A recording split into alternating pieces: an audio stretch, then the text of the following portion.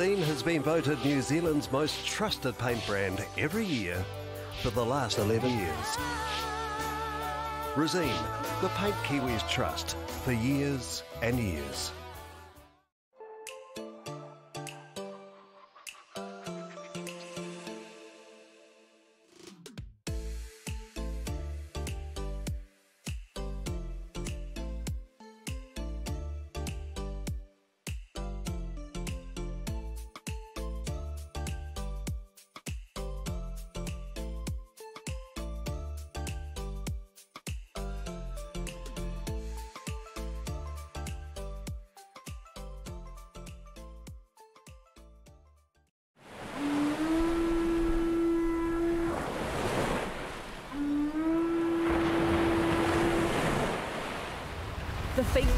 World Cup is coming to the shores of Aotearoa, New Zealand in 2023.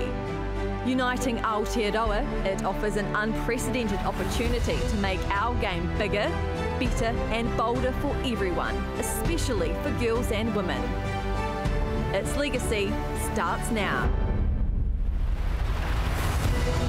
Our leverage and legacy plan will supercharge football in Aotearoa, grounded in two principles.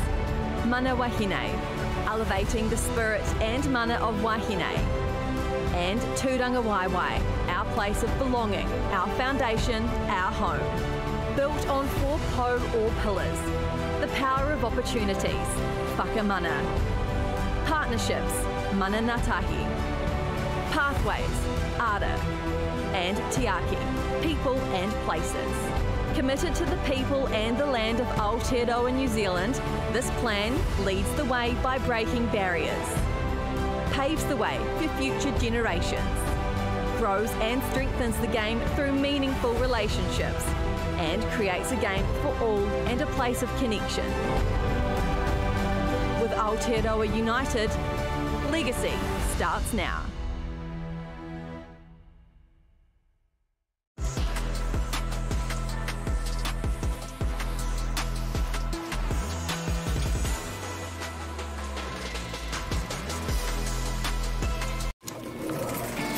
Has a long history of building the cars you love while leading the charge on innovation. Harnessing the strength, style, and capability you know and electrifying it. Because every generation has its own defining moments. The Ford EV and hybrid range, and coming soon, the Mustang Mark E. Ford, built for now, ready for tomorrow.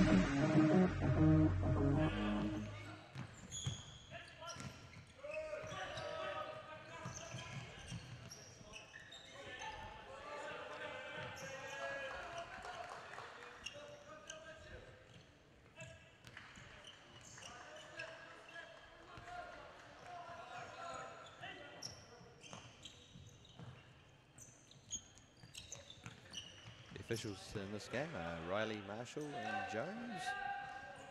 New Zealand, Scotland and England.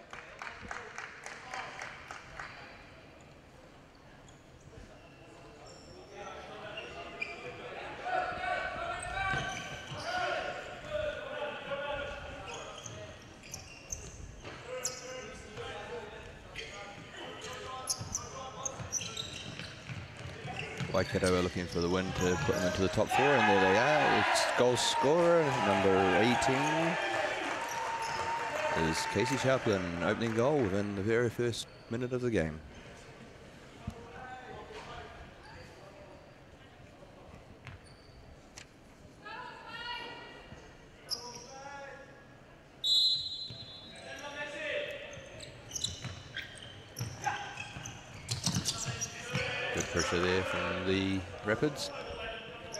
Rapids ball on the sideline.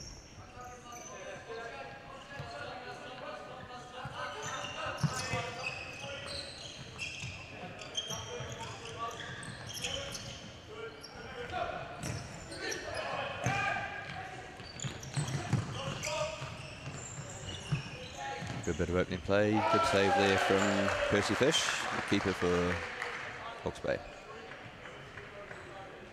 Fish had a really busy game last night up against the uh, Surge. Found on every part of the court, right up to Pivo.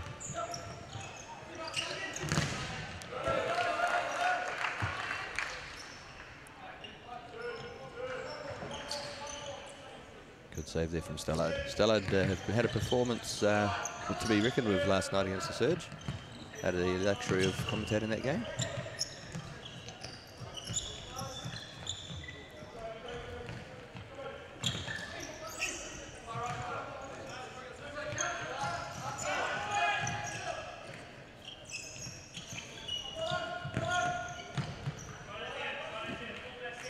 So it's Hawke's Bay ball.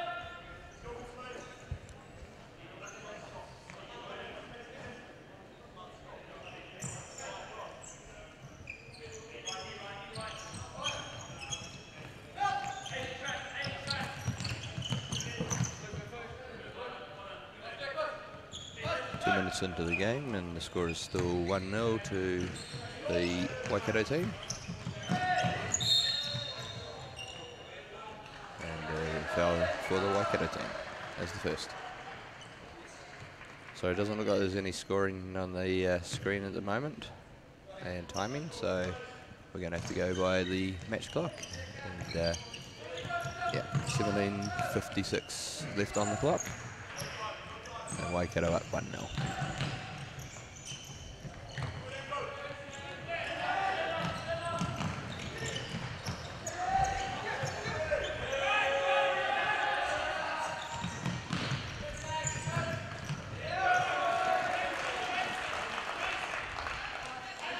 0. There from the defence.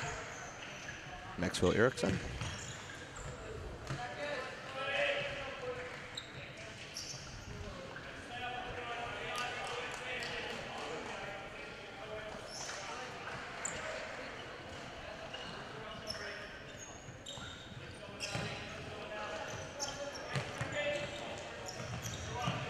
Nice idea there, getting the ball up court as quick as possible, but uh, unfortunately Stellard was a little bit lagging on that one.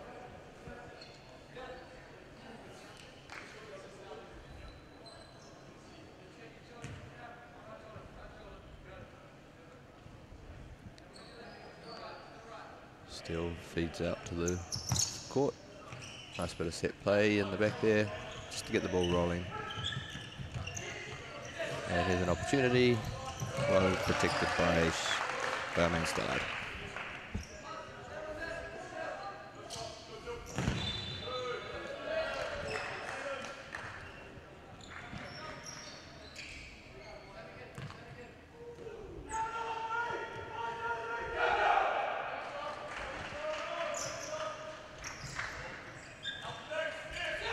Even Martin, the captain, has a shot and uh, well kept.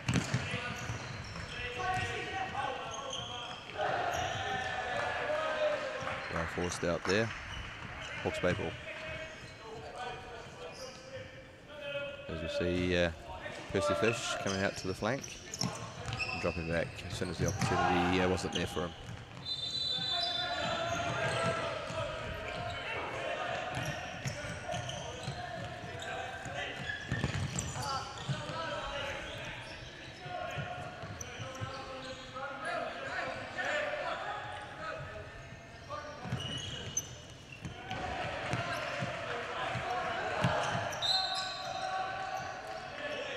We're at 16 minutes left in this uh, first half.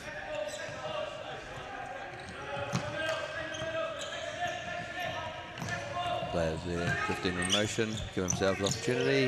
Well defended there from the Waikato team.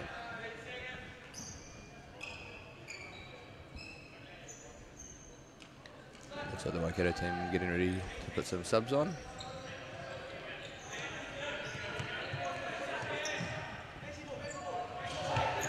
Same with Hawke's Bay, they're lining up some subs as well. Good defence from the skipper.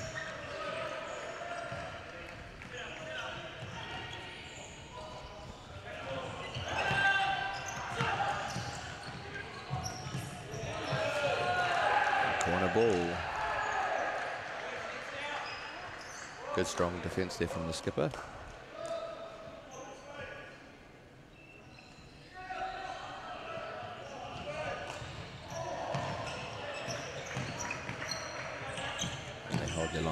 Nicely. Hawke's Bay ball. Last touch off Waikato's player, Benjamin K. Bought.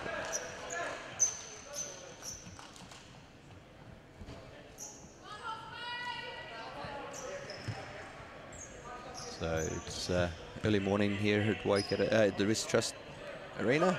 Uh, hopefully for those of you that are up earlier this morning, you're enjoying what you see in the game. And number two from Hawke's Bay uh, drew a goal there, Harry Anderson, to level it up at one all at the 15.52 left in the game, uh, first half.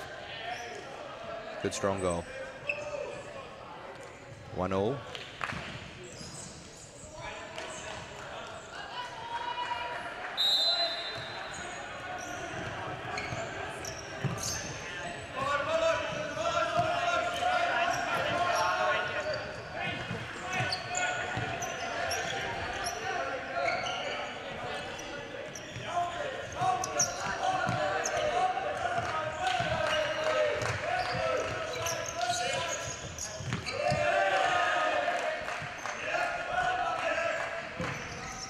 Okay, a ball from the sideline.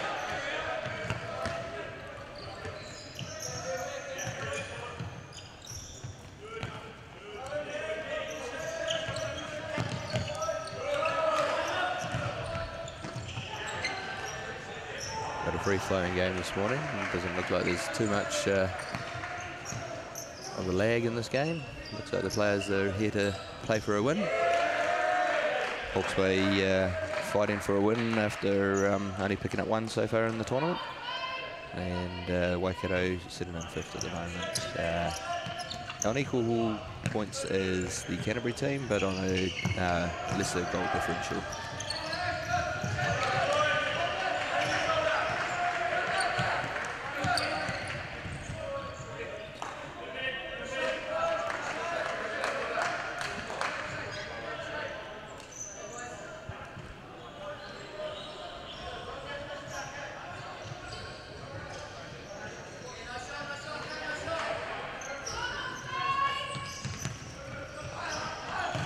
Nice little transitional play there from Waikato. Unfortunately, couldn't get to the ball. Kai Gordon.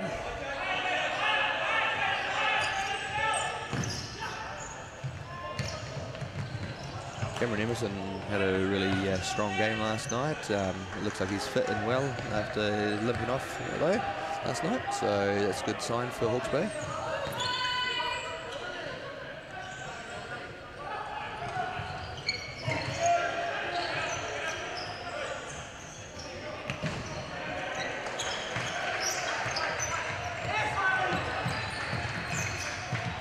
Nice steal there from Hayden Robson.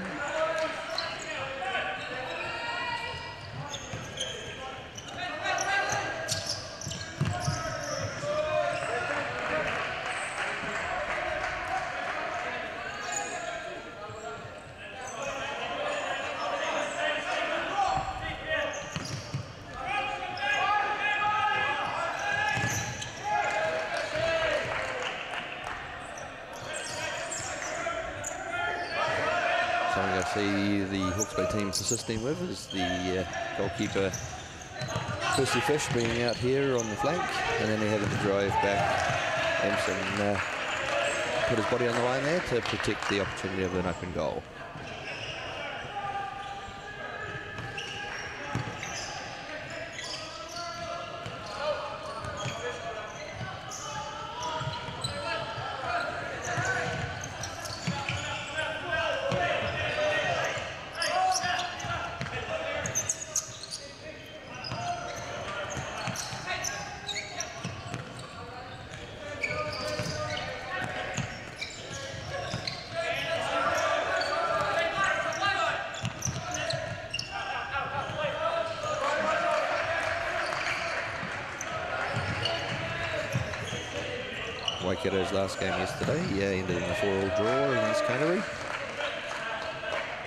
uh, hard-fought physical games.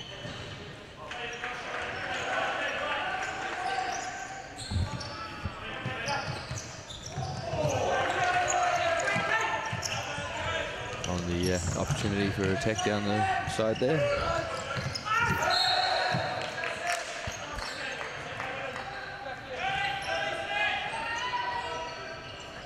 There we have 13-21 left on the game clock and the score is 1-0.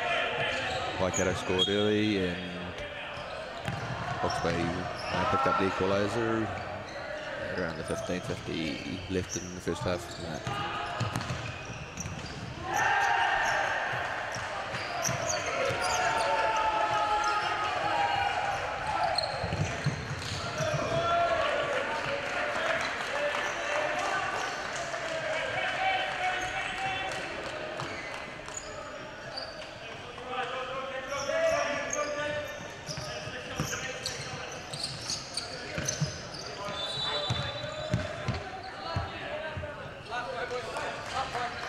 So again, off nice and early this morning, and uh, we've got a number of games to play today.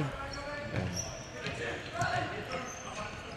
but it is day three of the 2023 F Ford Futsal Super League. And we have seen quite a number of exciting games this weekend already. So Monday, bit of Monday Blues,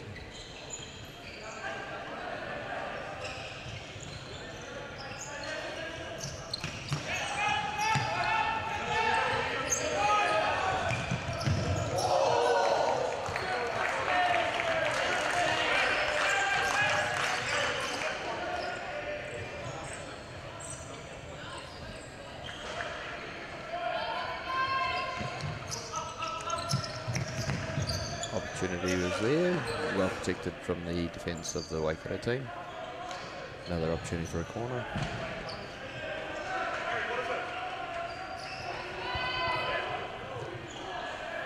Ball.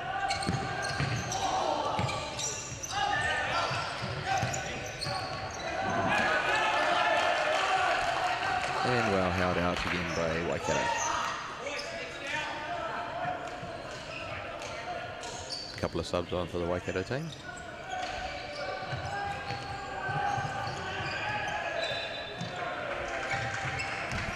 Casey Sharplin's back on the, on the court. Connor Clote is in there too.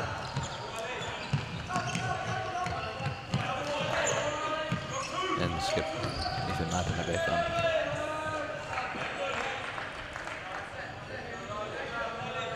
Hawke's Bay have three subs on the sideline as well. Ready to go at any moment.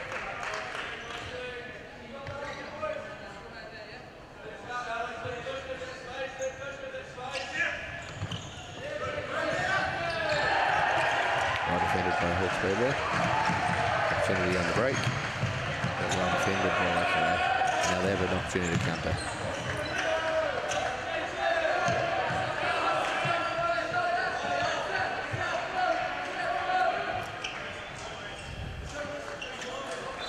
So just for reference, to those that have just joined us, uh, Waikato are playing from right to left on our screen. And they scored first in the first uh, couple of minutes of the game. Uh, Hawke's Bay playing from left to right. And they scored 15, 52 left in the half.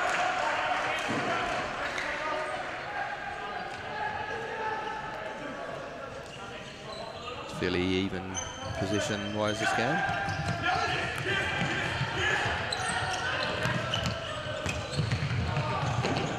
There was a good opportunity there for Sharpling, but uh, just couldn't get that on target.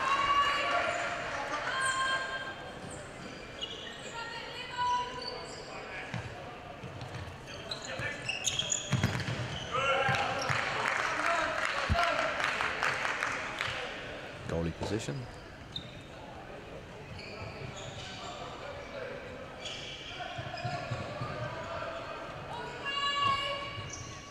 Waikato position, just waiting for a ball to return to the court.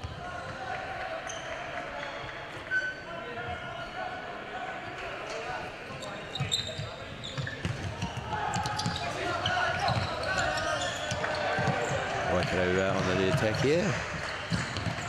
And uh, that was a great cross, but no one was there on the back post to finish that goal opportunity off. I'm not sure. Thank you so much. Um, if you need to leave, though, just just uh, got the uh, power manager just walking past, giving us a good morning. I didn't see a coffee come in though.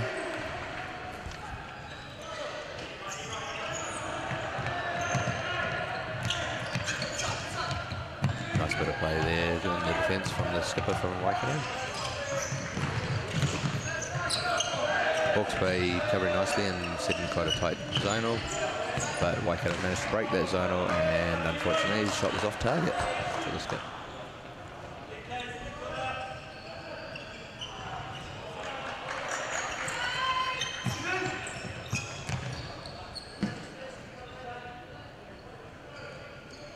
We're nearly at the halfway stage of the first half.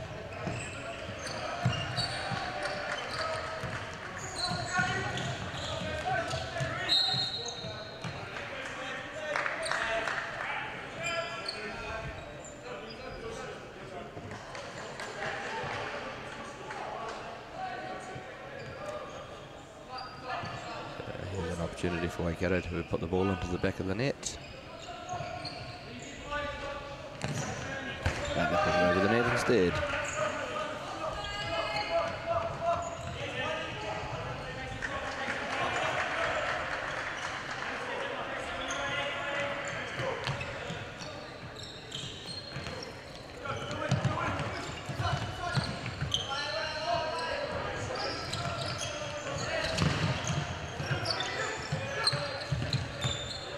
An open opportunity there, nice passing and nice attempt at goal. Hit the crossbar and went over the top.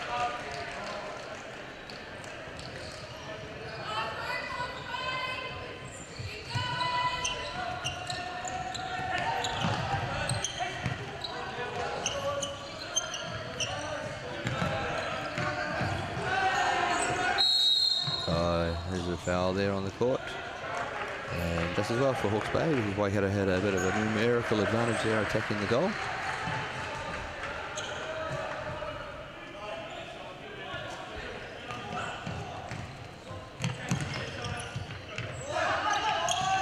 And just on the foul count, it's um, two apiece for the first half.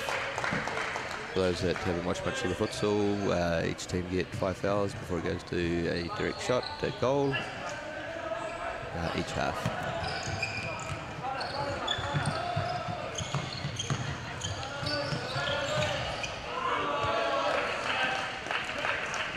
Hawke's Bay uh, position.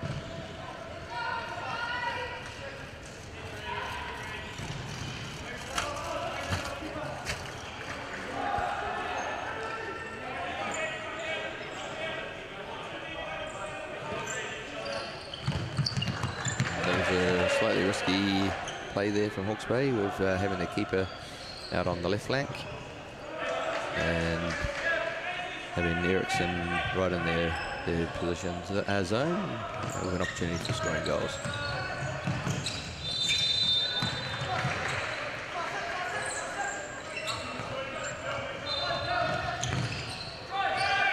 Seems to be quite a preferred play from Hawke's Bay actually having the keeper out there.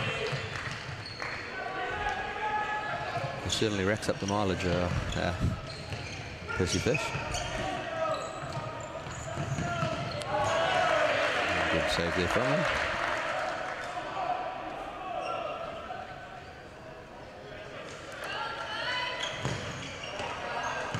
And an opportunity uh, from Begging.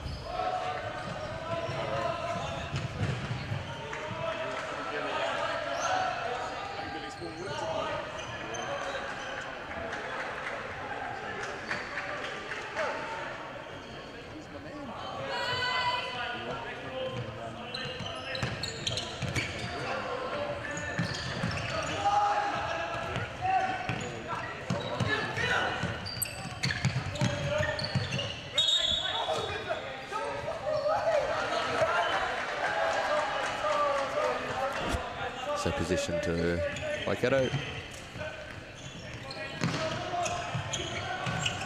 And there's an opportunity that they and they put it in the back of the net. Makes it 2-1 with nine minutes and three seconds left of this first half. And the skipper scores. Ethan Martin.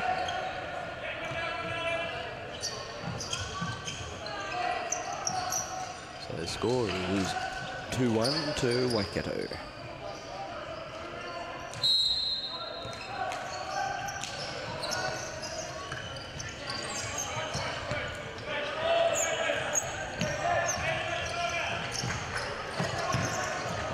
trying to counter and Waikato have the numbers to counter the counter.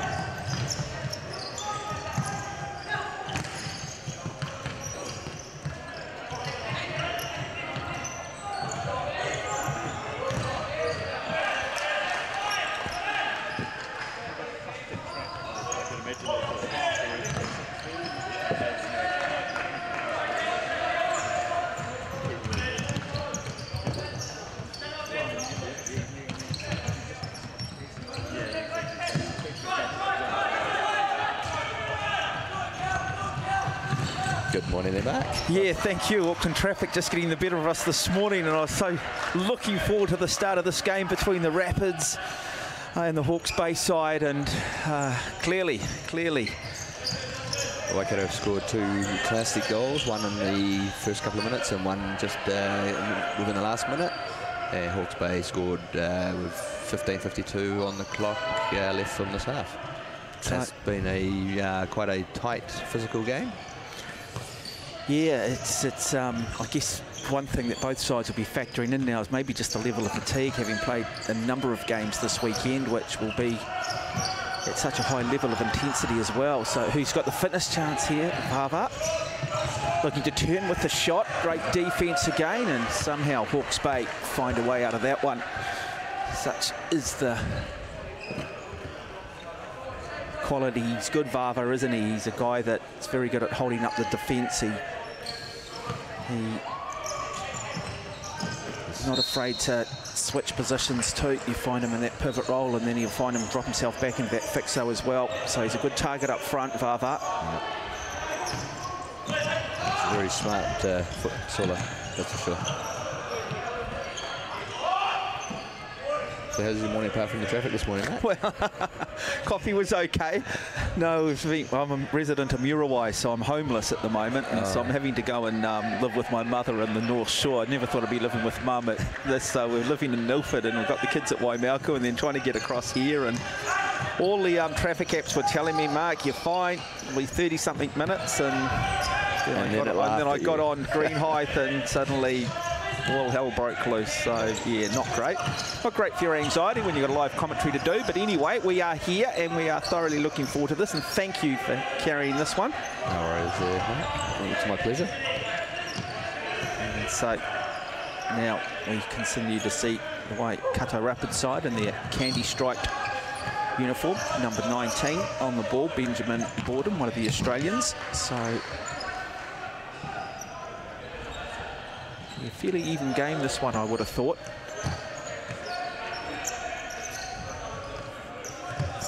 So just happy to be patient here at the moment are the Rapids.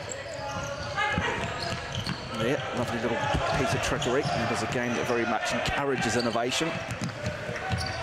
And there we go, continuing that skills is Borden, the Australian. Uh, but high press defence coming here from Hawke's Bay forcing the Waikato to play inside their own half and putting the pressure on. I saw the opportunity to break the press with that high ball, which was uh, quite smart play from them. Well, that is the danger, isn't it? When you play that high press, you certainly created opportunities in the backcourt. So a little bit of a shot, a little bit wide, but certainly be keeping the Hawke's Bay keeper, Liam Percy, fish on his toes. He's been a busy player this tournament.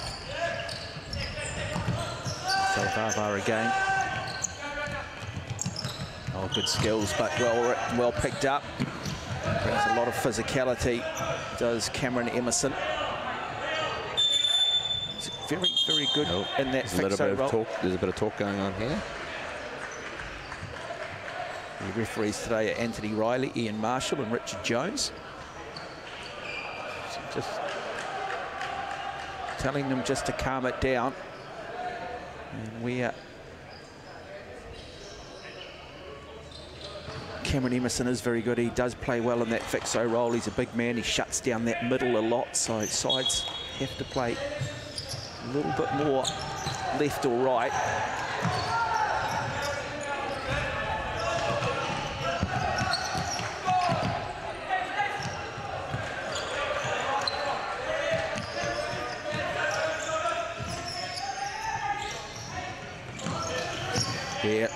Lovely little through ball, but just couldn't quite find his intended receiver. Looking to just try and thread the needle, and that intended receiver was Caden Rogers. And Rogers now drops back. It's like a very good defensive setup, though, by Hawke's Bay at the moment.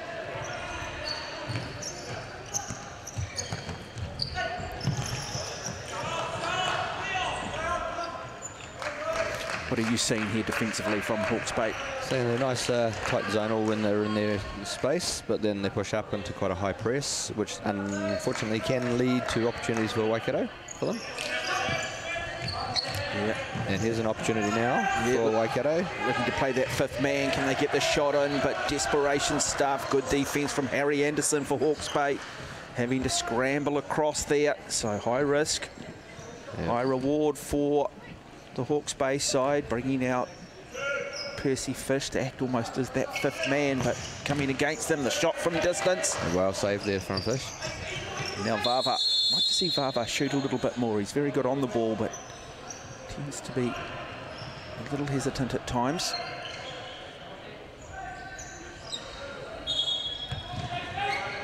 So gets play back underway. Looks to switch it immediately. A little one-on-one, but well read. Picked up nicely from both Anderson and Riley. One thing I noticed there with the Hawke's Bay team there is that they seem to, as they drop deeper, they go quite flat in that front row. So it does obviously put a lot more pressure in trying to break that line, but uh, Waikato have managed to break it a few times and obviously have a couple of goals to show for it. Yeah, they play with pace, don't they, Waikato? They're just very much that one-touch side, not afraid. If they see the opportunity, they do take it and shot there's there. one of them. Yep, there is Vava. And from Zimbabwe. And now the Fish looks to go long, but picked off by Vava. Can't quite control it. They get back desperately. Lovely little bit of footwork. But great intent there being shown by Jacob Riley for Hawke's Bay. Busy little futsal player.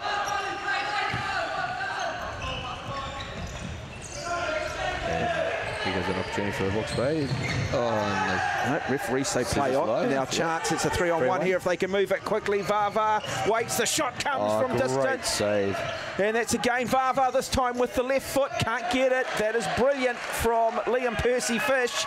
Under all sorts of pressure, they had the break and they had the three on one. They utilised it moved it beautifully. Yep, and Fish, uh, Percy Fish uh, held his place really nicely as usual. He's a really well uh, rounded goalie, really, isn't he? Seems to know where he needs to be and puts his players in the same zones he needs them in for defence. And uh, And now, and here's an opportunity for the counter. yeah, he's good. I like to see him, and he's got that physicality, doesn't he? He does certainly does has that size to him and um, not afraid to run into players if need be. Well, it also allows them to lean a little bit more on defenders, doesn't it? And you Yeah, see a lot of that, just holding up the defender, just waiting for players to come forward, and every team seems to have one. But it's just that ability to, you know, to be able to slow time down and know that you've got time on the ball. Yep. That's what the great players seem to be able to do. Now, they go back across court. From uh, a bit of a white press going on there. And now they're back into their zonal and uh, see how Hawke's Bay hold this position. Yeah, they've got to hold their shape, don't they? Yeah. Just as this game goes on the fatigue kicks in, that comes down to concentration. Oh, lovely little ball too here. Great innovation, And- great oh. shot, and just wide. And yeah, great opportunity there. Uh, unfortunately, Ericsson wasn't there on the back post where he could have uh, slotted a nice little goal in. I think the shot came from Dixon, did it, in the number 11 shirt. Yeah, George Dixon. So, and now, yeah, they're just playing with such pace. And now this chance here, they look to try and come through the middle, but he can't do it on his own. Needs some support. And again, here comes this three-on-two situation. Feeds the pass, the shot comes again, and Fish is there now. Another opportunity, and they clear and. But it is very much the Waikato Rapids who have at the moment, the ascendancy, they have the momentum. Yeah, they're playing a lot more with um, support play on the rare runs as well, whereas Hawke's Bay seem to be right one out. Yeah, just not pressing high enough on offense, are they? They're sort of sitting back a little bit defensively and maybe just need to play with a bit more positivity. Just haven't had the ball. And now looking to switch play. The Hawke's Bay beaten badly yesterday by Auckland City. But what, particularly what we saw from Cameron Emerson was that he was very effective early in shutting Auckland City down through the middle but they couldn't just rely purely on him. And as the game wore on and fatigue levels kicked in, City eventually opened them up and then the floodgates well and truly opened up. Here's yeah. an opportunity for a counter and well protected from Ethan. Yeah, brilliant. That's really good there again from Ethan Martin, their captain, with that sliding tackle. Another chance here. Good clearance from Riley Kleinert.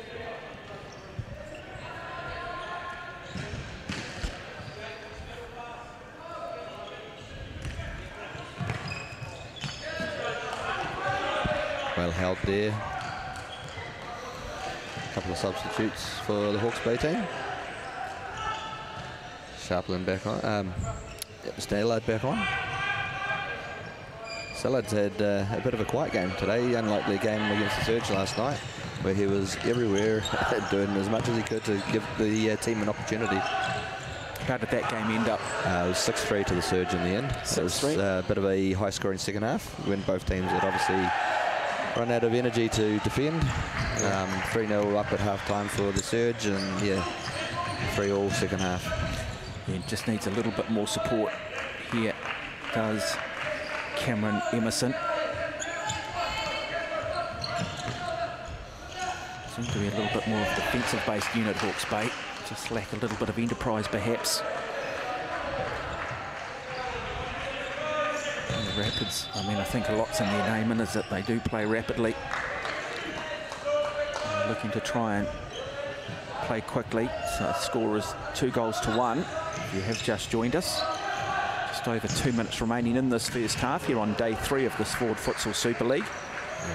One thing we see with the uh, Rapids is uh, having Jet on board as their head coach this year.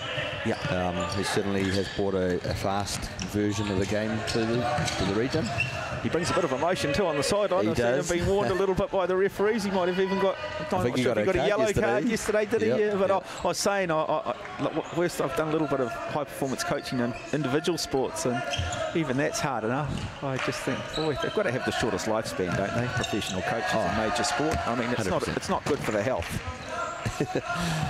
yep. But you know what? We do it for the fun. Yeah. I think uh, as being a coach myself is like the seeing the girls in our case that um, playing out of their skin and, and putting the patterns together that we put in training and watching how they perform as a unit. You know, you, you can't ask for more as a coach. No, that's all you can do. Here goes Vava now, looking to try and take it down this right-hand side. Still in control. The shot and comes, and there is the third one. Well, it's been building, and it came, and it started through some very good defence at the other end, and then it was Vava, and then it fell into the hands of Casey Sharplin, and Sharplin, well, this time just simply too good, and Liam Percy Fish, well, he just couldn't get across to it. And so it is the Rapids who now lead by three goals to one with just a minute and a half remaining in this first half but brilliant defence at one end. They turned that into attack. Vava, whose ability to hold up that ball was key, and he came across, and Sharplin making it three. And now Hawke's Bay has some serious questions to ask of themselves. So, yeah, so I just want a, uh, little shout out to one of the uh, power players today. It's her 18th birthday, Eve Miszewski the daughter of the head coach. Coach, yeah. Yeah, so her 18th birthday today. Yeah. Um, yeah, just goes to show that we've got such a young squad. Yeah, pretty impressed too that by that young Stevie Lee Tiller. Yeah, she's playing amazing. She's a good little futsal player, big future here. And yeah. It is. It's about now building on that depth, isn't it? Creating the depth, bringing that nucleus of players together, having those seasons and and eventually you can hopefully challenge the likes of what looks appears to be a very good Canterbury side on the they, side. certainly a very strong oh, opportunity well there. Yeah, really good chance coming from Mustafa for Well Hawke's. Bay. Well saved from Steele there as well, and he'd been alert to the fact that the play was happening right there in front of him. His defence didn't block his, his vision, which is uh, probably a lucky thing for him, really. But yeah, um, another couple of players that stand out. Obviously, our uh, keepers. Um, they, they had an amazing day yesterday. Yeah, oh, the goalkeeping's been superb. Um, I mean, that's almost the first player you pick, isn't it? It's Yes. very not dissimilar to ice hockey in a lot of ways, where you want to be a good, good in the NHL, you've got to just have a great keeper. Yeah. And I'm just amazed at the athleticism and the way they can throw themselves around on these harder surfaces. The ball is not, you know, is much heavier than a standard football, if Yeah. you're not aware with futsal, and, and it is drilled at times, absolutely drilled. And they just throw themselves around. Also, a lot of um, field hockey skills in it too. The way they tend to use their legs a lot more than say what you'd see in the standard goalkeeper in football. Yep, absolutely. Yeah, not good for the groin. I don't think I'd cope too well at 50 odd years of age. The uh, yeah, I mean it's bad enough being in our 40s when we when we actually uh, roped in to keep. And there it is. And it is half time. And it is the Rapids who lead Hawke's Bay by three goals to one. And what has been a really good performance. But for the Hawke's Bay side, well, it's just an opportunity for them to come out in that second half and got to try and score early. Try and put a little bit of pressure back on the Rapids. Just see how they deal with a little bit of adversity. Yeah. Well, Mark, I mean I have to love and leave you, mate. But uh, hey, Thank you, on. for, thank you for carrying the ship. Thank you for carrying the ship. I tell you what, Auckland traffic, eh? yeah, uh, I, I Let's was- get rid of the orange cones, I say. Let's get rid of the orange cones. They're everywhere. I always say that if you're going to redo the New Zealand flag, you have an orange cone and a pothole. That would be That pretty much sums up this up. country at the moment, doesn't yeah, it? yeah. Anyway. So it should be yeah, if for the rugby team in Auckland, it should be the Auckland potholes, uh, maybe. Um, Yep. Yeah. But hey, oh, the orange cones. yeah, with the orange cones, yeah. Yeah. Anyway, it No is what it is. Well, you have a great day. No, I appreciate that. Thank you for joining us and thank you for carrying that early on. But anyway, we are on board and looking forward to having your company throughout this morning here on day three of the Ford Futsal Super League. We'll have a little bit of a break while the two teams get some instructions and we'll be back shortly for the second 20 minutes.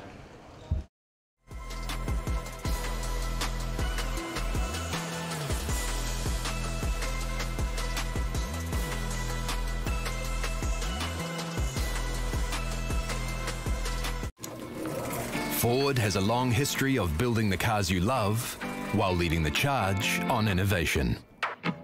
Harnessing the strength, style, and capability you know and electrifying it.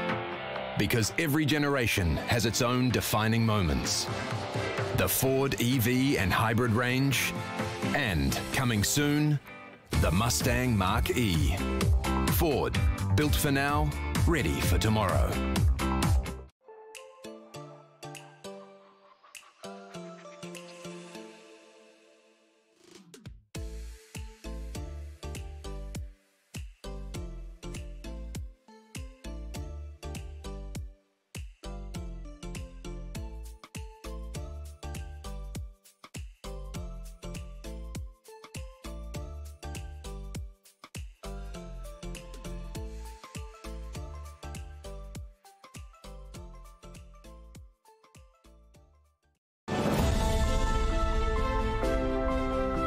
Believe in supporting and nurturing our extended sporting whānau, working towards promoting a healthy group activity that kids, parents, and friends love. We want everyone to feel invited. It is in our DNA. We are accessible to all. We are football in Aotearoa. We are the beautiful game, and we are proud to be the largest sporting whānau in New Zealand.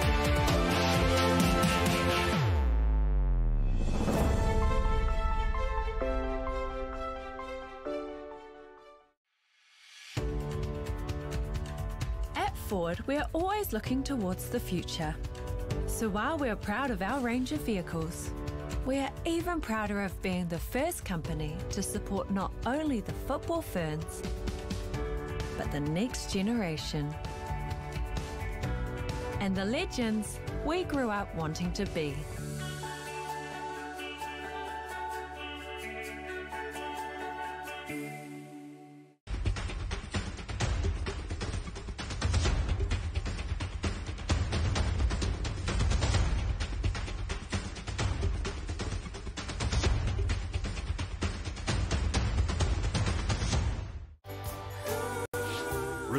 Has been voted New Zealand's most trusted paint brand every year for the last 11 years. Resene, the paint Kiwis trust for years and years.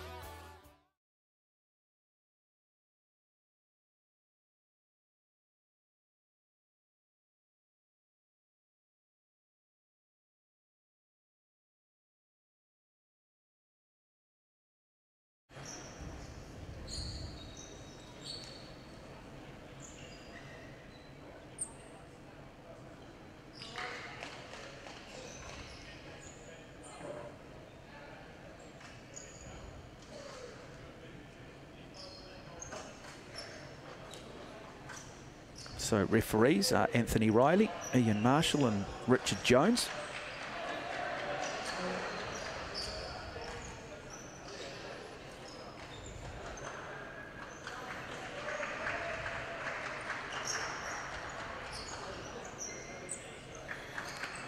Just running through those results for you yesterday. So it was Southern United who got up over the Waikato Rapids 4-2. Then it was the Capital Futsal beating Bay of Plenty by four goals to one. Hawke's Bay getting beaten by Auckland City 11-1. Papakura City going down to Capital Futsal by three goals to one. Then we had Waikato Bay of Plenty Power beating Central Futsal three goals to two. It was a four-all draw between Canterbury and the Waikato Rapids. And Papakura two, Canterbury three. Hawke's Bay Futsal went down to Bay of Plenty by six goals to three. Canterbury Dragons went down to Auckland City by five goals to three. And Waikato Bay of Plenty Power ending up beating Southern United by six goals to two. But we're back underway. And a great opportunity, great goal. That is a brilliant start. A brilliant start for the Hawke's Bay side. The long ball against the run of play. Something slightly unconventional. And it was Mustafa using the head to suddenly peg one back and bring this game to a 3-2 margin. That is what they needed. And just a little bit more urgency now.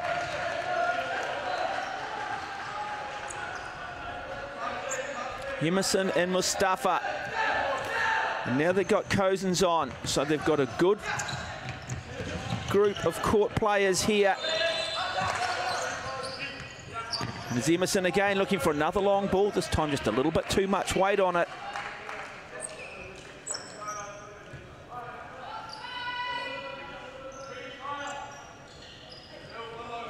Don't see a lot of goals off the head.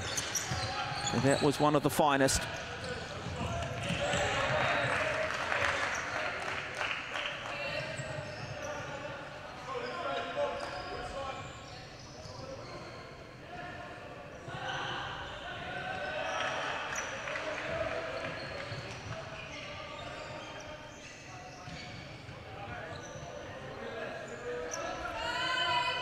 Tell you what, the Hawke's Bay would love to try and nab one now. Uh, it certainly would lift the energy levels. If in fact fatigue does start to kick in. Chance here, picked off in the middle now. Cousins looks to come forward, goes on his own, needs a bit of support. We'll bring it back. In fact, this is Cousins, so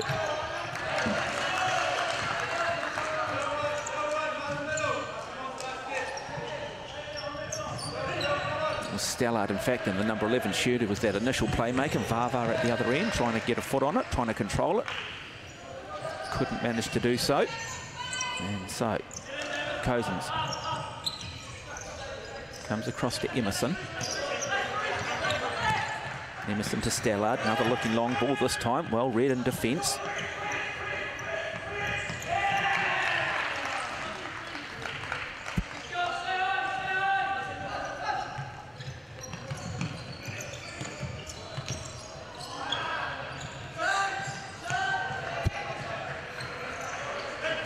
Patient here at the Rapids.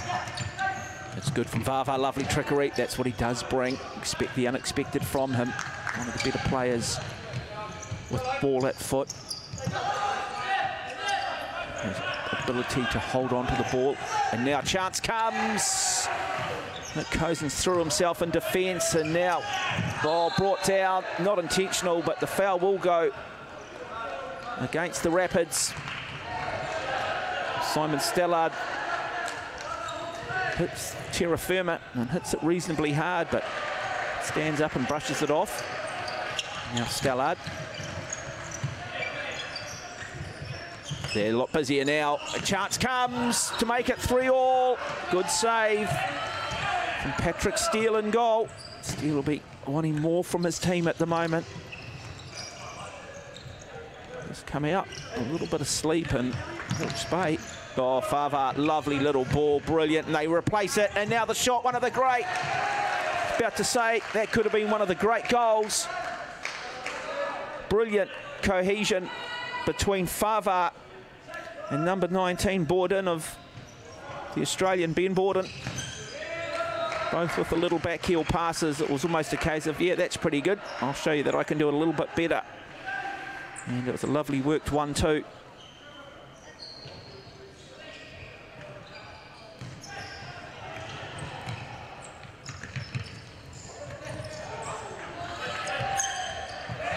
Oh, just muscle their way. Mustafa had no choice but to come out Steele.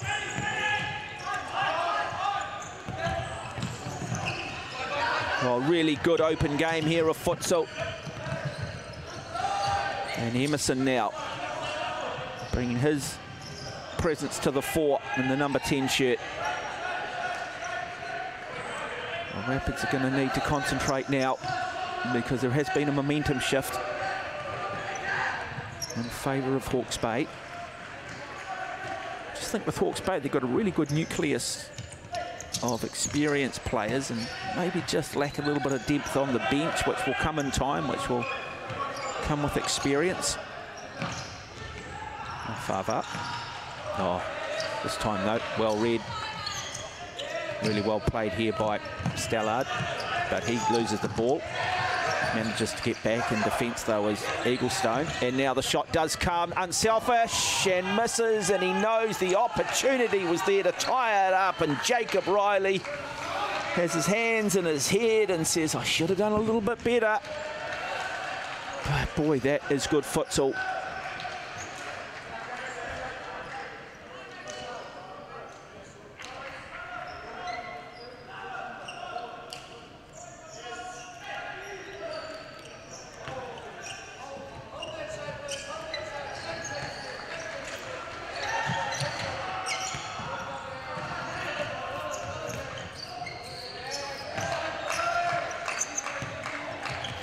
The needle. Vava. This time he's worked over. Now they have the opportunity to go. The South has a shot with the left foot. A cannon of a shot too from Eaglestone. And it created another very good save from Patrick Steele.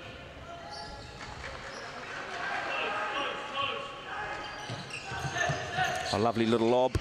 Something slightly different. Another shot. The deflection comes. They'll pick up the corner. This time it was Harry Anderson from distance the number two shirt for Hawke's Bay.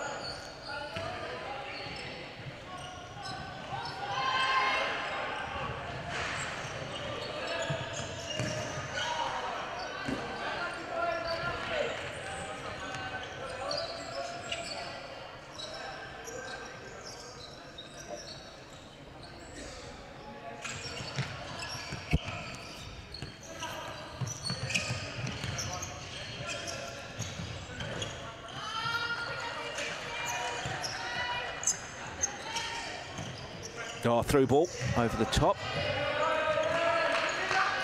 Great intent.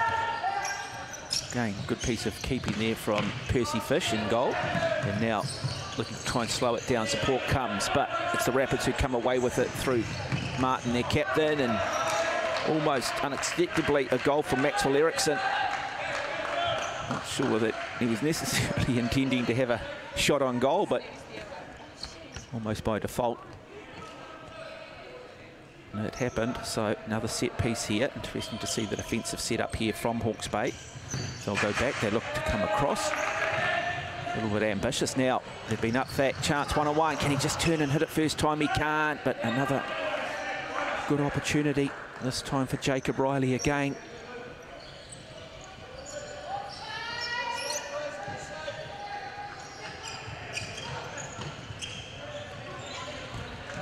Down the line.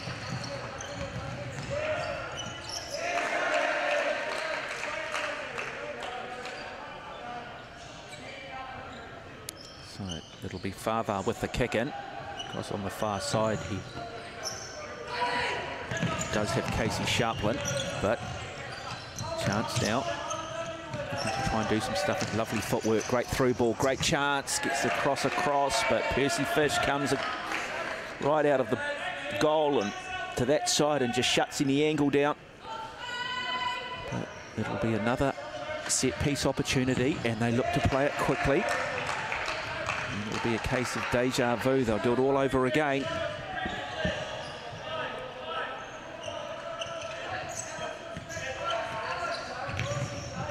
The left foot.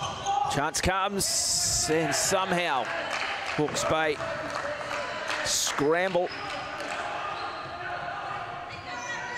Managed to keep the score at three goals to two, just the one goal in it in favour of the Rapids. Another cross, another corner. Harry Anderson been good in defence and the number two shoot for Hawke's Bay, just a young man, big future. A lovely bit of thing here. Now they look to try and mix it up. He gets the shot with the left foot. Can he hold on to it? They can. Vava's there. He turns. The trickery. Couldn't quite get the goal done, but that is the danger just that ability to hold up that defender, to turn his back and use the Suki skills. They said, come back, we'll play that again. Referees today, Anthony Riley, Ian Marshall and Richard T. Jones. Refereeing's been excellent throughout the tournament. Just want to acknowledge the sponsors too, Resene for the Golden Boot. McDonald's and Ford, of course, the principal partner. Oh, and from nowhere they've scored. And sometimes it can be moments like that where perhaps it's not the cannon you expect.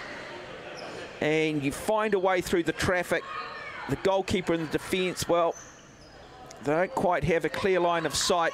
And this time it was the captain, Ethan Martin, who scores. And suddenly it's back to a two-goal buffer.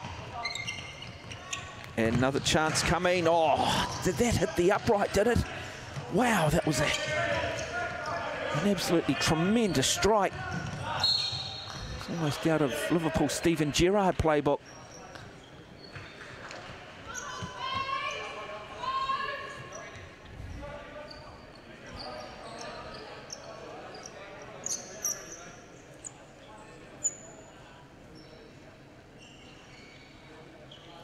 So just over 14 minutes remain. Now this is at about that threshold yesterday where the Hawke's Bay just started to fall apart a little bit against Auckland City and then the floodgates really did open. Is where now the next three or four minutes key passage for them. Need to hold on to the ball. Need to believe in themselves. Need to find a way to score at the other end. That's good. Now the chance comes. And can they? They just put it wide. But good enterprise being shown, playing it quickly, just one touch futsal.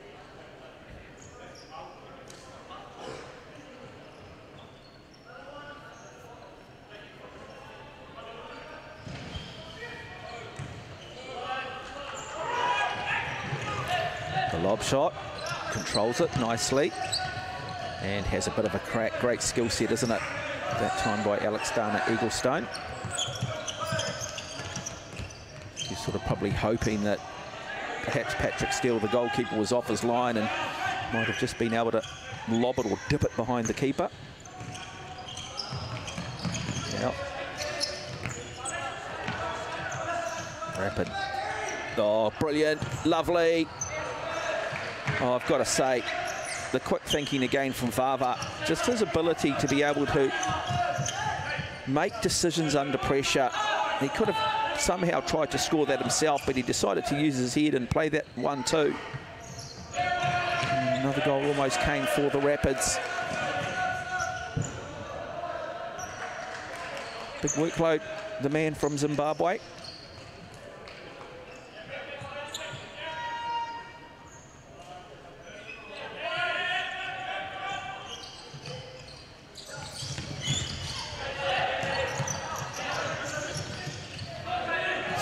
Eriksson, in fact, is the number 10 at the moment. So it was Eriksson, I should say, who was superb in terms of the earlier play. So Ericsson here, pressing high in that pivot role, waiting for that opportunity, waiting to see if he can break loose and get that one-on-one, -on -one, but sitting back there. And the fixo is Alexander Eaglestone. He is a bit of a brick wall defensively. So it's a really nice matchup between Maxwell Erickson and Alexander Eaglestone.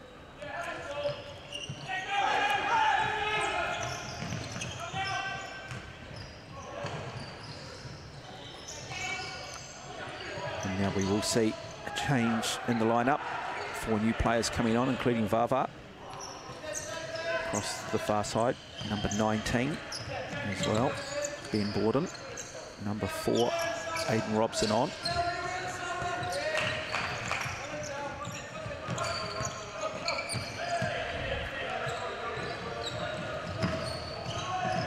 But well read, well picked off in defence. Now they decide to come up the line, looking to just out-muscle his opponent, but a little bit of shove in the back. So Cameron Emerson not afraid to use his physical stature for Hawke's Bay.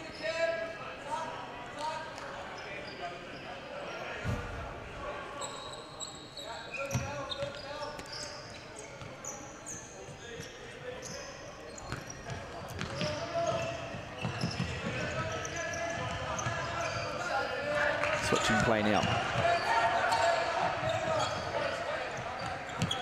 Happy just build up gently through the back. Vava, uh, three players on him now. If he can get free, that'll automatically create the overlap. And that's what he's good at, is just drawing those defenders, drawing two across, creating an overlap elsewhere.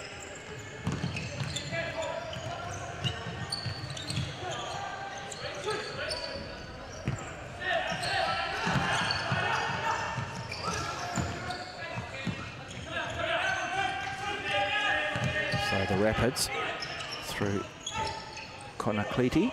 And with the shot, just wide.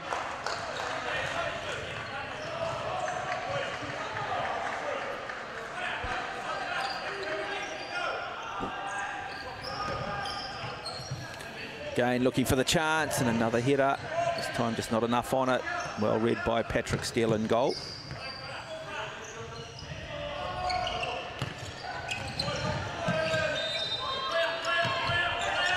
Vava goes on his own, has a shot this time with the left foot, just skies it over the top. Looked like he certainly had Aiden Robson out to his left, but he was well marked and he saw it and quickly decided that perhaps the best chance was to go himself. Just under 11 minutes remaining in this game. It is the Rapids leading Hawke's Bay by four goals to two. Lovely little turn, lovely little show and go here from Robson. Robson goes on his own. Picks up the corner. Really, really good futsal from this Hawke's Bay talisman. How can they convert though? They look for the chance. The shot does come. Blocked. And now the Rapids look to break out. Now they'll slow it down and just bring it out from the back. Take some more valuable seconds off the clock. Shot clock won't really come into play just yet with over 10 and a half minutes remaining, but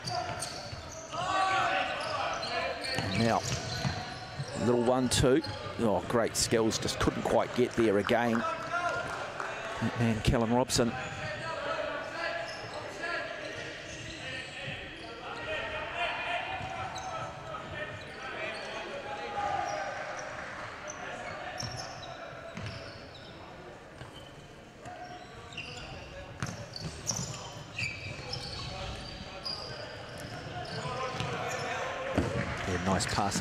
good skills.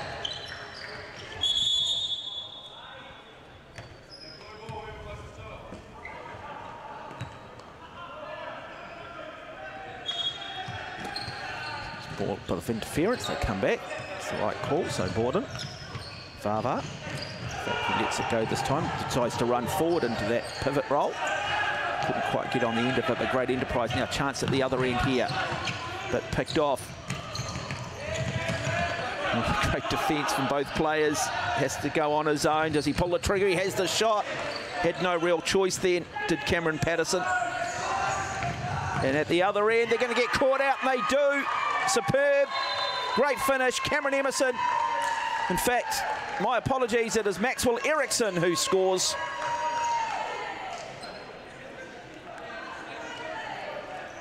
And isn't he thrilled? But end-to-end -end action. Just confirm it. Might have in fact been Casey Sharplin. I do apologise. Sometimes the numbers are just quite can just be difficult to pick up in the moment.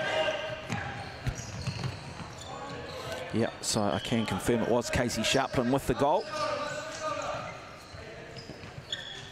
Man on the ball at the moment. And so 5-2 the score, almost against the run of play. But really nicely worked move. Very much their goals are coming through team cohesion where arguably perhaps the Hawke's Bay goals have come more through sort of moments of individual brilliance and a little bit more of the element surprise. Saw a very good header to start the second half off a long ball. Now they look to turn, but the defence too strong. Do feel for Dylan Cozens because he puts his heart and soul out here in the number seven shirt.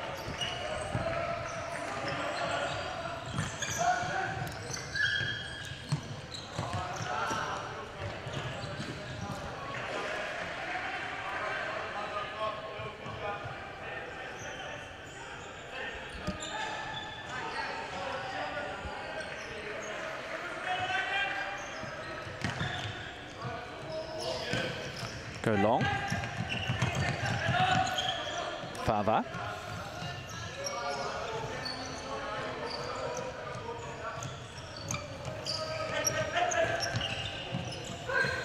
Wants to try and thread the needle, but to no avail. I think both teams would be quite happy for this just a goalkeeper here, Patrick Steele, just to slow things down and reset, give everybody just a chance to reset and try and find that shape, both offensively and defensively. Oh, handball. So come back, not intentional. But certainly was a handball.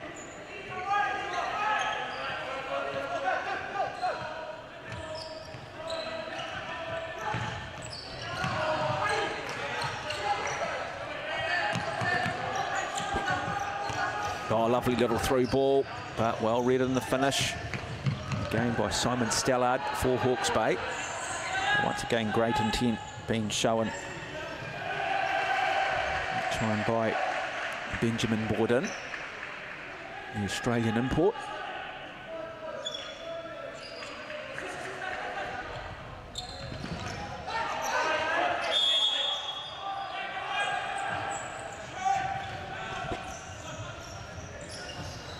They'll change their lines so doesn't get any easier with Maxwell Erickson now coming back on for the Waikato Rapids. Almost like for like, isn't it, when you look at Erickson and then Vava in terms of their physique and their style of play. And sort of got similar haircuts too.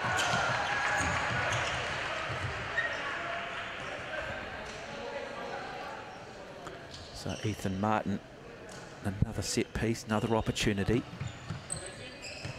And little lob, picks it up. Erickson, does he have a go? Does he pull the trigger? No, happy to play it, allows it, and that is superb. And this time it is Ethan Martin who does score. But great play from Maxwell Erickson. Just held it up. Looked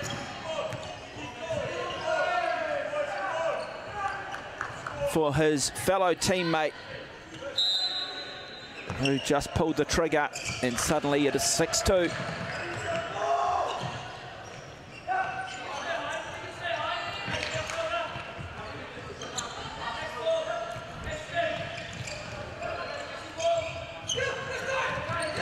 Oh, lost it, chance, Erickson. Oh, just that last little touch. Here is Cozens. Cozens holding, holding, holding. Then just decides to put it in once he knows his defenders have come back. More than happy to allow the Rapids the kick in.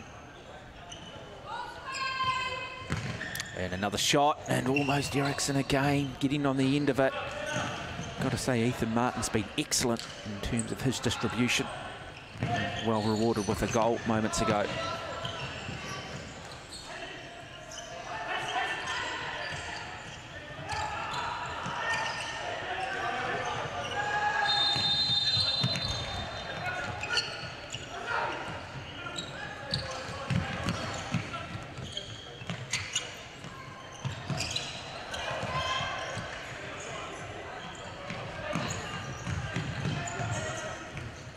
It across. Chance over the top.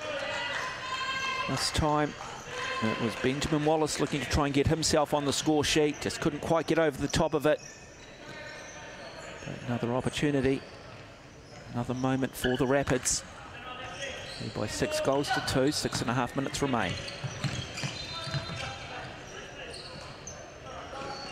said, I think with Hawke's Bay, they've got a core group of players, maybe just lack that little bit of depth on the bench and a couple of genuine playmakers.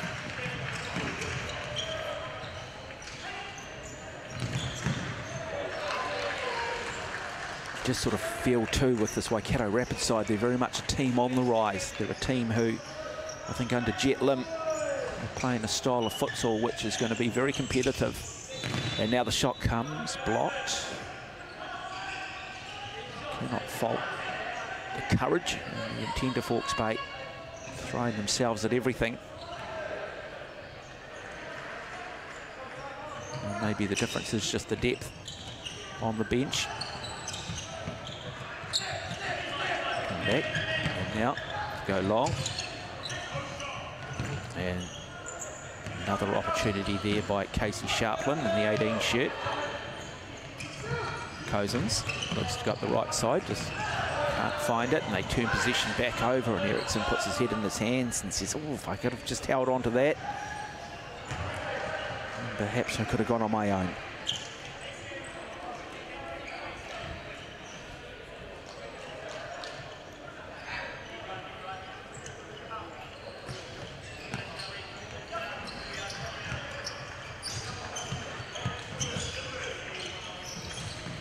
Oh, nice skill set. This is good, this is good. The shot comes and just the minute, I think it's sharp when that gets in the way with the block.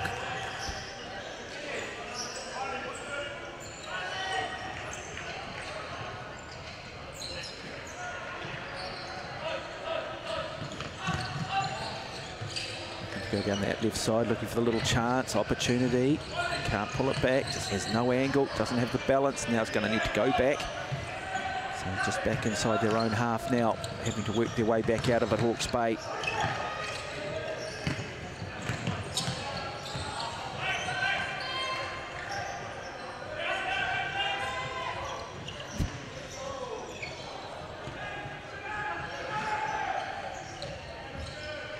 So Wallace on court for the Rapids in the number nine shirt.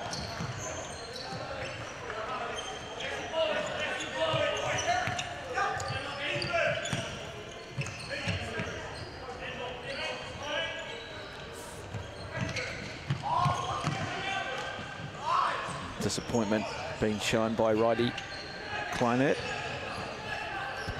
Feels he should have done a little bit better.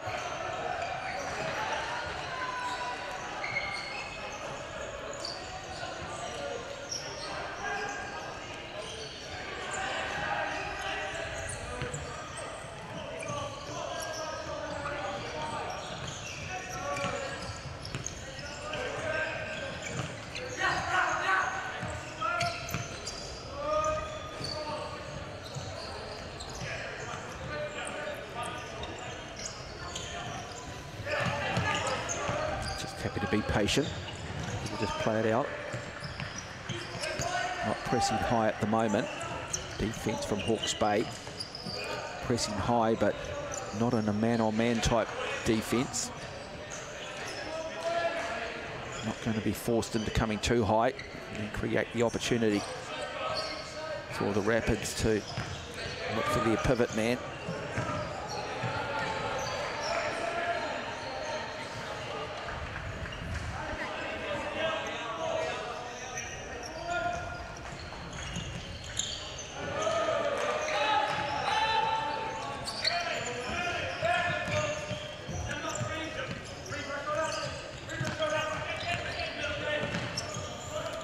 Goes through.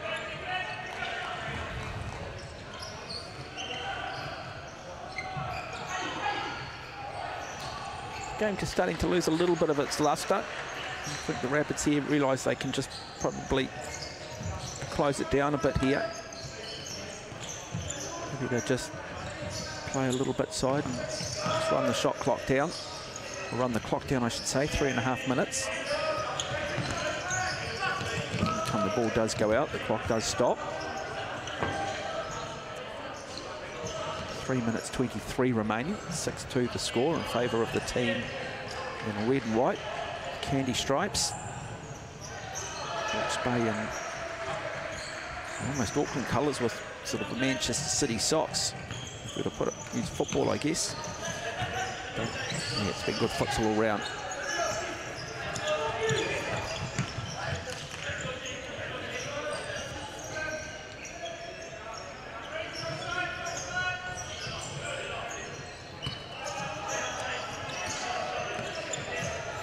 And just doesn't find intended receiver.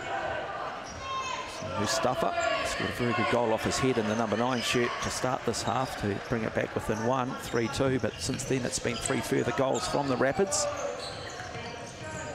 They look to march on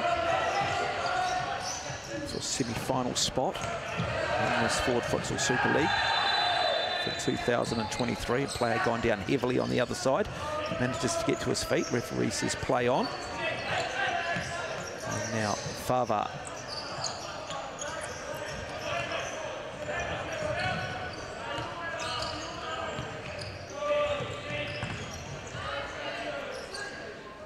Just two and a half minutes now remaining.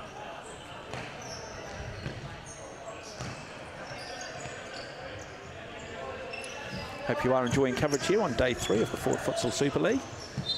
See a long ball going through, slightly ambitious, but again, just showing their attacking intent.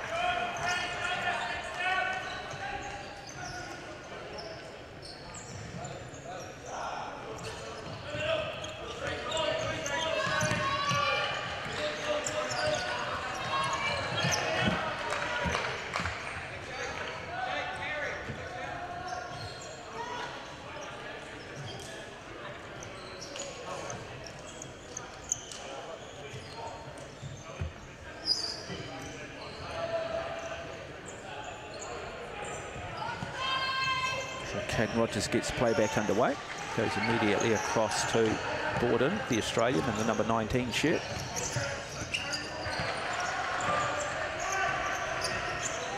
Not drawing the Hawke's Bay defence too high at the moment. Looking for a little bit of a through ball. Keeper happy to let it roll. And Jack McCaw is the new keeper for Hawke's Bay. Percy Fish being replaced. More a chance of just giving players an opportunity to experience this Ford Futsal Super League.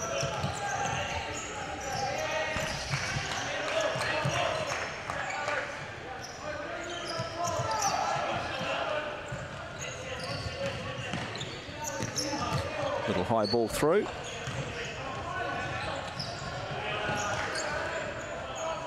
And now just the 80 seconds remaining going to take their time. Instructions being given there by their goalkeeper, Patrick Steele. He says, look, just play it.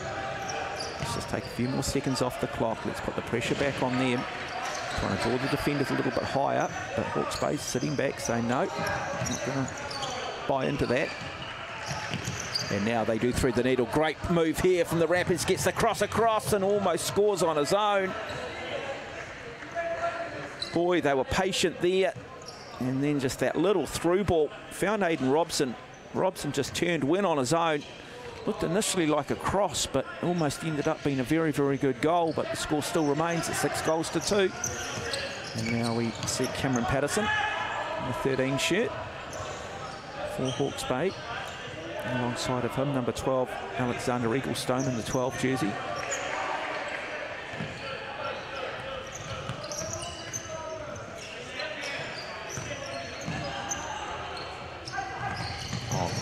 Holding that up. It's good futsal from the Rapids. And they continue to control this game and looking to just now shut it down. Maybe they'll just play beautiful futsal, but picked off now. Chance, opportunity, goes little body swerve with the left foot and almost scores a stunner. Alexander Eaglestone showing just how lethal he can be given an opportunity. Give him an inch and he'll certainly take a yard. And they will get a set piece opportunity here with 26 seconds remaining. So what do they try and do? Really what they're trying to do off the set piece is get a shot in. But they turn possession over, so good defence from the Rapids.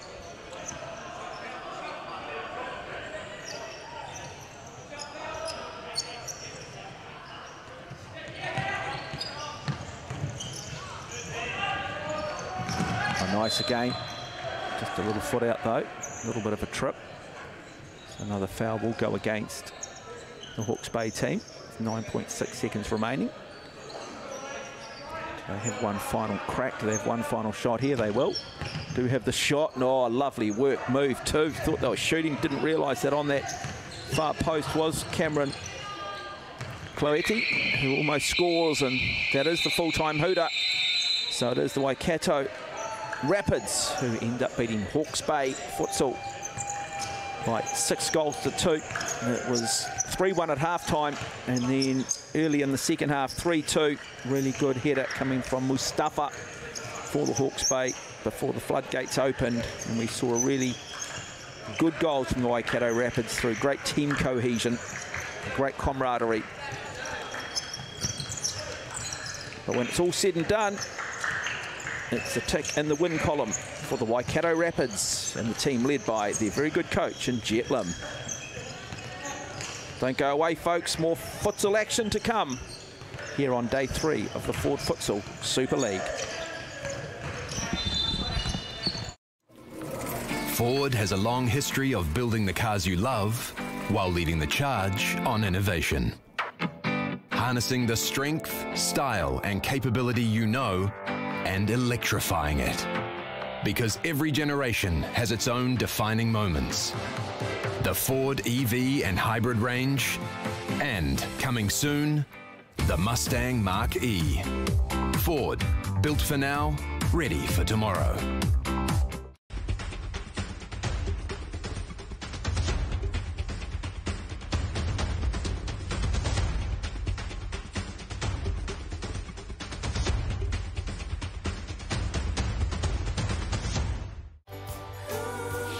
Resene has been voted New Zealand's most trusted paint brand every year for the last 11 years. Resene, the paint Kiwis trust for years and years. The fern is a symbolic representation for all New Zealanders and has been reimagined to represent all of football in Aotearoa, New Zealand. A circular shape not only symbolises the round ball used by all those that play the game, but also, and more importantly, represents the strength and infinite connection created by all those that play a part of the game. With each piece of the fern recognising and acknowledging those that make the beautiful game beautiful. The stalk represents our grassroots, our communities, our clubs, our volunteers, and our fans. They are the foundation and are at the centre of all we do. The pinna represents our federations across the whole of New Zealand. Our federations guide and protect our clubs and communities, allowing everyone to be heard, to be represented, and provide guidance and opportunities at every pathway. One brand identity with regional differentiation. Federations in New Zealand football working together to serve our communities, creating more than a game, creating a sporting whānau where everyone is welcome.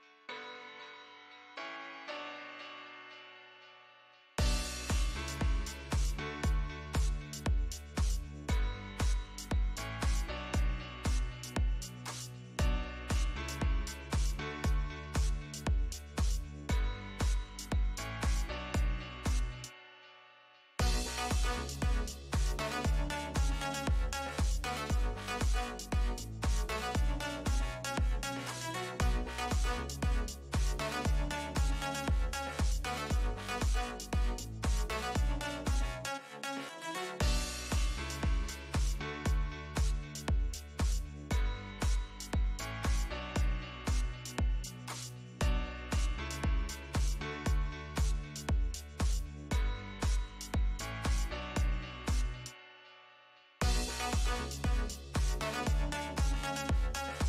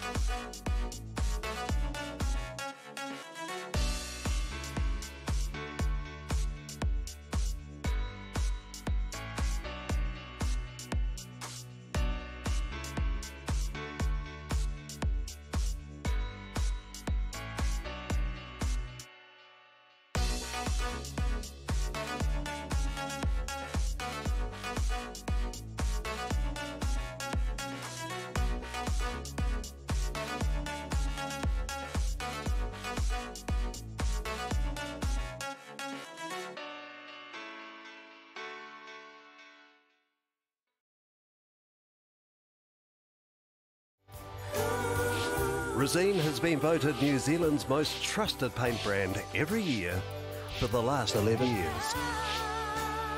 Resene, the paint Kiwis trust for years and years.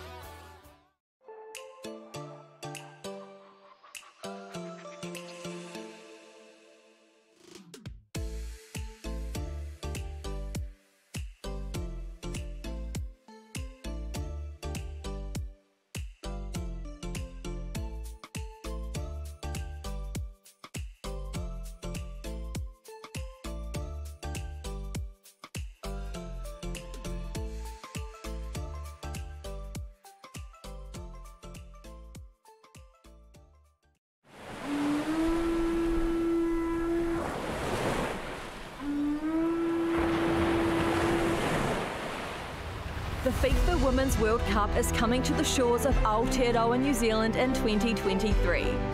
Uniting Aotearoa, it offers an unprecedented opportunity to make our game bigger, better and bolder for everyone, especially for girls and women. Its legacy starts now. Our leverage and legacy plan will supercharge football in Aotearoa, grounded in two principles. Mana Wahine, elevating the spirit and mana of Wahine. And Turangawaewae, our place of belonging, our foundation, our home. Built on four po or pillars.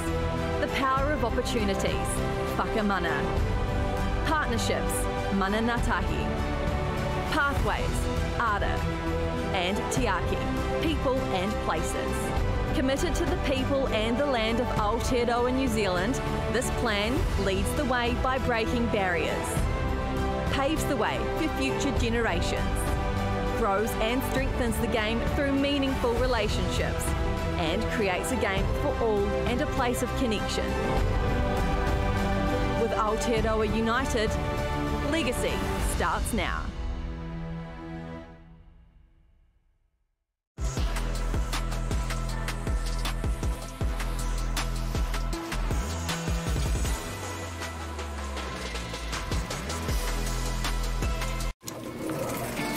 Has a long history of building the cars you love while leading the charge on innovation. Harnessing the strength, style, and capability you know and electrifying it. Because every generation has its own defining moments. The Ford EV and hybrid range, and coming soon, the Mustang Mark E. Ford, built for now, ready for tomorrow.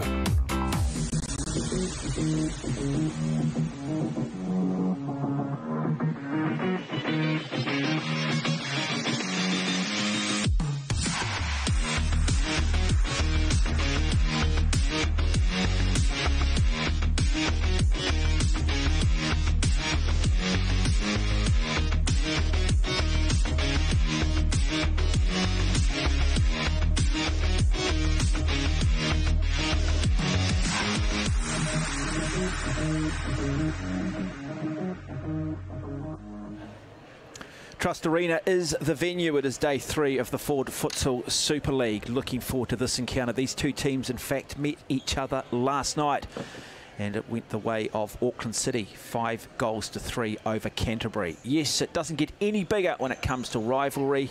Auckland v Canterbury. Some people, if you live in the Canterbury region, might go, it's Canterbury versus the Jaffas. If you live here in Auckland, you might go, it's Auckland versus the Village of the Damned. We might just call it the Village versus the Damned against the Jaffas. We can have a little bit of fun, can't we? That's what it's all about. It's having that rivalry, but it will be played with the greatest of respect as we bring you the Ford Futsal Super League. Joining me in commentary today is a member of the Futsal Whites, Oban Hawkins. Oban last year um, having played here for Auckland. Southern United. Or, no, last year? Oh, last year, yeah. I was playing for East Coast Bays. East Coast Bays last year, who, who ended up going on to win the title. Um, but this year, due to his studies, is playing down there in the deep south. And he has a younger brother, Dominic, who plays for this Auckland City side. Well, Oban, welcome. Great to have you along. What lessons can be taken from last night's game? Canterbury losing by five goals to three. How do they turn it around today? Hey, cheers, Mark. Um, I think much of the same. Canterbury were very good yesterday. Um, got in Auckland's face, um, had an early lead. Um, didn't quite capitalise though. A few moments in defence where they kind of made mistakes, followed the wrong man, allowed Exposito Espinosa and the likes to get through and punish them. It's just making sure they're switched on 100% of the time um, and they should be good. Okay, let's have a look at the starting lineup for Auckland City. Let's have a look at that team list for the Auckland City futsal side. It will be Mike Antonomoff who will start in goal. Thomas Picken, Crit Twig. In fact, three Twig boys playing together. And it's a very, very good bench for Auckland City. They're a side who have the depth, and maybe that is the difference throughout this tournament when you can go to players like Eduardo Exposito Espinosa, Adam Paulson. You've got Alec Powdell, Josh Margetts, Bahram Amadi, who combined beautifully yesterday with Exposito Espinoza. And then you go through this Canterbury United side, known as the Dragons. Their starting lineup will be Tyler Clink, Cameron Emberton, Hemi Innes, Jacob, Jacob Grosvenor, and Mark Zimmerman. And then they've got the likes of Finlay Cotton to call on, Charlie Bale, and the Japanese influence of Oikawa so if they do go through their uh, traditional pre-game protocols. Now, we've got the Twig brothers. I've got their official names, but they are given different names. Well, they've got their own, what? What's the way of saying it? They've been anglicised, haven't they? New Zealand names, maybe? Yeah, so we've got Crit Twig. So Crit's Denny. Is Denny. And we've got Jirau or Jirau. That's Sam. Sam, and then Art keeps his name. Yeah, interesting the older brother managed to keep his name for some reason. Flows off the tongue quite nicely. Mm, an absolute superstar in the making, young Dominic Hawkins will wear the number 20 today.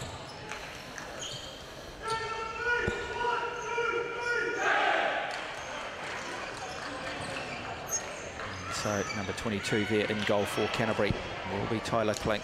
And the goalkeeper's, well, such a key part of any futsal team. You've got a good goalkeeper, you got a chance.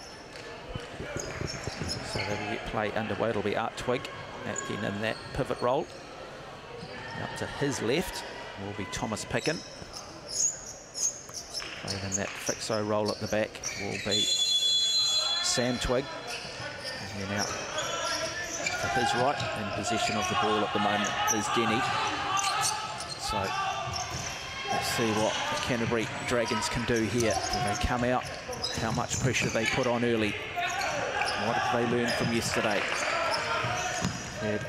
Really just over 12 hours to think about it. Now Twig looks for the little ball through. Great enterprise once again, just showing the little death touch that Sam Twig does have. Canterbury showing their hand really early there. They're just going to step on, try win the ball high, um, and test out Antaminov from there.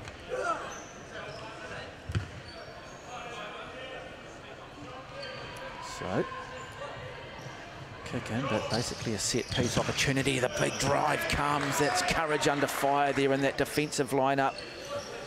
Pied out. It is number 14, in fact, Zimmerman, who put his body on the line. And now, still looking, still looking. Opportunity here. Canterbury, can they press? Can they push forward? Good pressure from Auckland City, keeping them well and truly stuck in their own half. Two very similar styles on defence here. Press as high as they can, win it high. So Picken gets playback underway. Looking to try and go one-on-one, -on -one, Denny Twigg. Trying to maybe check out the skill set and quality of the defence here.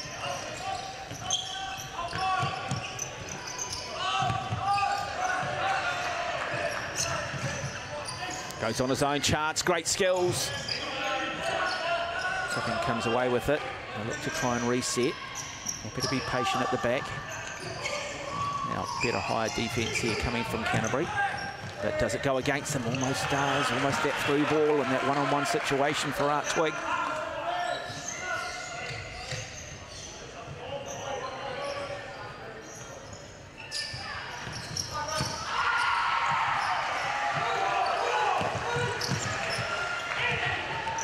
Chance here for Canterbury, just couldn't quite get enough on the shot. Charlie Bale. Or is it Hemi Innes? I think it is. Sometimes that nine can look like the eight from a distance.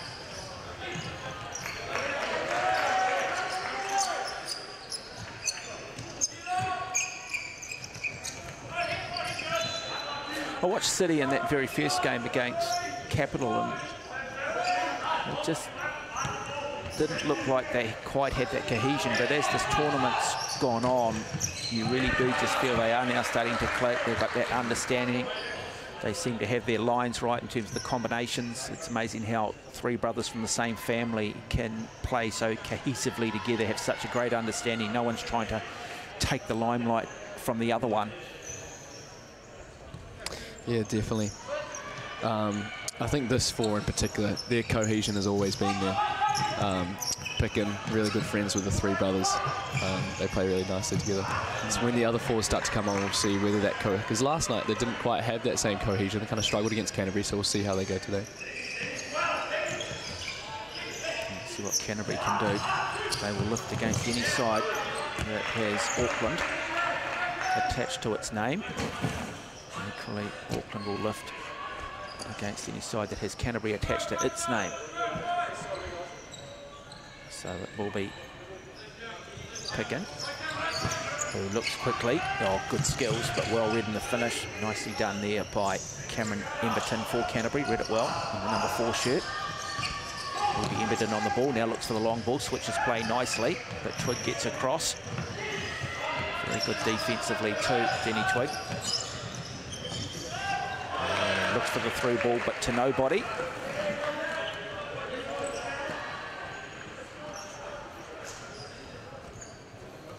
Canterbury haven't really had an opportunity on attack just yet, just haven't been able to quite press high enough.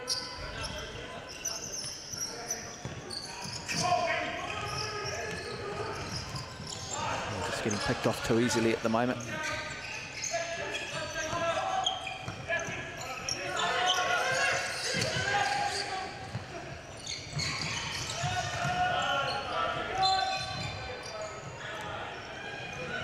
Yeah, Canterbury's starting to set off a little bit on defence as well. Auckland sitting getting higher up. It'll feed into what they do, feed it into Art, get runners off him. Try and put a shot away.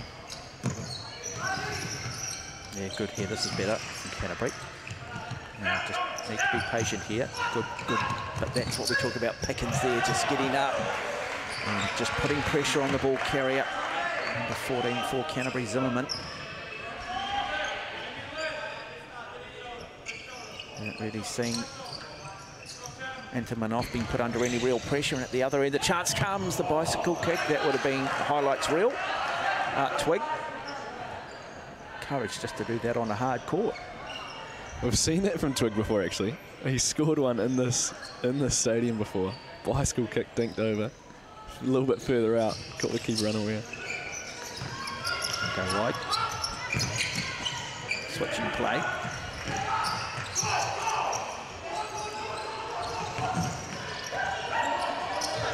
Goes better from Canterbury. A little bit more urgency, a little bit more enterprise. Ball movement has to be quick when you're getting stepped on. And yeah, they've started to kind of find it, start to find that cohesion.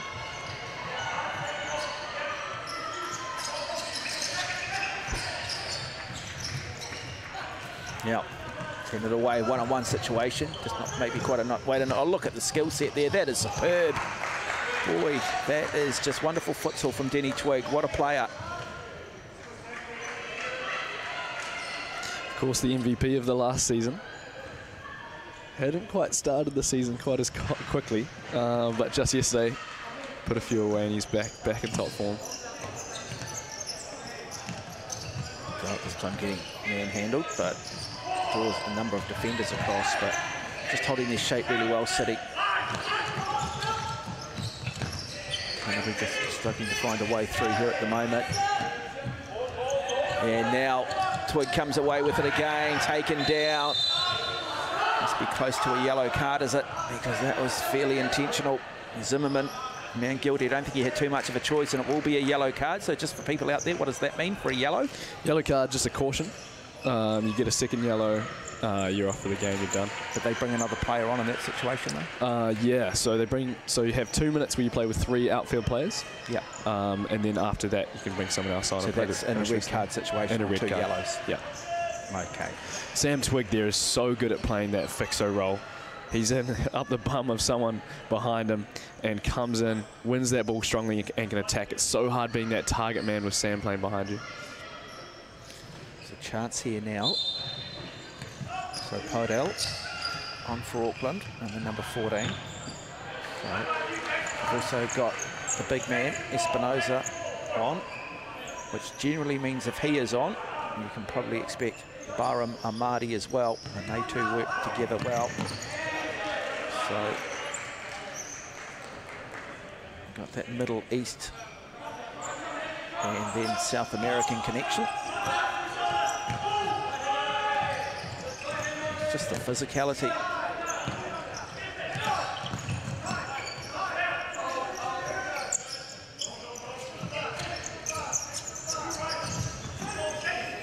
So superstar in the making in Dominic Hawkins.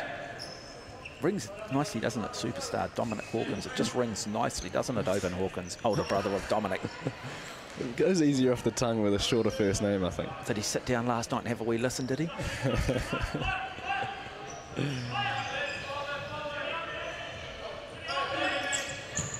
now, pushing up. Done?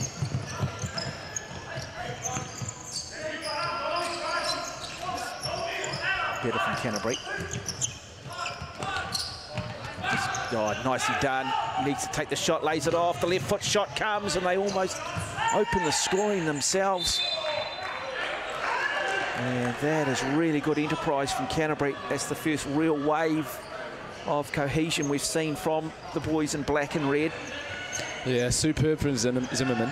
When Auckland City's defence breaks down is when a, a man is beaten one-on-one and suddenly it becomes a four-on-three scenario, and that's exactly what he did there. Now, Amadi.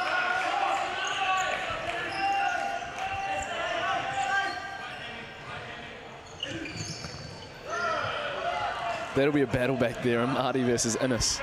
Innes is a slight man, um, but he, he doesn't back down from anything. Yeah, and that's what you've got to do, eh? Send a message, say, look, you're not going to get through me. Oh, good shot again from big Espinoza. It's a great name, isn't it? Eduardo Exposito Espinoza. Goes back, the shot from distance, great save. Superb from Tyler Clink in goal. Needed to be at his best because he was unsighted for a little bit of that. A number of defenders and attackers in front of him. Went the right way though. And now that is that combination we talk about between Espinosa and Amadi. This time just couldn't quite find Amadi, the intended target. And lovely little piece of innovation here from Canterbury. Now they turn. Just not quite enough weight on it. And now Hawkins looks to try and go long with the long ball, but to nobody. Another wave of attack coming here from Canterbury. They get it across. And again, it was the big man in the middle this time. Charlie Bale, who almost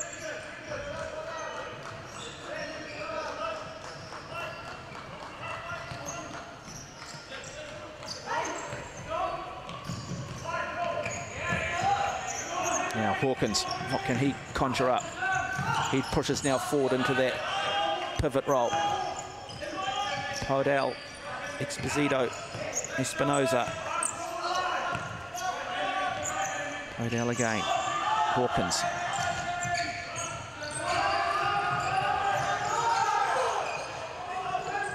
Amari. Amari looking to hold up, tries to get the shot. In fact, Espinoza. That's what you've got when you've got that physicality, can lean on those defenders. Really well done from Auckland City there.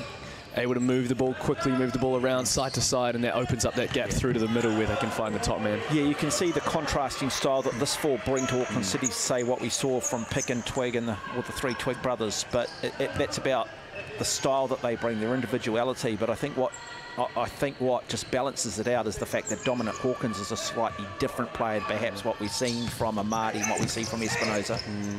Him and Podell on the sides there kind of really um, uh, complement them very well.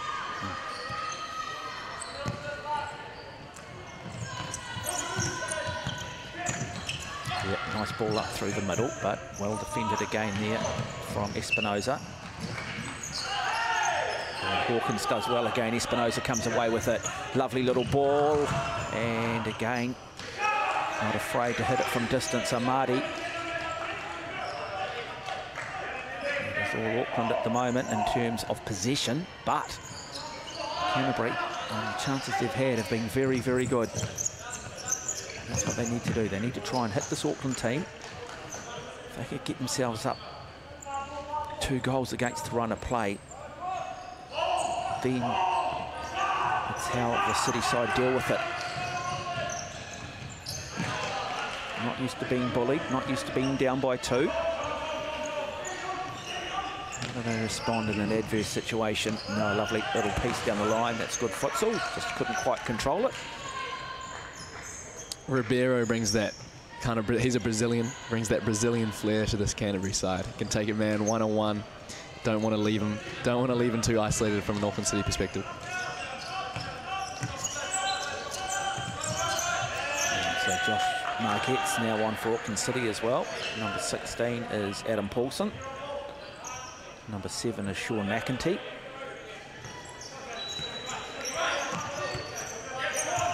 Sean McEntee making his debut for the season. Um, comes in to replace Sean Morgan, who had quite a horrible injury yesterday. I imagine he'll be watching. Just want to make sure, just sending our best wishes to Sean Morgan. Um, and yeah, all the best for his recovery. Yeah, ACL injury, we understand. So, yeah. Great player too. Complete player, Sean Morgan.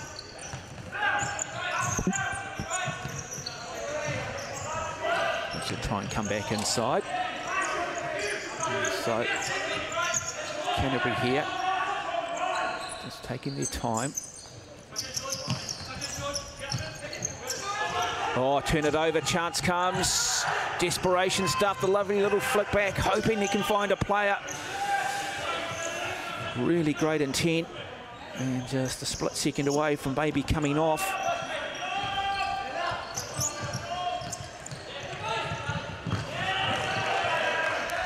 This little matchup here, Paulson versus Charlie Bailey on this left flank, is a is a great matchup. Charlie Bailey, incredible one-on-one defender, great heart, great fight.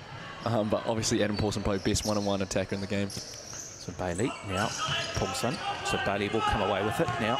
Chance, switches it. Oh, opportunity was there, just couldn't quite get over the top. But just showing the danger of when you press that high, you open yourself up at the other end and turn position over. And it was almost a goal scoring opportunity for Sam Richards. And there we go. We talk about that. Charlie Bailey. Big man.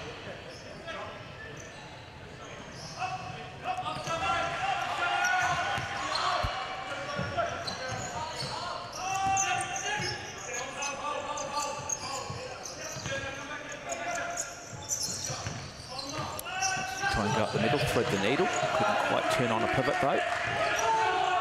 Now another opportunity for Paulson. A little bit ambitious. But just showing his attacking intent. So it's still tied up at nil all. Ten and a half minutes remain this first half. Day three of the Ford Futsal Super League.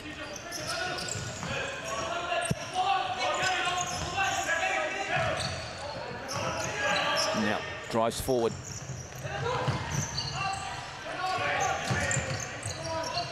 And another great effort. And that just shows the quality and class. Just wide. I do wonder, though, whether Tyler Clink might have been across to cover it if it had been maybe another foot to the left. So a set-piece opportunity. I get you, Oban Hawkins, to just talk us a little bit through about what they're trying to achieve at set-piece. So Auckland set up with Margetts and Paulson in a bit of a line. Margetts will try to draw one. If it's on, he leaves it like that. And typically Paulson would come in for a shot potentially, but Canterbury were up quick on him there. Uh, didn't give him the opportunity. And, and so in terms of scoring from set piece, there is a, what, what, how many attempts before you sort of want to score? I mean, is there a high percentage chance of scoring from set piece? Is there an expectation to score? I'm not sure on the stats, but all our coaches seem to think it's the time to score, so we spend a silly amount of time on them. Um, but yeah, it is it is quite a common time to score set pieces. So if you can develop quite a good one, or develop a few in which so defenders aren't sure which one you're using, then they can be very very dangerous. Reminds me of penalty corner and field hockey, similar sort of thing. Yeah. There's a lot of field hockey type, and uh, particularly amongst the goalkeepers, the way they extend their legs a lot more than what you see on a standard football field. So futsal, it does bring in a lot of the skills you see in ice hockey and sports like water polo, also in field hockey, but yet its own unique sport in its own right. Nice play here from City, Frank Pickens. Uh, they go back to Paulson. Goes on the inside, great skill set. Look at this, lovely little shimmy. Still manages to get the left foot away. Not a lot of power in it now. Canterbury, can they break? Great vision, just not quite executed right, but really nice player movement there. Ribeiro, the Brazilian, was the intended target in the number 10 shirt.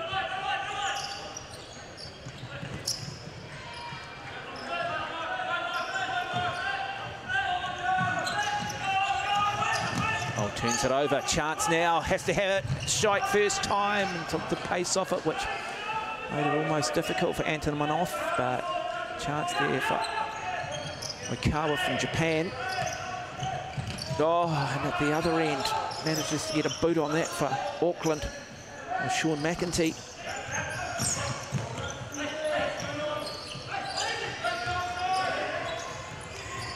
Pressing much higher here, Canterbury now. It's a danger though. As we say, good defence again coming from Bailey.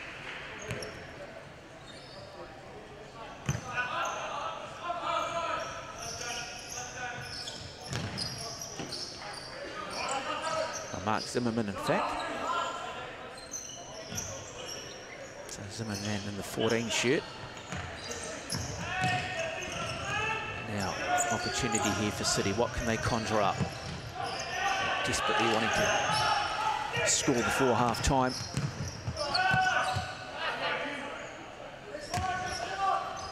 Stephen Ashby Peckham on court, their captain. Quite an even game so far, I'd say. Auckland City probably having more of the chances, but potentially Canterbury having the better of the chances. Yeah, Canterbury had some really, really good scoring opportunities, just being the finish and maybe the, you know, Enterman off too.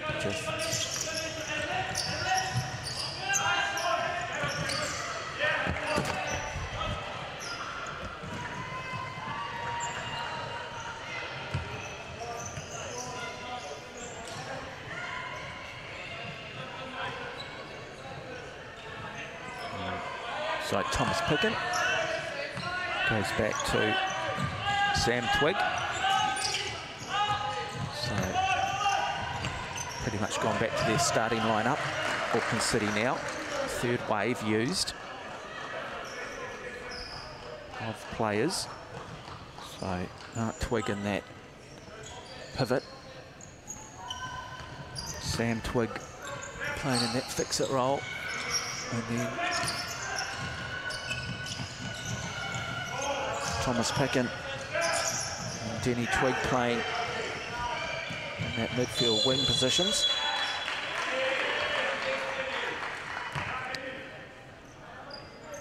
And what's the call here? So two touch. So goalkeeper can only touch the ball once in a team's attacking position without the other, the opposing team touching the ball. So get an indirect free kick from where the goalkeeper touched it for the second time.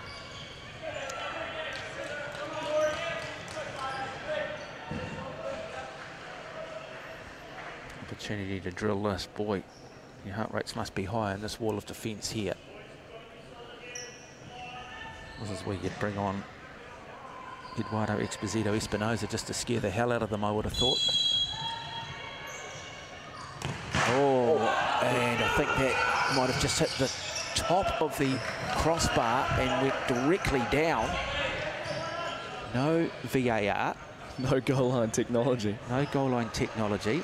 They still debate the goal against Germany in the 1966 World Cup final, don't they? Whether it went in or not, whether it crossed the line. I think they got their revenge in 2010 with Frank Lampard. Yeah, they did.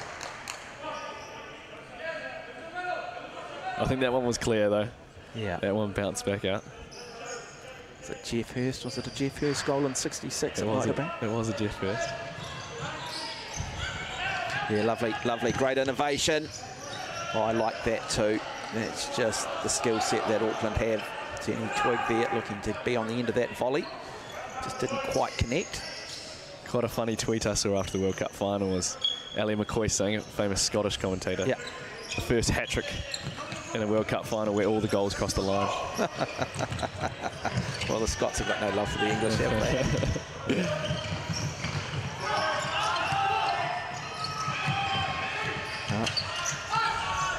Turn chance here. Can't quite get around. Good defence. Holding it back up. The Twigs running havoc now. And was it Thomas Picken, was it, with the left foot skyward shot? But the Twig boys just creating havoc for this Canterbury defence. They certainly look a better outfit with this group of four players. And Picken there, he just manages all the time to be able to fight his way out of scenarios where you feel like he's going to lose the ball and bang, he stays up. Well, here Yep, we go. Chance at the other end against the run of play, but they'll come back. They'll still have a set piece opportunity here from a kick in. Or is it a corner? No. Now, imagine they can score here with just under seven minutes remaining. Now the shot does come. Ambitious. Corner will be called.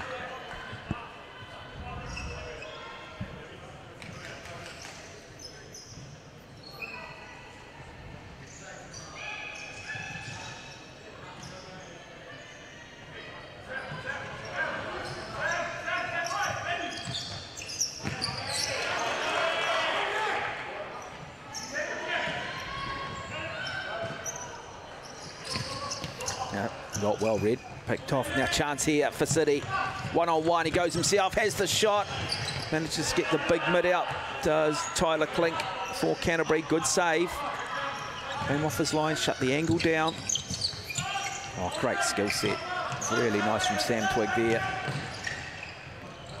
And now another chance. And out of that miss.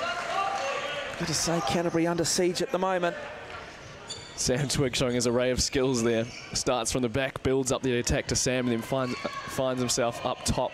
Uh, manages to turn Mahdi kind of style and get a strike away. Very close to that bottom corner.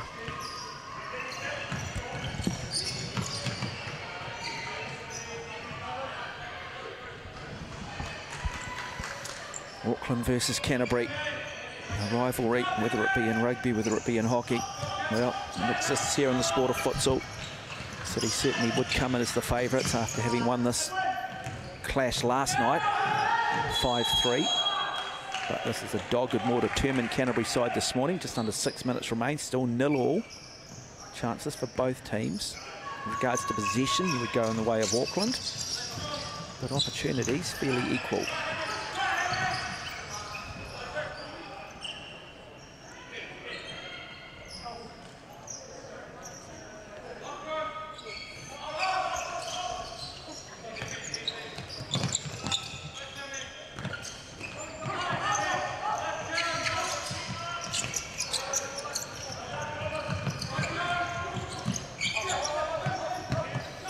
Good skills being shown, both individually and collectively.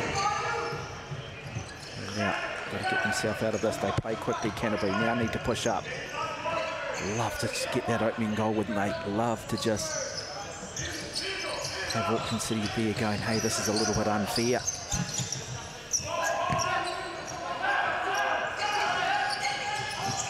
So Zimmerman's been good in the 14 shirt on the ball at the moment, acting in that fixo role. Also on court at the moment, number 12, Grosvenor. And it will be Grosvenor who is on the ball. But look at the urgency here from City. Just great pressure being put on by Art Twig. And will be free kick though, the way of Canterbury.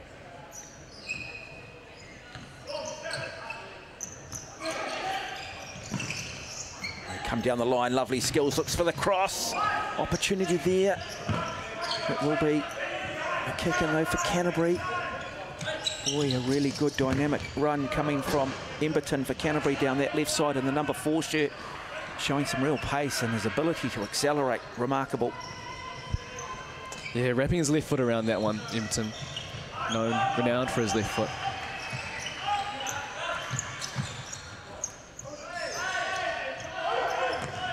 Now goes long. Saw earlier today, Hawke's Bay score a very good goal from a header from a long ball early in the first half to early at the start of the second half to close the gap on the Waikato side. But it was Waikato who ended up running away with it in the finish, but it was a very, very good goal. Now chance here. Comes out nicely though, well read by Antonomoff, too experienced. No hesitation. So Thomas Pickens goes across to Twig, up to Art Twig now. Happy for the ball to run. And they will change their lineup. And the mercurial genius that is Dominic Hawkins comes on. Uh, he's your new Expressito Espinosa. Espinosa though. So it is a good lineup too. Yeah, slightly different makeup with Hawkins, Exposito Espinosa. And you've got Bahram Amadi. And also Podell.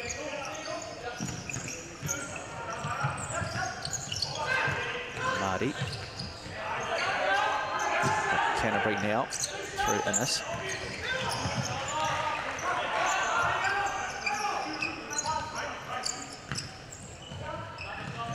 So Hemi Innes acting in that fixo role. Happy to move off to Grosvenor. Nice rotation. Oh, that's good play. That's good play. The chance comes. Great shot, great goal, superb, superb, and that is brilliant this time from Grosvenor. Well worked, and it is Canterbury who score first and now lead Auckland City by one goal to nil.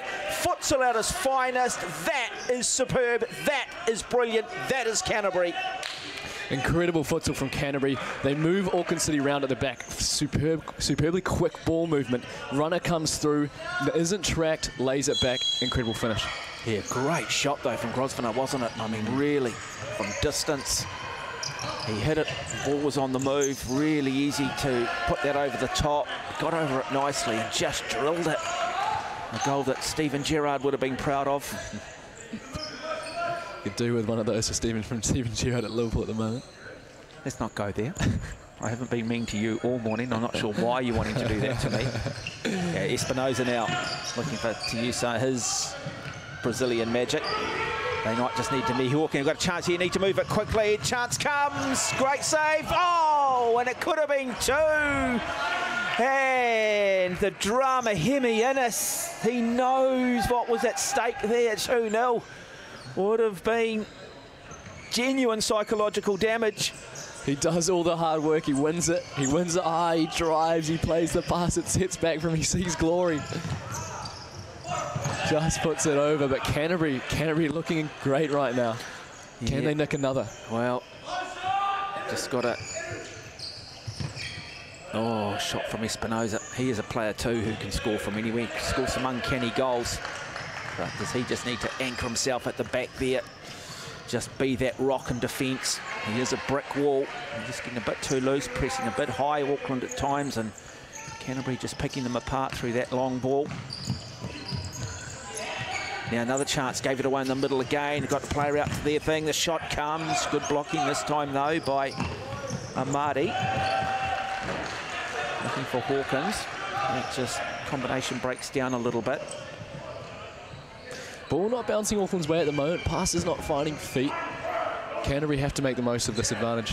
2.42 remains. They had a little bit of a momentum shift. It's been City for much of it. Been a really good defensive effort from Canterbury. But then it's been Canterbury who have had the better offensive opportunities and capitalised on it. And one of the might almost just be the best goal of the tournament when you consider the opposition.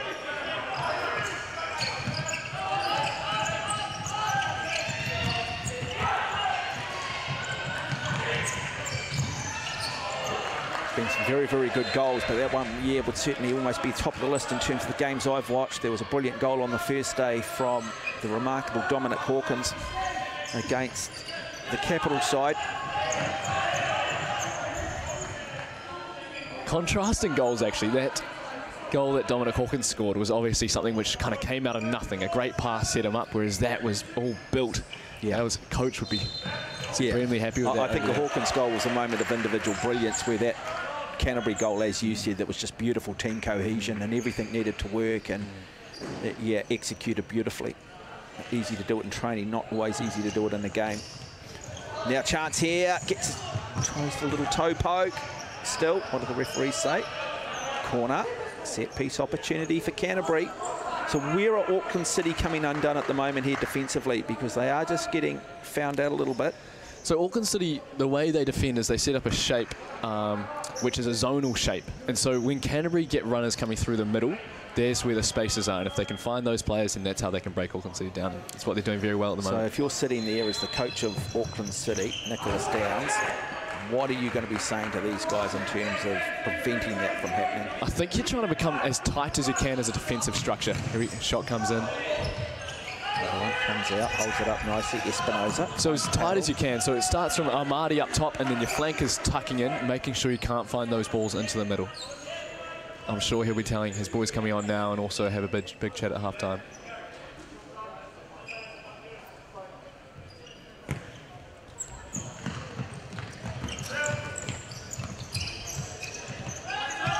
Innes was looking for that there. No one. Hawkins gets manhandled. I've seen that before.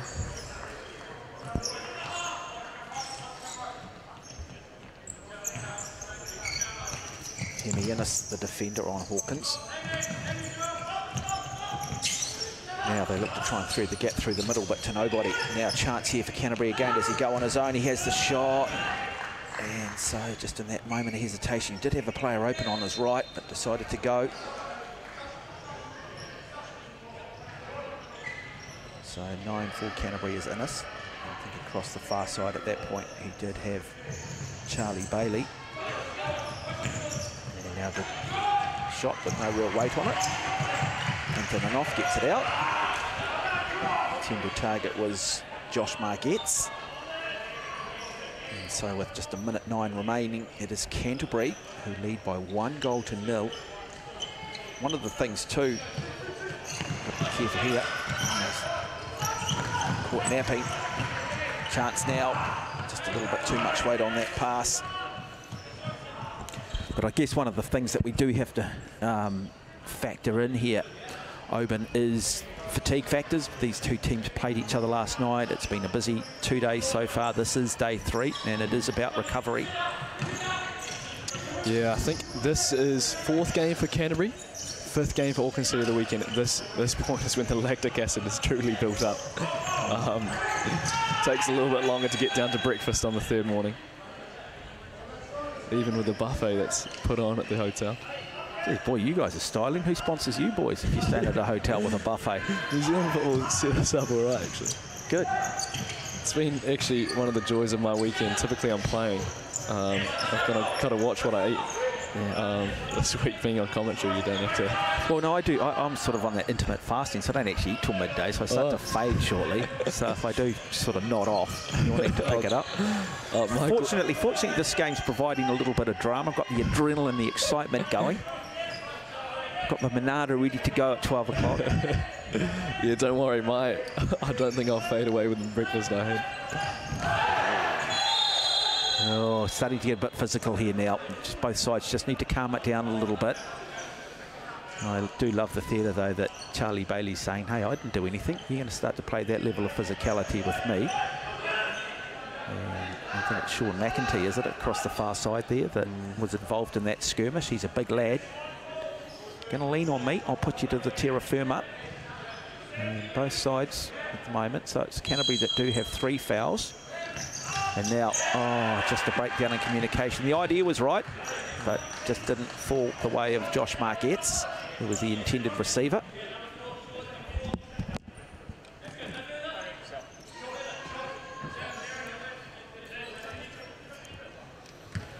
So number 13 is Samuel Mitchell for Canterbury. And so just 13 seconds remaining. And we will go into half time. Can City somehow bring it back?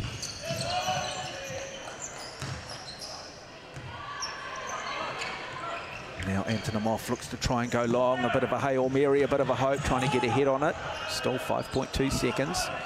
It's Canterbury leading. Commentary by Oban Hawkins, member of the Futsal Whites, out, out with concussion protocol. Stays playing for the Southern United side. Shot comes, and what a way to almost finish the second half. Oh, wow. And another one where he just looks to the heavens. And it was Montgomery Joseph for Canterbury, one of the substitutes who almost, almost gave Canterbury a 2-0 lead heading into half-time.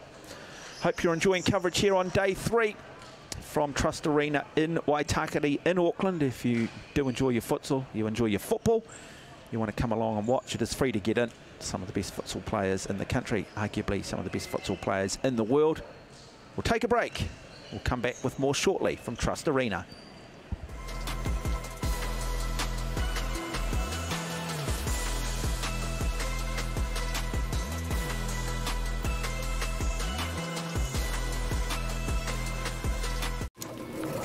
Ford has a long history of building the cars you love while leading the charge on innovation.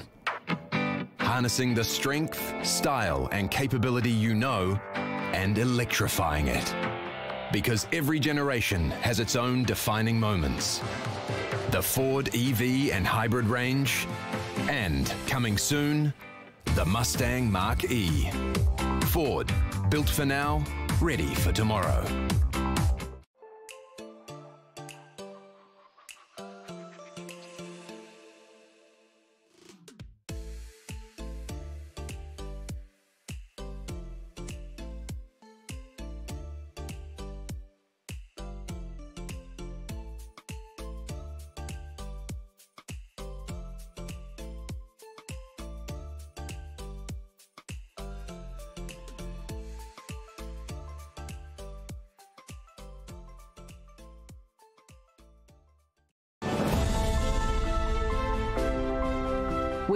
In supporting and nurturing our extended sporting whānau, working towards promoting a healthy group activity that kids, parents, and friends love.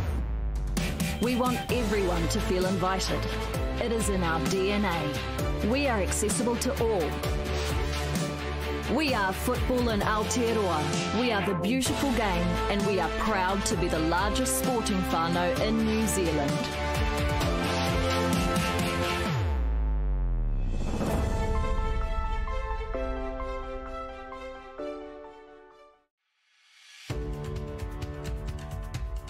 At Ford, we're always looking towards the future. So while we're proud of our range of vehicles, we're even prouder of being the first company to support not only the football ferns, but the next generation. And the legends we grew up wanting to be.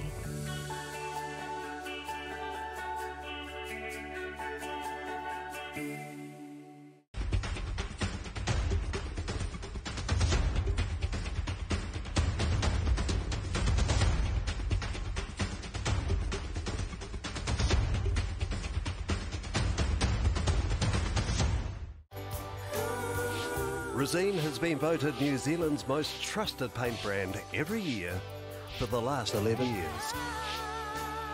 Resene, the paint Kiwis trust for years and years.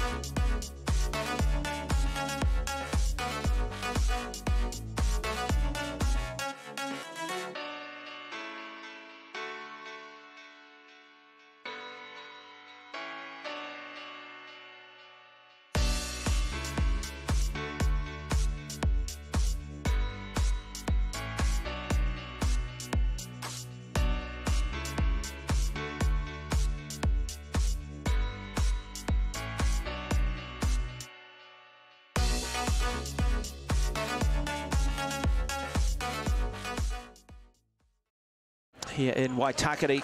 This intriguing encounter on day three of the Ford Futsal Super League. It is Canterbury, the team in red, up against Auckland City. And it is Canterbury who lead by one goal to nil. These two teams played each other last night, and Auckland ending up winning that by five goals to three. In terms of possession, well, you'd probably say in the first half, the possession stakes went the way of Auckland City, but it is Canterbury who have had probably as many chances and they capitalised in one of the best goals, possibly the best goal of the tournament so far. So now the pressure is on Auckland City to respond. Alongside of me, Oban Hawkins, a member of the Futsal Whites, who is part of the southern team, but out this week due to concussion protocols. He's joining us in the expert role, bringing us all the analysis. And if you're a non-futsal aficionado, hopefully breaking down some of the intricacies that go with this remarkable form of football. Got to be careful, you're not allowed to use the word football. Futsal players are very, very protective, and it is futsal. Yeah, no, no indoor football, no five-a-side football. Um, a few people get a little bit upset over those kind of things. Kind of football and soccer kind of terminology. Brilliant chance comes here. No, they pick it off nicely now. Auckland City. They'd love to strike early. Big shot comes the way of Ashby Peckham, the captain. Is it the turn of the captain to take control here? To step up.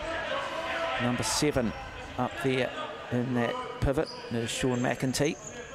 Another big man too. Got a physical presence about him.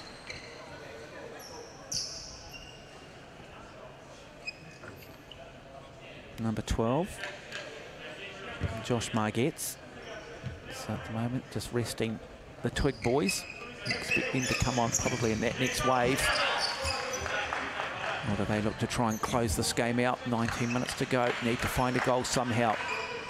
Certainly got the ability. The City side stacked full of stars. Probably got the deeper bench. And now good pressure here coming from Canterbury, pressing nice and high defensively. Got to be found out, not careful. Three Canterbury players up and just the one back. Now they look to try and go long, and the chance does come. And that is the danger. The shot, and he skies it over the top. Uh, good opportunity for Adam Paulson, just couldn't control it. Interesting that Canterbury pushing really high then. Very high risk, high reward. Auckland City very close to breaking out by just passing it, Stephen Ashby through the middle. Canterbury obviously win it though, very good opportunity at goal.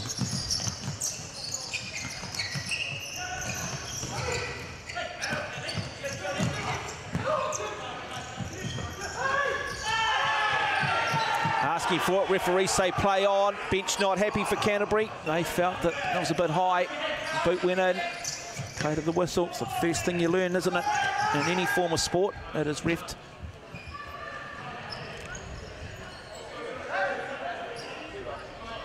These two teams played each other last night, and it was five goals to three.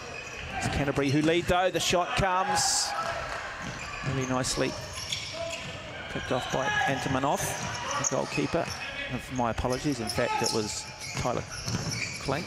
Oh, that's always the most deceptive shot, the ones where perhaps it doesn't always come with speed goalkeeper's reaction time is expected to be hit with a little bit more velocity and often find themselves off balance. Chance now for Auckland. Able to keep it down. Good solid defence here from Canterbury though. So City being pushed back into their own half, having to rebuild.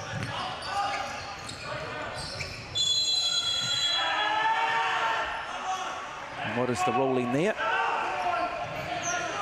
Maybe off the ball, was it? Interesting. Must have been. Maybe McEntee pushing a player, trying to gain an advantage.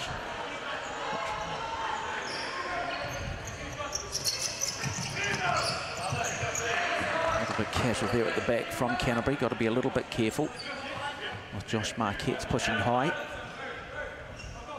Yeah, when you've got a 1-0 lead and you've been fighting for it, it is the worst thing when you give away a soft goal, you give away a ball at the back. Yeah, now they look to try and go long, looking for the through ball. Great intent, just a little bit too much weight on the pass. The intended target there was Sam Mitchell for Canterbury. Another big man too, Mitchell. He's got a presence about him. Pressed by the levels of fitness. This is a hard game aerobically. And now we do see Denny Twigg on. We've got Thomas Picken on, and we've got the starting lineup that makes City look a better unit cohesively when they are on. The Twigg brothers and Picken. But they'll need to really try and capitalise now because this is a, a, a, group of four players who just have an innate understanding Really good again. Oh, now picked off Canterbury here. Look at the physicality. The shot does come. Oh, really good, gutsy and courageous play from the Brazilian representing Canterbury, Daniel Ribeiro. Yeah, great strength to hold off Sam Twig. Sets up a corner here. What they can, what can they do with it?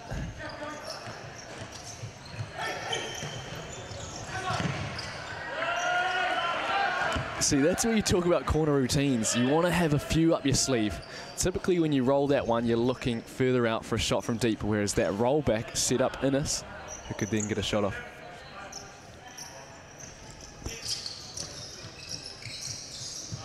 Oh, lovely skills. Oh, Twigg, superb. Couldn't quite get enough weight on that final pass, but Denny Twigg showing his skill set, the Midas touch.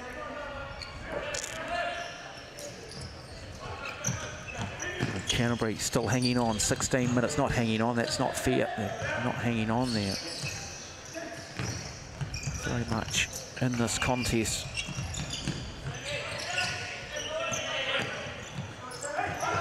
Now turns, looks for the shot and almost pulls it too. That was an opportunity for Okawa of Japan. Okawa is known for that burst of speed into a little gap, get a quick shot off. He's very good at it.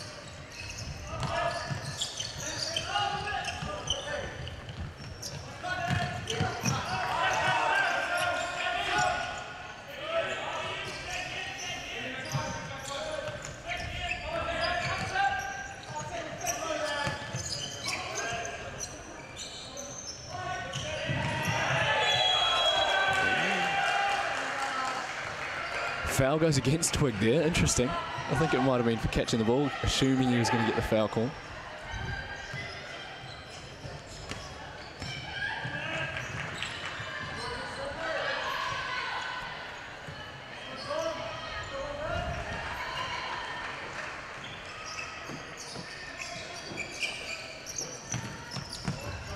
Pushes up.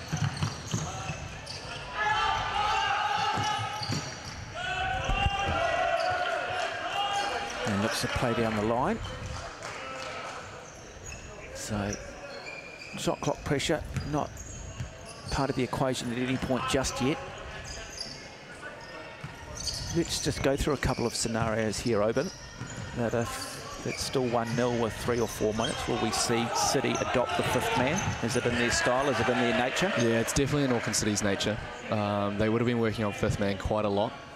Um, but I wouldn't, I would, wouldn't be surprised if they went to it earlier than three or four minutes, actually. So, okay, so that'll be a fascinating. Course, they'll be hoping that's not the scenario. Chance here now. Really good defence from Kennedy. You can just see what a concentrated effort that is too. Bailey's been very good in defence all day for them. Ribeiro, the Brazilian, on now, and he's providing something different. Great skills now. Can they turn just too much weight on the pass, though, from Picken?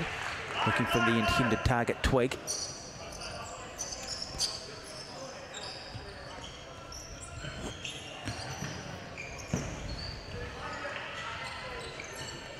Interesting little passage of play here.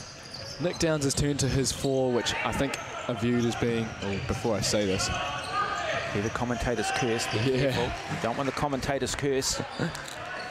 But he's turned to his four, which he thinks, and I think is quite widely known as his kind of big four in terms of going out to dominate a game, go win the game, score him some goals. And Canterbury's kind of seen off that challenge very well. So be just kind of interesting to see how the rest of this plays out. Yeah, this is it too, though, isn't it? You you say, hey, hang on, minute, this is not working. We always work, and then they, you know, hey, when was the last time we had this level of adversity? And that's when you start to see how they react mentally.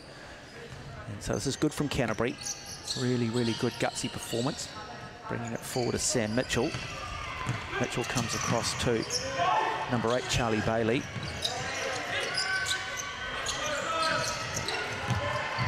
Benny Twig, nice move between him and Art Twig, his brother. And Auckland will retain possession.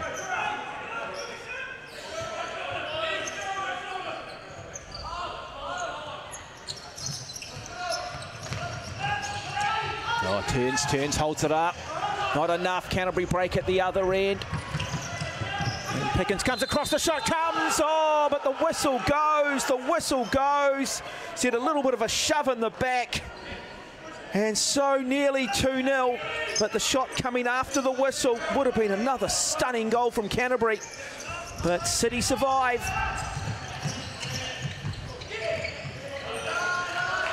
Oh, it'd be interesting to see that one back. I'm not sure how much Okawa got of Picken. It seemed like he mainly got the ball. Picken lucky to get away with that one there. Uh, referee was clear, he was decisive. The whistle was certainly heard before. And now Auckland at the other end. They will get the corner.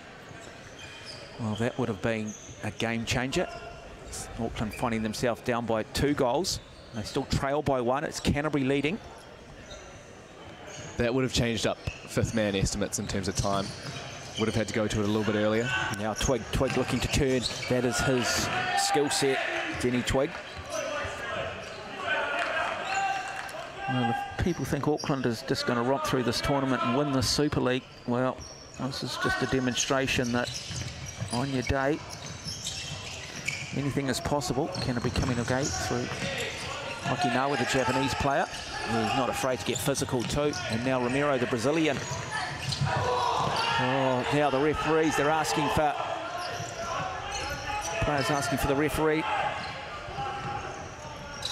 Picken. To Twig. Goes back to his brother.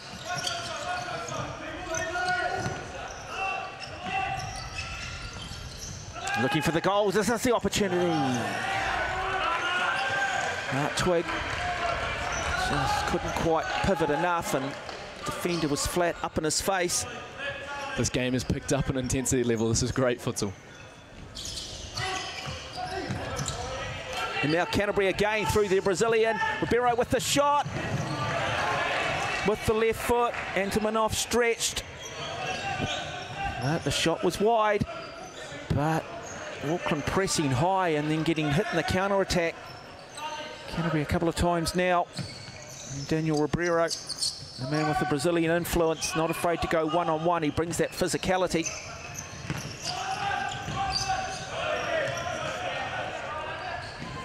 Outstanding game of futsal. Charlie Bailey, number eight, having a chat to the referees too. Charlie Bailey's always having a chat to somebody. Be a good halfback in rugby, wouldn't he? he would be. a good now one. third chance. Opportunity holds up the defence. Flick back, the shot comes. Oh, Hartwig manages to get a boot out. But really good play again. Canterbury here, holding up the defender. Waiting for their fixo to move forward. And then the little back heel. And they go again through Bailey. This time though, Denny Twig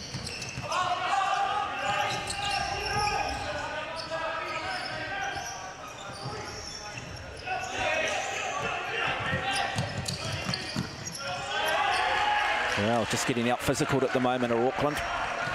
Out muscled. Mark Zimmern also having an effect. Another big man in the number 14.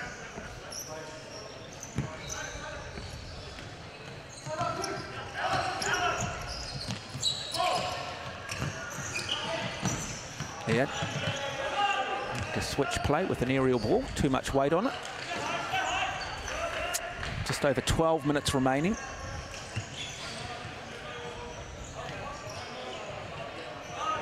You have just joined us, if you want to see one of the great goals, do watch the Canterbury goal.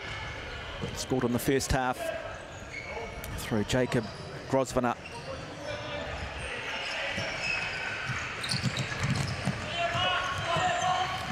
Tries to get on the other side of the defender. Ball will go the way of Canterbury despite the protests of the Auckland City side. A different attacking challenge here for Canterbury to deal with. Amadi comes back onto the court. The big man looks to roll, looks to receive it up high and then runners off him. Yeah, I think too, in all seriousness, that young Dominic Hawkins is a player too. I think he has the individual ability to maybe change the game. And he is on the ball at the moment. Lovely little pass. But he's got that low centre of gravity. And now big Esposito asking the referee for the free kick and does get it. A very low centre of gravity, some would say. High intellect. Young Dominic Hawkins. So he's in the number 20 shirt.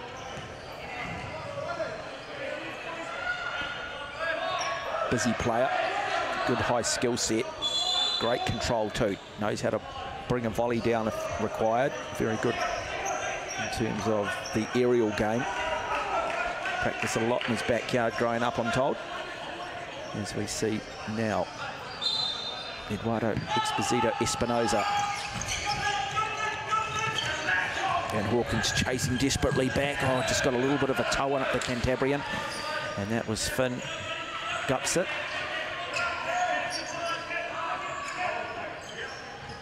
Upset, haven't seen him on previously. Now chance for Twig, big shot, right foot cannon coming from Amadi. That's the danger he presents too. He is a highlight reel, Amadi.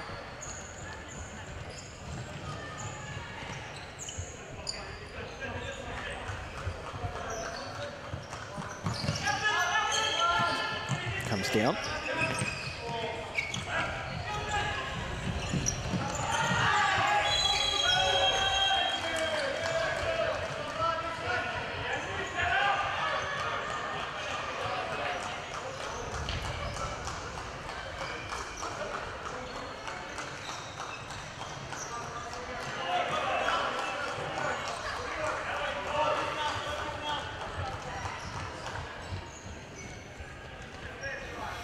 So, 11 minutes. There or thereabouts remain. Canterbury leading by one. Auckland City looking to try and bring one back. These two teams played each other last night. Lovely through ball. Chance comes. Does he have time? Couldn't quite bring it down. Waiting for his players to come back. Hawken gets in the face. He's a busy footballer. Hawken did well. But just couldn't quite control that long ball. But danger signs again for Auckland. Good play coming from Mark Zimmerman in the number 14 shirt for Canterbury. Has a crack with the left foot. Almost creates something out of nothing.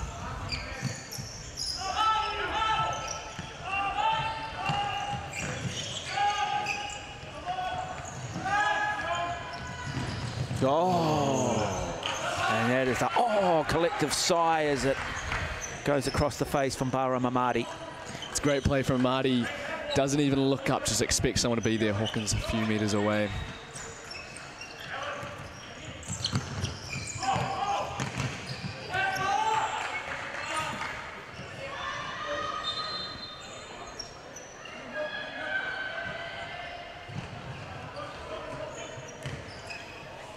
So 10 minutes, still plenty of time.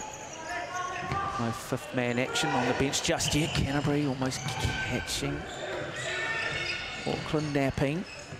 Player managed to get in behind Bahram Amadi then defensively. A few times that's happened now just recently, that man kind of going line long, Auckland City not following their men. Now, Amadi, good ball. Here he is. Hawkins, what can he do? Fancy footwork. Goes back to Exposito. Espinosa. And Pardell and Esposito. Espinosa with the shot.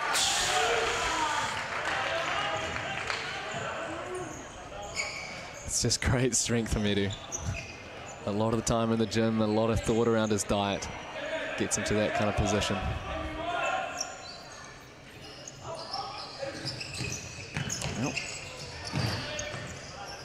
As I say, you don't put two-stroke in a Ferrari. He'll enjoy that one.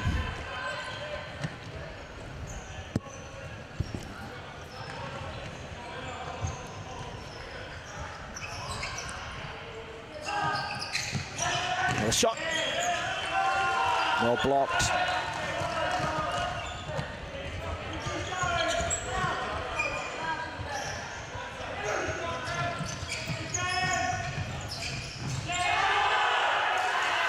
Protest from Canterbury saying that's our ball. Now, following this game, we'll have a women's game for you. It'll be Papakura City up against Central Futsal. Central, are a relatively young side, up against the defending champions out of Papakura. Marvin Eakins, the coach there of Papakura. And You see once again Canterbury getting men high in the corners. They're free. They can even look to look go across the back stick. Here we go, Jimenez. Oh, there it is. It's 2 0. Canterbury. Canterbury lead by two over Auckland. And now Auckland City have some work to do. That is a well worked goal from Canterbury. Very clinical. And just like that, they lead by two with nine minutes to play in one of the best games of futsal we have seen over the three days. How does City respond?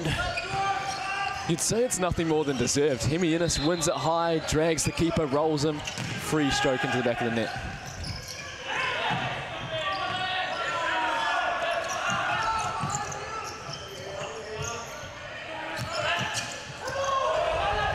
Oh, shot.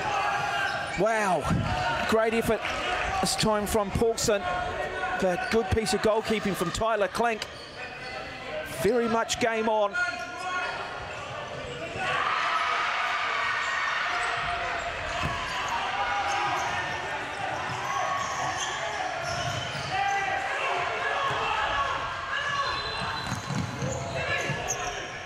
Hawken. Espinosa. Exposito.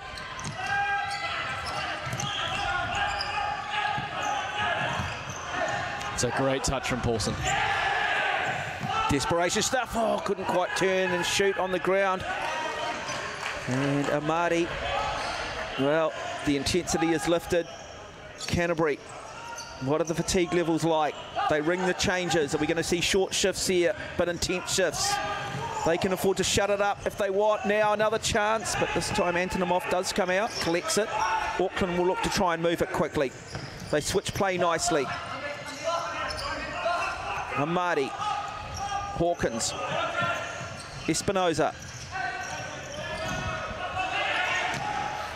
Through ball, Espinosa, and the shot blocked. How did that stay out? James Mitchell on the line. It's unbelievable. It's superb play from Auckland City. They drag them. Exposito through the middle. Found by Hawkins. Almost 2-1. Just needs to have a crack himself sometimes. he won the Resene Golden Boot last year.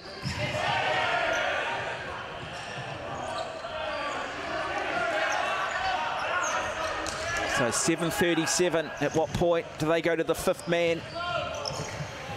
They are going to start to run out of time shortly. What I'm liking, though, from Canterbury, they're still playing this way. They're still looking to go long. They're still looking to try and exploit this press that Auckland City are putting on them. They haven't shut up shop. They haven't parked the bus. Yeah, there's no sitting off at all. It's tempting to get against a team like Auckland City. You find yourself up when they're so dangerous if they get past your press. It's um, tempting to sit in, but I think they're doing the right thing here.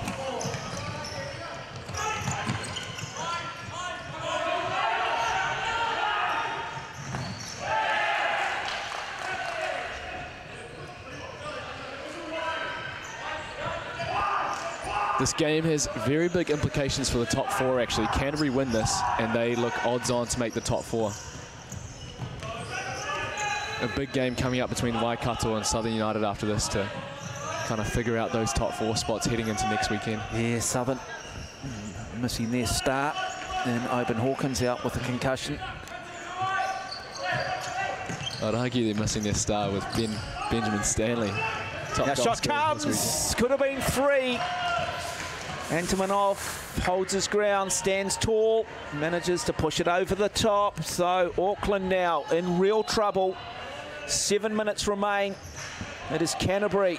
Just wave after a wave at the moment, have the momentum. And that's a little bit ambitious. It'll be three points every day of the week in rugby. Shot there from Sam Richards. When you've got Antonimov in goal, you've got to go low. He's a big man. He's got big reach. Got to go low in between his hands and his feet.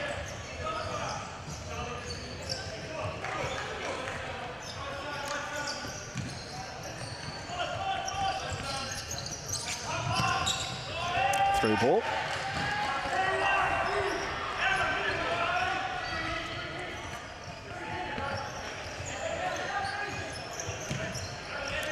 Go long. Chance here now for City. Oh, good effort. Great power on that shot. Being delivered by Paulson. They pick up the corner for it. Time is starting to run out though. 6.40 on the clock. And now gone to their talisman, their captain, Ashby Peckham.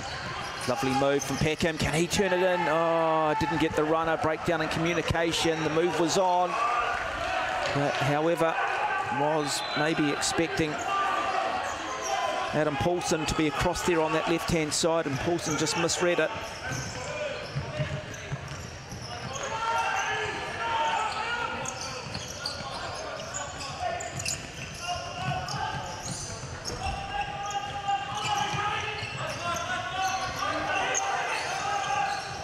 Paulson down this left-hand side, two players on him, and they do pick it off.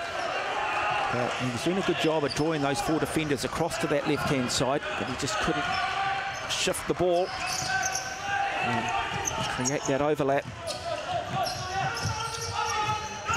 Oh, ball's out. So Canterbury now, every time they turn possession over, the bench goes up. There's a big roar. Everybody on the edge of their seats here. Large crowd behind us. You won't see it on TV.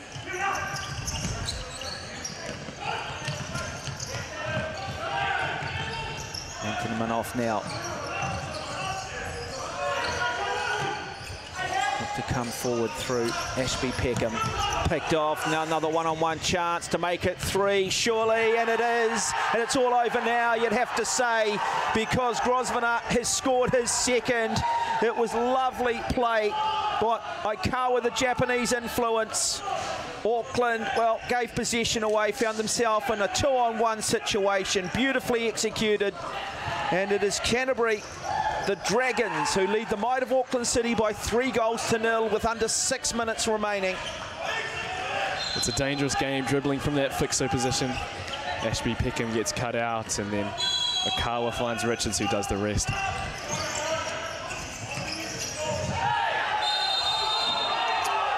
Oh, a little bit of niggle going on. A little unlucky, I think, Canterbury here, because I've got a feeling that Sean McEntee milked that for everything it was worth. And Cameron Everton not happy. But they will get a free kick in goal scoring range. What are we likely to see here, Oban?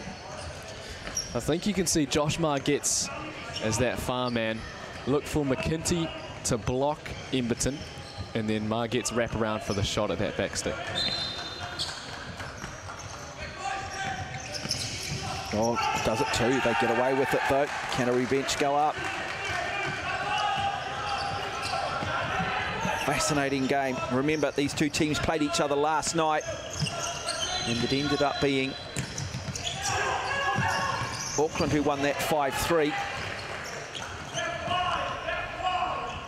But Morgan picked up a knee injury and not available today. And don't underestimate the influence he has.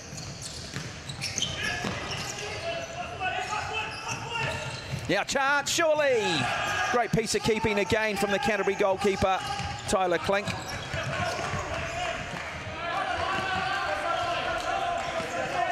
Interesting to see you look over to that Auckland City bench. Not a movement for a fifth man shirt as of yet. They wave the white flag. Five minutes long time, score one now. They're capable. I mean, they've had their chances. They're still oh, still game, in the game. There, game's definitely far from over. They've got to be the next. Well, definitely, without saying, need to be the next goal. Don't try and do it. Just do it in ones. It's also a thought of whether coach Nick Downs doesn't want to uh, show his hand, some would say, uh, before potentially using fifth man in a semi-final, final situation. Oh, big cannon of a shot, but picked off by Canterbury again. Okinawa with the shot from distance. Absolute cannon too, wasn't it? Antimov was across to cover it. It had been another foot closer.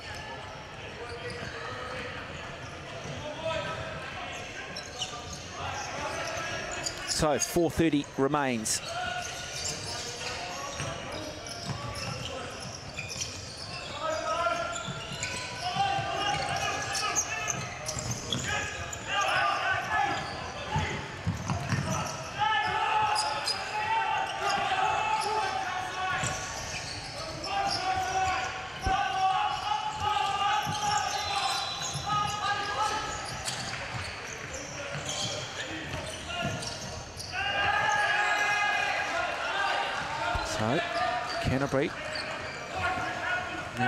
Afford to just shut up shop. It's about concentration now. Just short waves. Players coming on, giving it their all.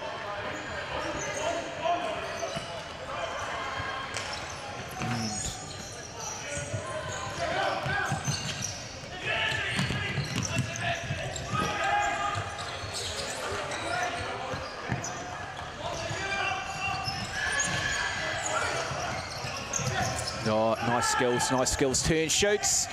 Can't get the goal in. It's been very much the case, hasn't it? The defence has been rock solid in the middle for Canterbury.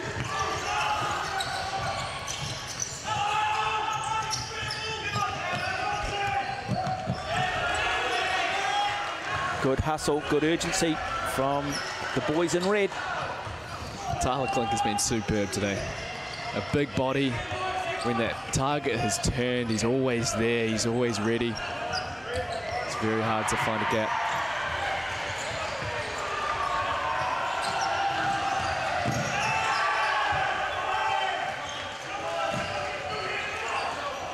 This will mean a lot to the Cantabrians. What a big boost this will give them. This will show them what they're capable of. Because really in that first half, the goal was against the run of play. And that's what you talk about. Teams that are not used to losing. How do they deal with adversity? I always say you've got to learn how to lose to learn how to win. And that goes out. And Canterbury now just pumped. You can see what this does mean.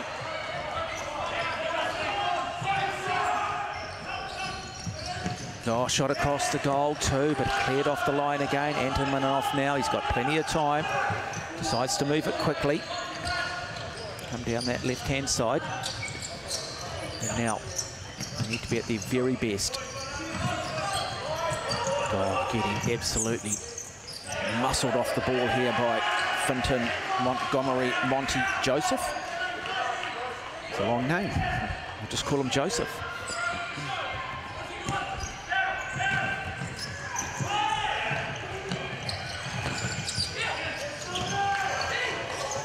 Thing is, what I actually like about the Canterbury goals, just beautiful goals, both of them. And three of them, actually.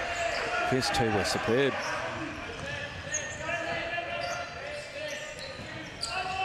I think what the Canterbury coach will be liking about them is that they're very much goals in which he would have envisioned. Goals in which they step on, they win the ball high, besides potentially that first goal where there's a lot of build-up. But they step on and win the ball high off Auckland City and then counter and then they tuck it away.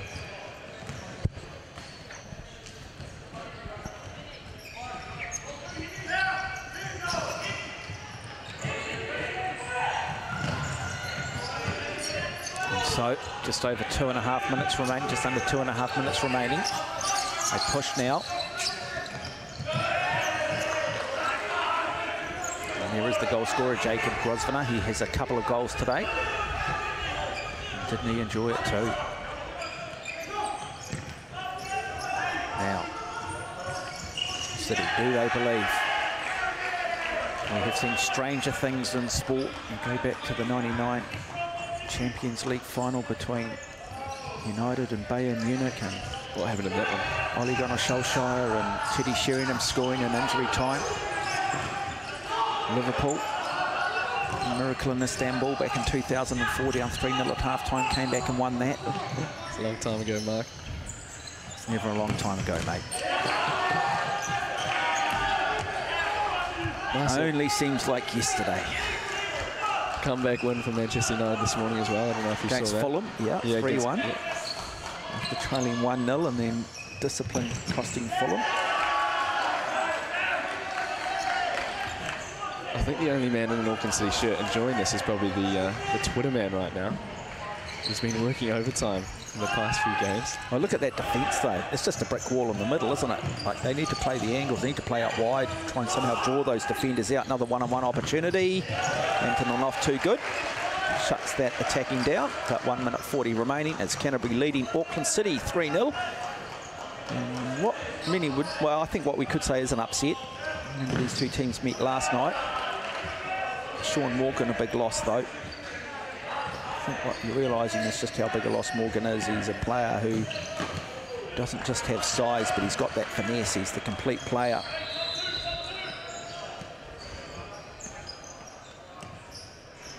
So Papakura will come up against Central next in a women's clash here on day three.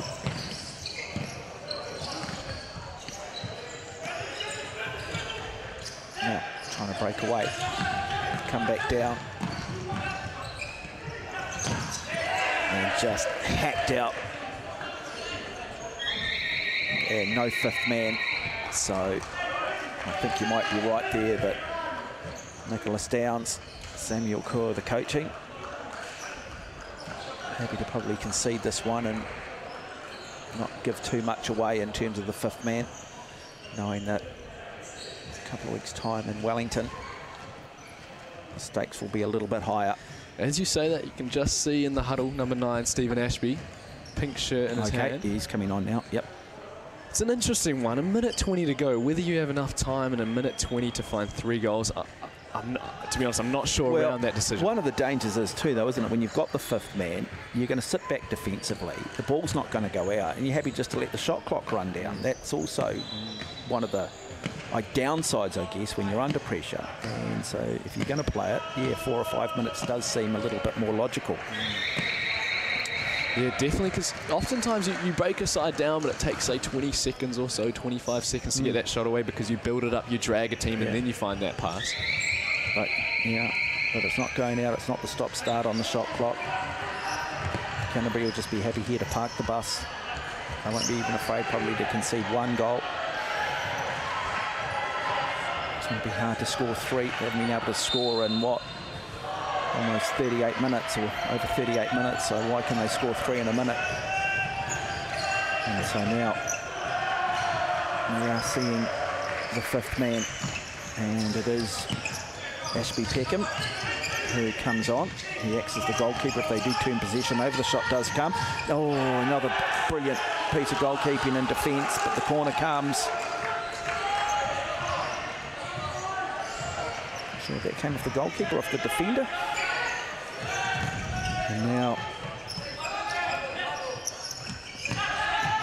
Out of twig, chance comes, and now, oh, how did that stay out? And look at the Auckland City players, just their head in their hands, the frustration. When it's not going your way, it's not going your way. I think you- and you, just got to give Tyler Clink so much credit, the Canterbury goalkeeper. Seeing this 30 seconds of fifth man, it starts to question even more so why would they not bring it out earlier? It's very dangerous. It's the most likely chance of scoring. Yeah, because there is just now 36 seconds. They're not going to score three in 36 seconds, so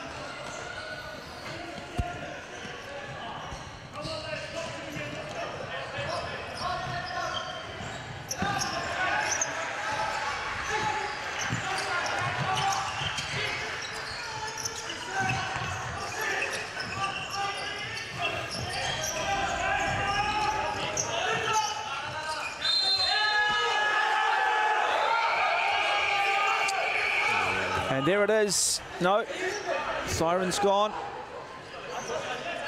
Referees still talking about it. And it is all over. And it is Canterbury who have beaten Auckland City. Still 20 No, seconds 20 to go. seconds to go. Okay, my apologies. Looking up at the timer here. And it, What's happened there is a two touch has been called on Stephen Ashby, the goalkeeper, the fifth man goalkeeper. So a little bit of a mistake by the ref here. Auckland City not very happy. You're not allowed to touch the ball twice as a goalkeeper in your own half. Stephen has touched it in the attacking half and then gone back and touched in his half. A little bit of a mistake, but Canterbury will take it. They take the timeout, 20 seconds to go. Very much box seat right now.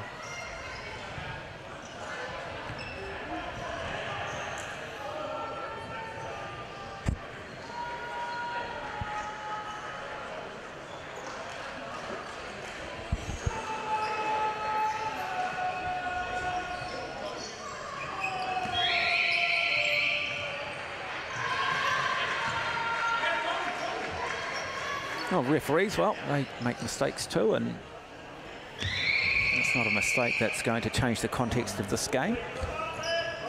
Referees been excellent too, and Ben Norman, Philip Rogers, and Jake Brunton. Yes, very much so. Very much. So 20 seconds remaining.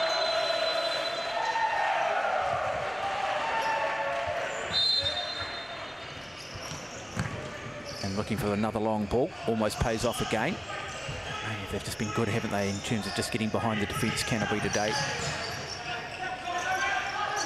Now Auckland will come away with this. Brought down by Canterbury. That'll be their fourth foul, but just seven seconds remaining. Not afraid to still keep it physical. Not sure that Mark Zimmerman in the 14 shirt. So that's a kick in. They look to go long. City come away. Then they finally do get one right on the buzzer. And it will be three goals to one. It will count. It will stand. And so 3-1. Finally, Auckland do get one in the back of the net. But it is all about Canterbury. They reversed the result from last night in a very good display, in a courageous display. And for Auckland City, well, they'll go away. They'll have to ask themselves a few questions. They'll wonder how this one got away from them. It was very much contrasting halves. Goal that came against the run of play to a degree in that first half. And then an early second goal And Auckland never really came back from it. But it is Canterbury Dragons who end up beating Auckland City by three goals to one here on day three of the Ford Futsal Super League live from Trusts Arena in Waitakere. Special thanks to our expert comments, Oban Hawkins. Ford has a long history of building the cars you love while leading the charge on innovation.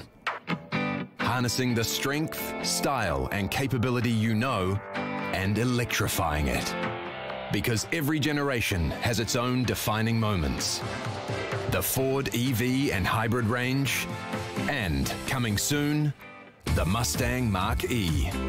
Ford, built for now, ready for tomorrow.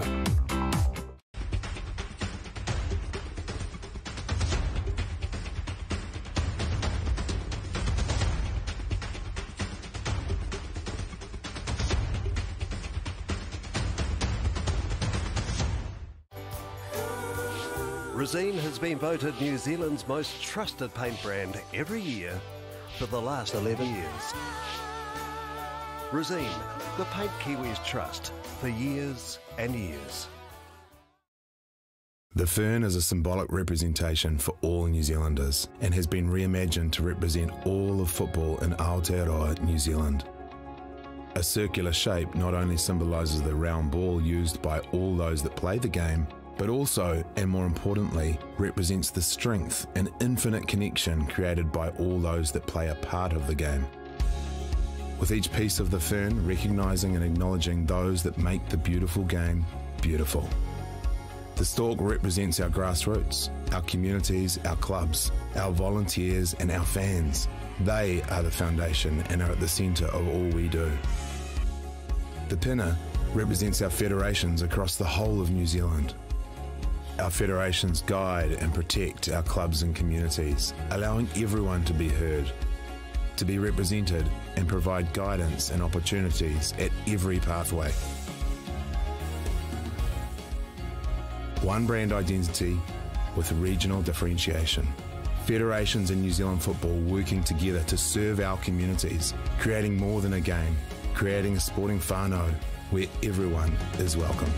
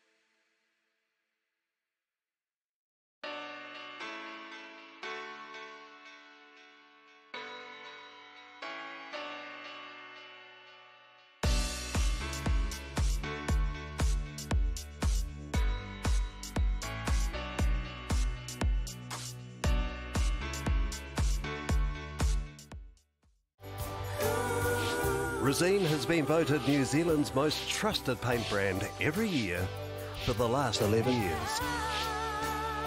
Resene, the paint Kiwis trust for years and years.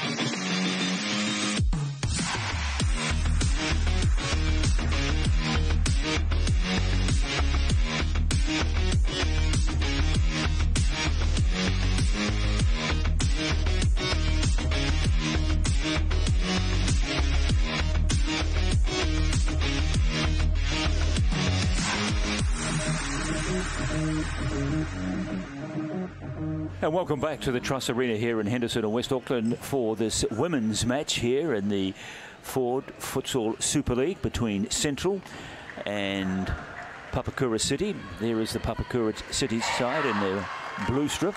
And across the other side of the halfway line, we've got the young Central side looking for their first win of the season. It's been a tough year for them and it's been a tough weekend for them as well, having lost both of their matches so far uh, to Waikato Bop and also to Papakura, who they've met for the first time this weekend a couple of days ago and lost by four goals to one. So the starting lineup for the two teams are Papakura uh, with Brown, Anthony, Wright, Bennett and Reddy and Central with uh, Walker, Cleo Harding, G, Green and Smith.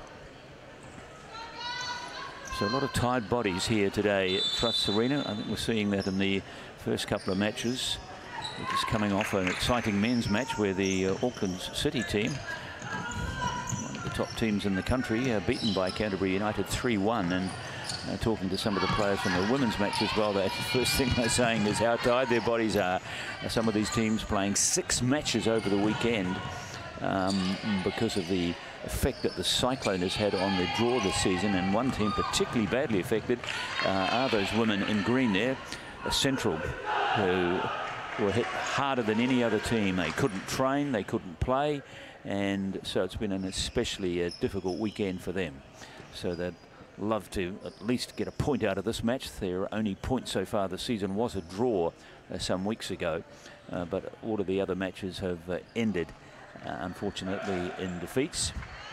Losing 2-3 to Waibop and 1-4 uh, to Papakura. So this is the second encounter with Papakura the South Auckland team. Who had a large contingent of supporters, complete with uh, drums and other musical instruments here yesterday, a bit quieter today. And Central on attack. First minute of the match. Away comes Papakura again. A nice tackle there from tall figure of Holly G. So I don't think we'll be seeing players sprinting up and down the court today as we have on the first two days. Uh, and we can put that down basically to Cyclone Gabrielle. But the organisers, New Zealand Football, really had no choice but uh, to use this weekend here with all of the teams together from the league to get all the sides up to scratch, as it were, with the number of matches they played. So it has meant some teams have had a very tough schedule, others not so tough.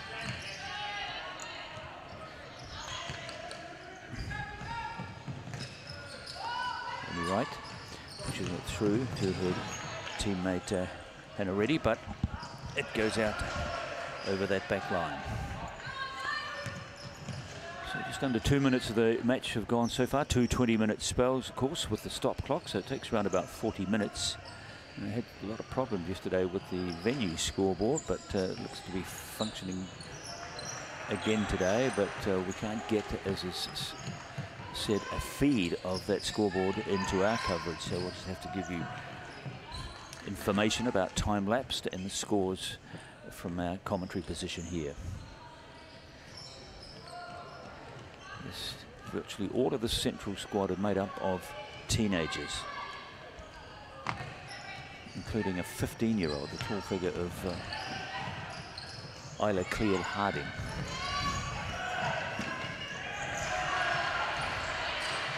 So a very quiet start to the match so far. No real scoring opportunities for either side, but um, as I said, eight or nine of this squad in the green schoolgirls and really only most of them are only 16 years of age so it's very much a junior team. Yeah Isla Cleo Harding 15 remarkable. Tall figure at the back there number two with the ponytail. And their captain uh, Grace Smith number 12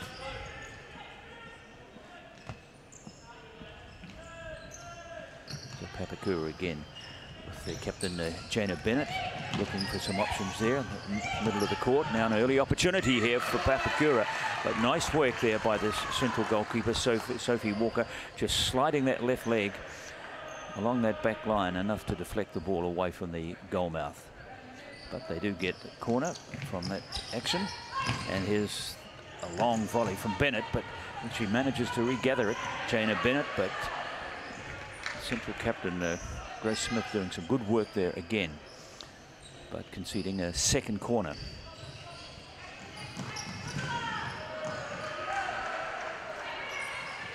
Yeah, I think there's another opportunity too. It'll come down to that depth on the bench, and maybe that is where Papakura probably have the measure at the moment. You've talked about just how young the central side is youthful exuberance is good, but when you get to this level, you also want that level of experience. And they certainly bring that in Myla Green, who was the MVP at the Under-19 Girls Youth Nationals in 2022. So there she is there, just touched the ball there, number nine, Mila Green.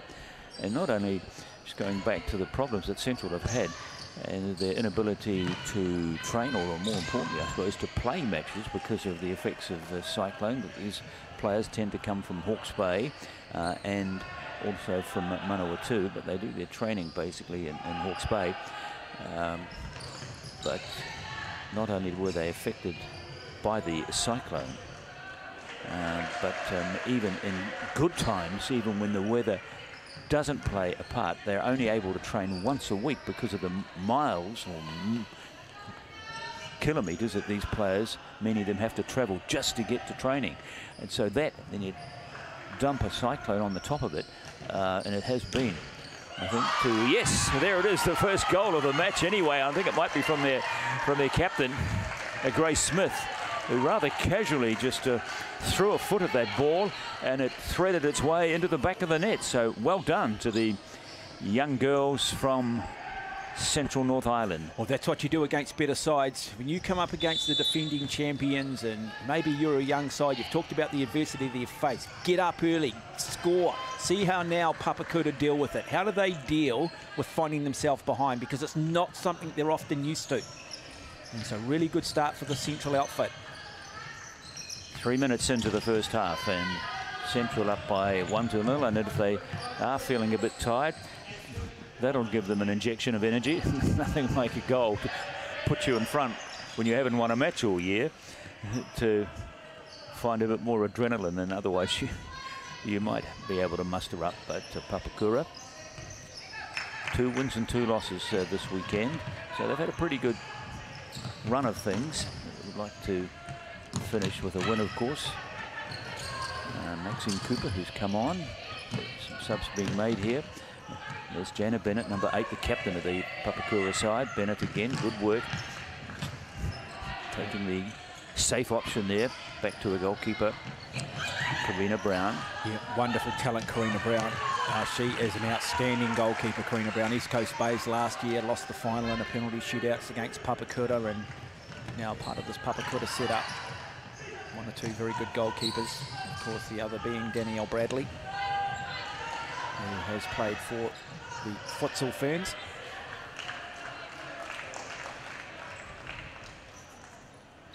So there will be plenty of buzz on the bench for the central side as the uh, coach starts to make a few substitutions. but it's a long way to go. We've only had just under five minutes of play. Just one goal in the match so far.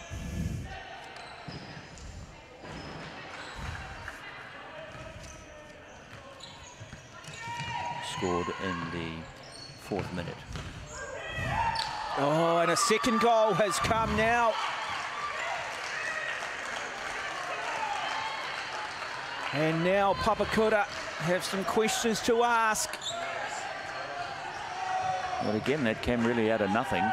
And as I said to before, these uh, players telling me this morning here that um, the overwhelming feeling they're all having is one of tiredness. And I think um, we're seeing that in this Papakura side at the moment. There just isn't much spark at all about them, either on defence or on attack. And having said that, uh, a volley fired there from uh, Caitlin Turner, but up into the empty seats behind the goal. Yeah, well, Marvin Eakins, who's really one of the real gurus in futsal in this country, national coach. He is the coach of this Papakura outfit. He won't be happy by what he's seen. Another re really good piece of goalkeeping, this time by Sophie Walker.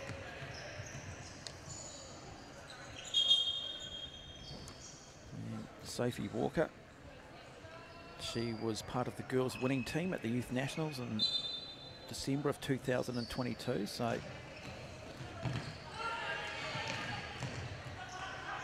just 16 years of age.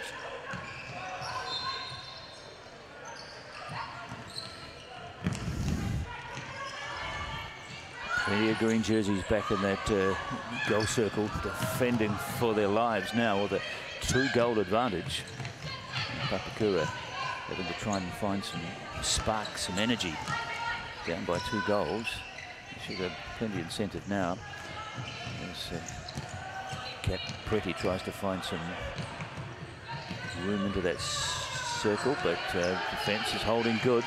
Good scrap going on there at the moment with uh, Ma Bun, Cambodian player in the side from Papakura. Well, Papakura will build a lot of their play very much around their number seven, Maxine Cooper. They've got, you know, wonderful player in Shivanti Anthony, but what they do have, they've got that physical physicality so they can push Hannah Reddy up into that up into that pivot role along with Kat Preddy. They can be targets, very hard to defend against. They've got that physicality to hold the defender up. Six minutes gone in the first half of this match here between Papakura in the blue and the little fancy central side, but uh, in the throes of putting together one of the big upsets of the weekend. Haven't had a win this season from their previous nine matches. Um, and uh, probably will struggle, I think, even with a couple of wins to make the playoffs. One more weekend of futsal before we get to the playoffs on the uh, 2nd or 1st of April. Papakura nicely placed at the moment in fourth place. So they wouldn't want to drop a match as well. It just would make their task a little more difficult for the final national series before the playoffs.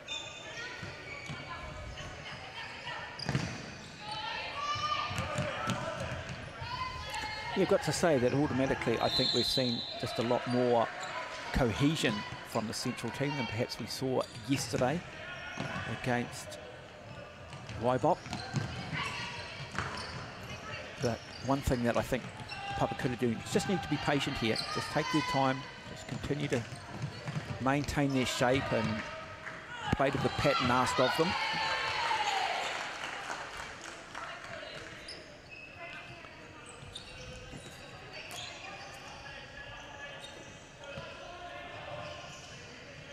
So Olivia Harding with the kick in. Back to Hannah Roberts across the far side. Now opportunity here for Papakura, and that's probably the hardest shot we've seen with a bit of venom in the boot there of uh, Kat Pretty, but... It's amazing, isn't it, Brendan? We've both been out there and had a little bit of a kick around. It's a hard ball, but the velocity that they can yeah. get on it with the left and right foot, but with, with very little wind-up too.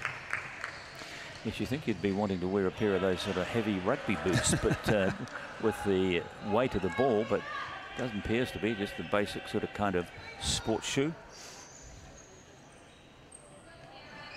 a little pause while a ball is retreat. It's one of the functions the players have to do oh. is to retrieve the ball.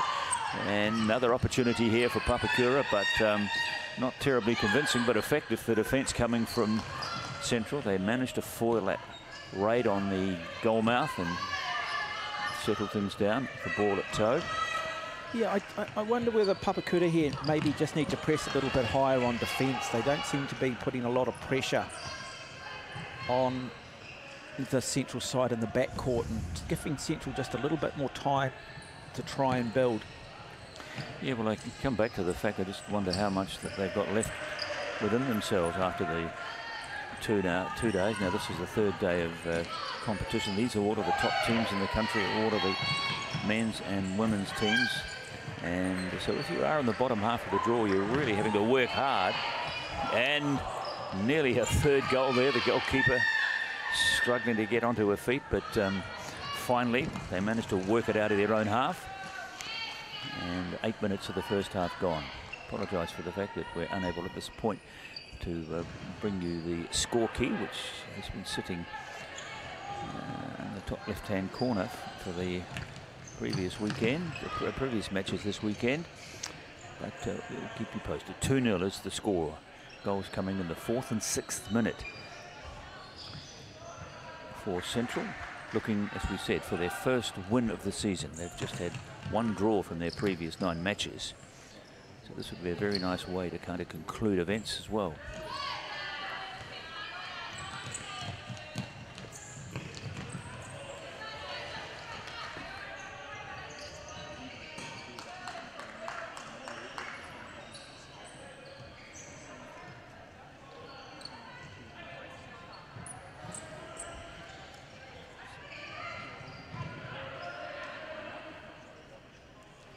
We're not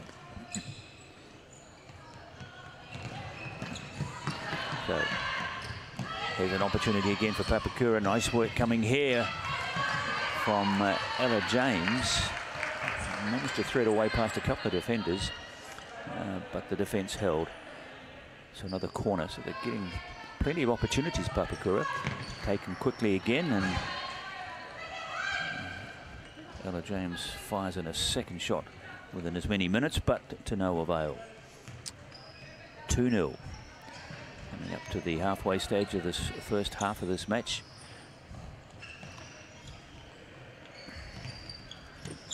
Papakura currently in third place on the points table, so even though they've lost two of their four matches this weekend, uh, they have confirmed for themselves a place in the top four, which is really what this weekend is all about. There's no separate competition amongst the teams.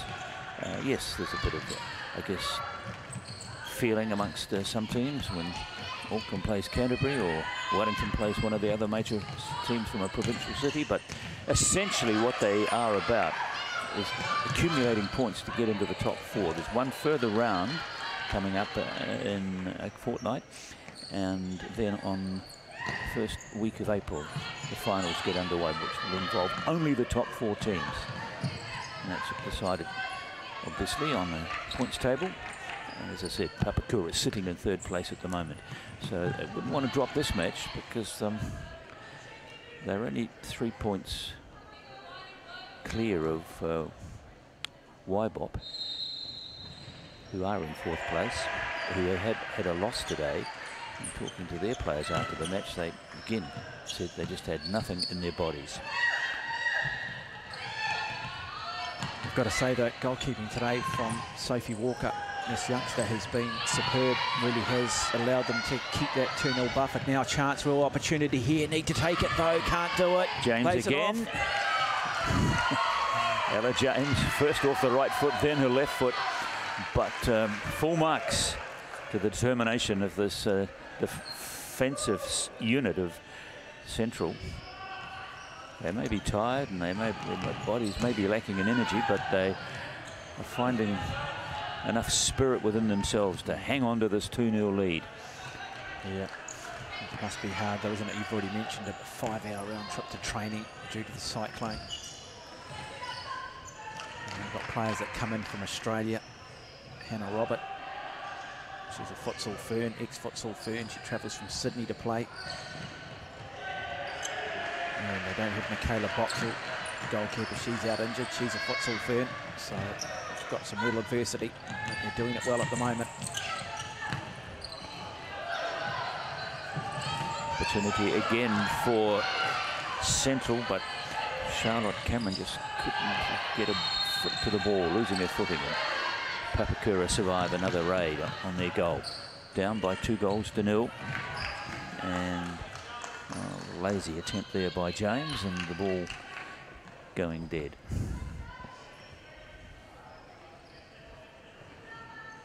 And I suppose once they finish here this afternoon, they'll have a long bus trip back to the central part of the North Island. But I imagine most of them will be sleeping for, for that entire journey. I often say it though, isn't it? That's the importance of fitness. It's still the currency of all these sports is fitness, running, jogging. It's not how well you do a session or how well you play a game. It's often how well you back it up. And that is going to be a challenge.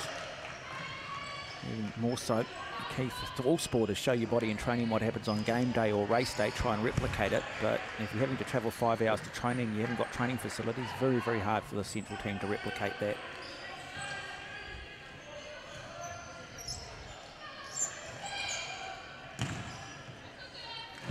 Kick and hope. Seeing plenty of that today, particularly from Papakura now that they're down by two goals. Uh, but Papakura ringing changes too. So they've brought back on their number 16, number 15, uh, 16, Hannah Reddy. Now, she is very, very good in terms of acting in that pivot role. She's a good target because what she does, she holds the ball well. Allows her team to there she move is. forward. And again, Shivanti Anthony, also outstanding talent, who's back on court as well in the number two shirt.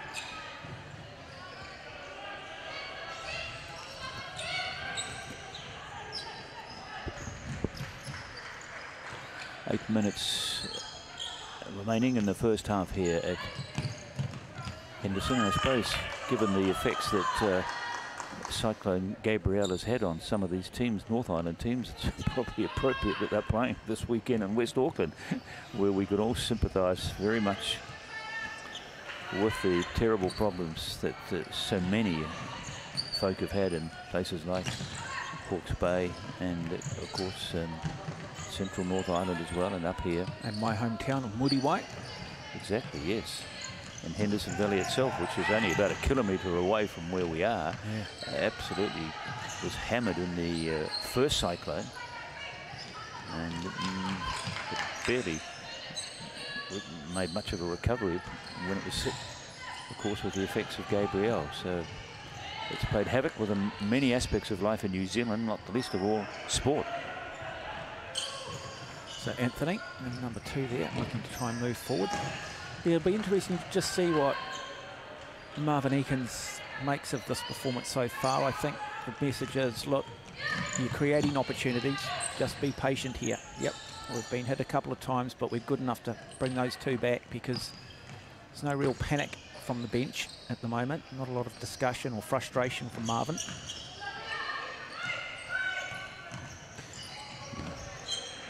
Shivanti Anthony, the tall figure there, comes out of her fixo position, try and put add a bit of thrust to the attack, but they're just not able to get any clear, clean ball anywhere near that goal mouth. And so they, at best, are just kicking and poking at the ball. It's uh, suiting Central admirably, being able to foil these would-be attacks.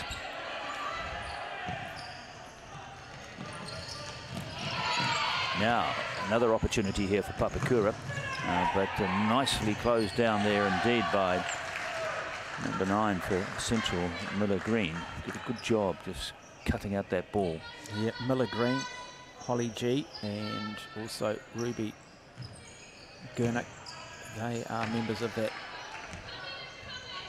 under 19 girls team that won the youth nationals. So it just shows that if they can keep this nucleus of players together and just put some years now and layer upon layer, uh, certainly going to be a force for the future. Here comes Holly G with the ball, the tall figure, but uh, Anthony foiled that attack as well. trying the long ball. That uh, certainly didn't pay much of a dividend for Papakura. So this young, this extremely young and youthful central side doing themselves a lot of justice here with their play, not just with the two goals that they've scored, but uh, their ability to kind of handle anything that's been thrown at them by Papakura. Back oh. kill, but uh, to no effect. The intended target there was Abby Wright and the number six shirt, just not quite enough weight on it, but great enterprise.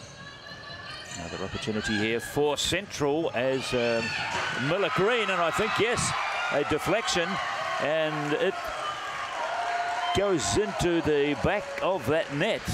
Uh, initially saved by the goalkeeper, and so that's three. Three in 14 minutes for Central. Wow. Now Papakura are in serious trouble. Tired bodies, mentally feeling very weary, and three goals down. Not the way you would want to finish this tournament. No, it was a good save too from Karina Brown. She just couldn't quite hold on to it. But that's the problem when you're pressing high. That you just open yourself up at the back, and that's the three goals have come is because of this high press that we're seeing from Papakura. Oh, there's a good shove there from uh, one of those central players, but the referee very perfectly happy with it. So play continues.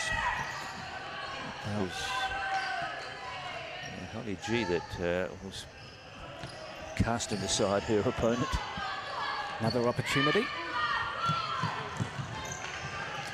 Yeah, this is somewhat of a surprise. Already had another upset this morning with the Canterbury men's beating Auckland City, a reversal of the result we saw last night. And you mentioned earlier the injury to Sean Morgan, and I wonder just how much that affected Auckland today. They just seemed to be lacking something. But as you said, Brendan, I think it's day three. It's fifth game for a lot of these teams. It's fatigue now, so it does become a little bit more a game of chance. Yeah, tired bodies and tired minds. And so the, the mental will that you have to find here is really important. That's what the Papakura have got to call on here. Their bodies probably want to rest and sit down. But um, they've just got to find the, the, discipline and the spirit within themselves to, to rise above this and get on the scoreboard. Or they can just get themselves a goal before half-time, which is five minutes away.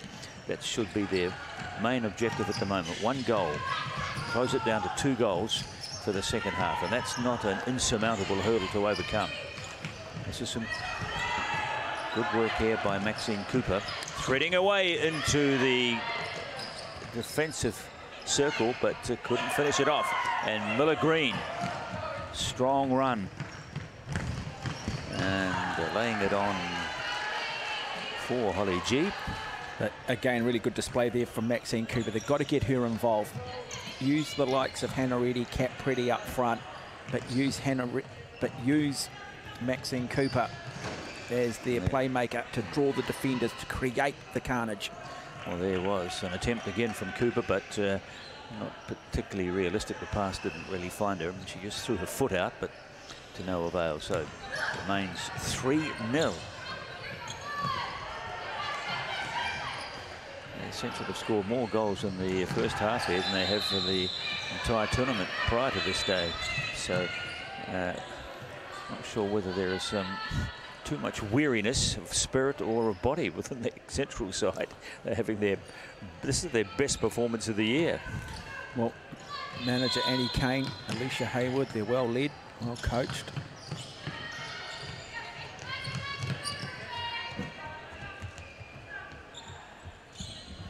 Just four minutes left until half time. So time starting to become a bit of an enemy here for Papakura. Interesting to see how this very youthful central side handles the second half. I mean, they can't call on much experience, uh, but they've got a lot of youthful exuberance, which might just get them through uh, this second 20 minutes. Uh, pretty, pretty. But again, good work there. Back there by the defensive players for Central. Thwarted again.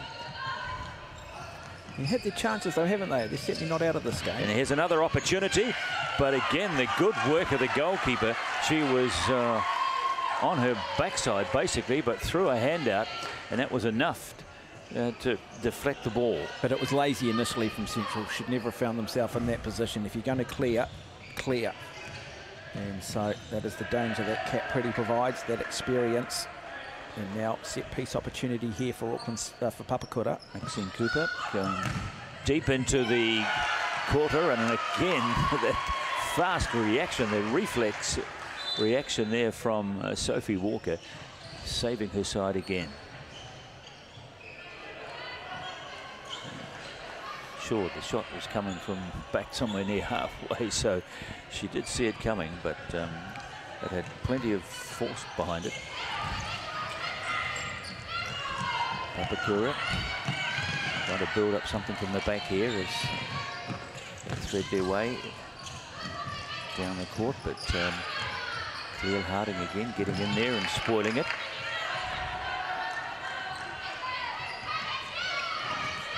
Gurnick is on as well. Ruby Ottawa Gurnick at number five. And Miller Green there.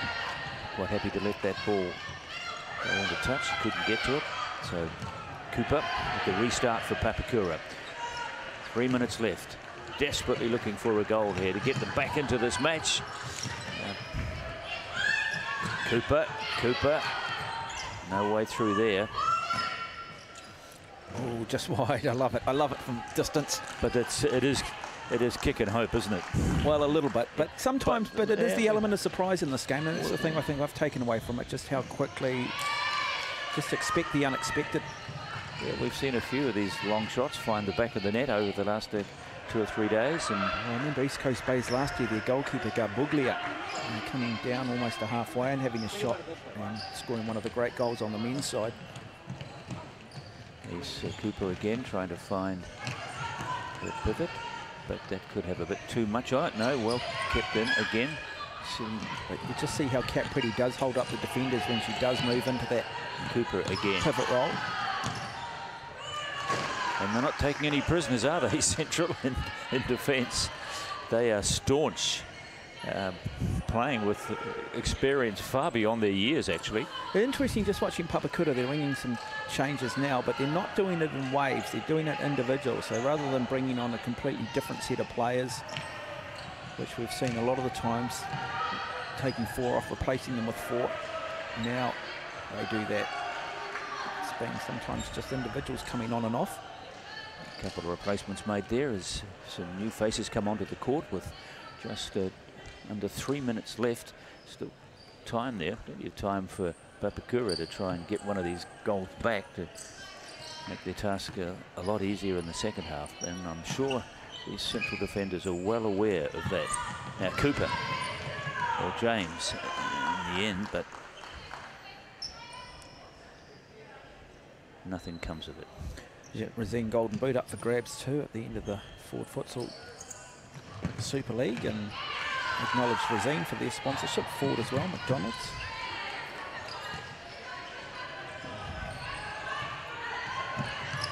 There's the tall figure of uh, Harding, who's back on for the last couple of minutes of the match for or first half for Central.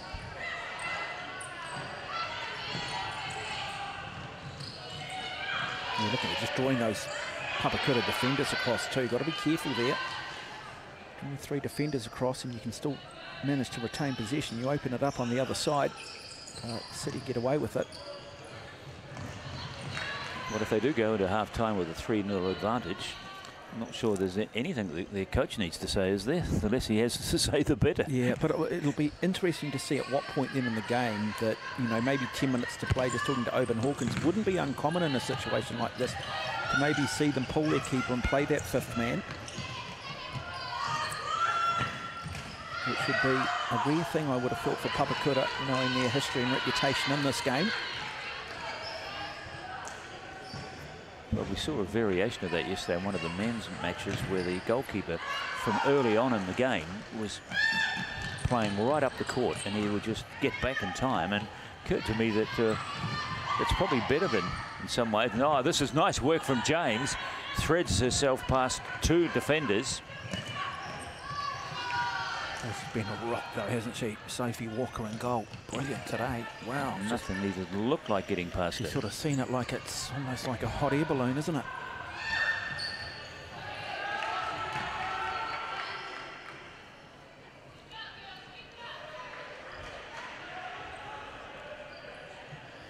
So just over a minute left. And just for the hell of it, Hannah Roberts decides to have a shot from near halfway, in fact inside her own half.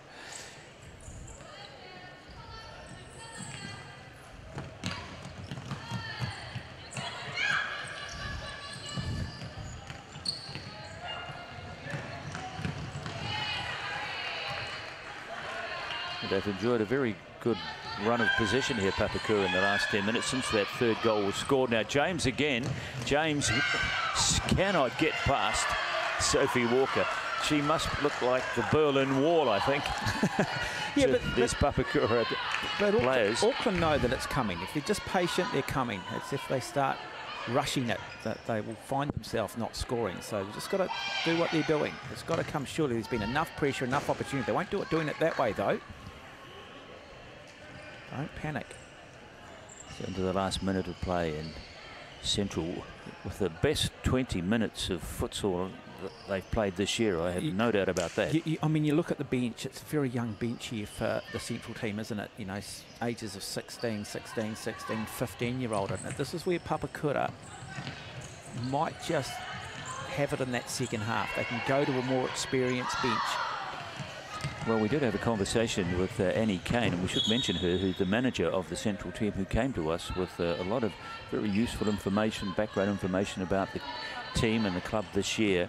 And um, she was almost imploring us, wasn't she, Martin, um, to kind of just, you know, show some sympathy for and understanding for the terrible year and difficulties that the central team have had, and put that in the context of where they are on the points table.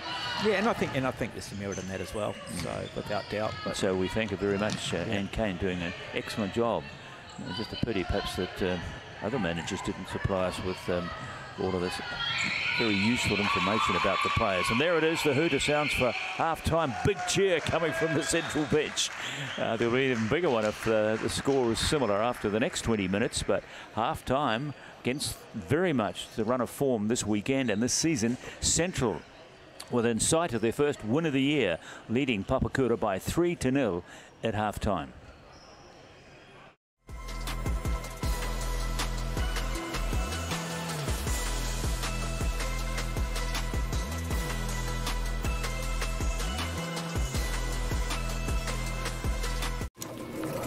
Ford has a long history of building the cars you love while leading the charge on innovation. Harnessing the strength, style, and capability you know and electrifying it.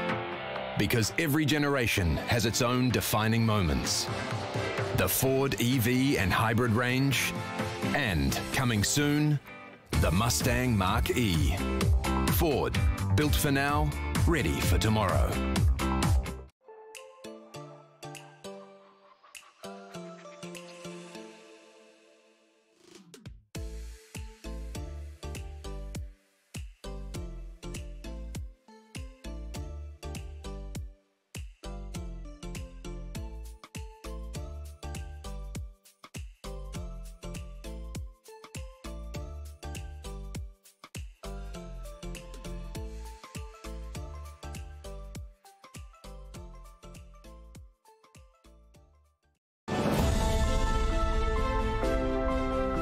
Believe in supporting and nurturing our extended sporting whānau, working towards promoting a healthy group activity that kids, parents, and friends love.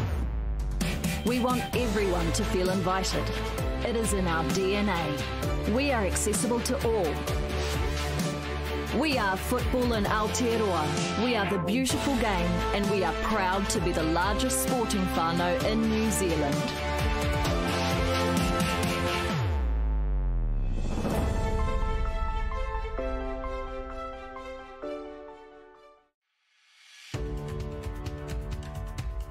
At Ford, we're always looking towards the future. So while we're proud of our range of vehicles, we're even prouder of being the first company to support not only the football ferns, but the next generation. And the legends we grew up wanting to be.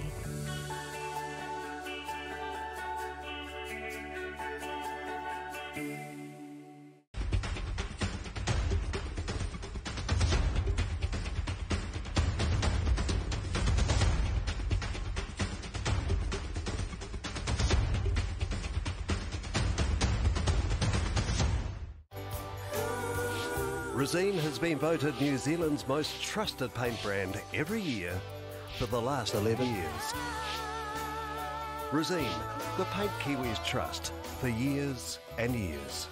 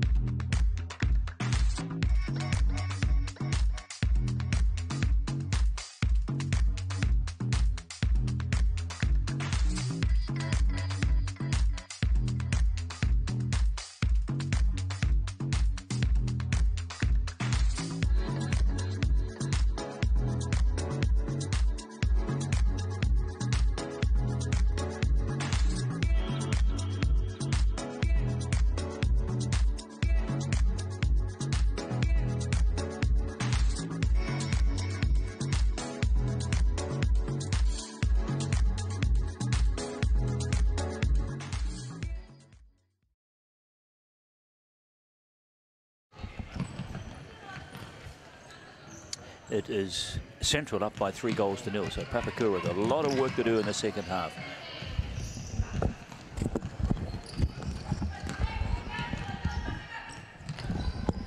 One, two, one, two, three. It's the message I'm sure the coach must have left with his Papakura players. Three goals he wants, and ideally you'd want to get one pretty quickly after the resumption. Yes, no, I don't have any um, cans. You just go.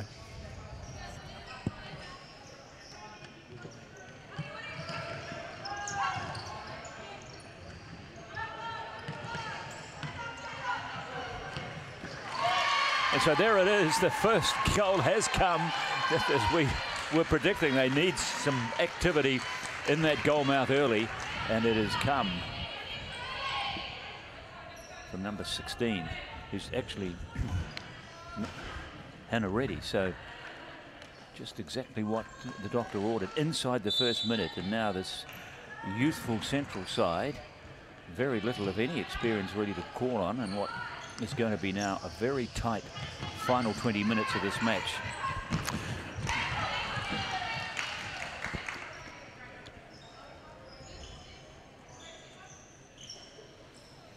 Yeah, just what they needed. And so that certainly changes the context now, doesn't it? Three goals to one. They do believe they can suddenly score a second, and it is game on. It's anybody's. Yes, I'm sure there's a very different attitude now prevailing amongst this Papakura side. Uh, still two goals behind, but they won't be, I think, feeling quite so defensive or pessimistic about their chances. And another opportunity here and didn't miss by much either. Maxine Cooper was in there trying to get a foot around that ball. And I think uh, Helen Reddy also might have had a attempted toe poke, but Central held on. They were very staunch with their defence in the first half after scoring those three goals. I thought it was really impressive, but um, they might be just a little bit rattled now, suddenly with that goal coming in the first minute. And all of their play, really, since half-time, only had a couple of minutes of it, has been inside the central half. And, ooh, at times Sophie Walker relieved to see that ball running past her outstretched hand. Yeah, Jana Bennett. I tell you what, though, Marvin Eakins, the coach, he was pretty animated at half time. He doesn't get animated, but you could see that a little bit of frustration from him. And they do need to build a lot of their play around Maxine Cooper, who has been very good on that seven shirt for them. And uh, hurried dispatch the ball to the opposite end of the uh, court. Just looking a little vulnerable there with a, a rather tepid pass uh, across the goal mouth.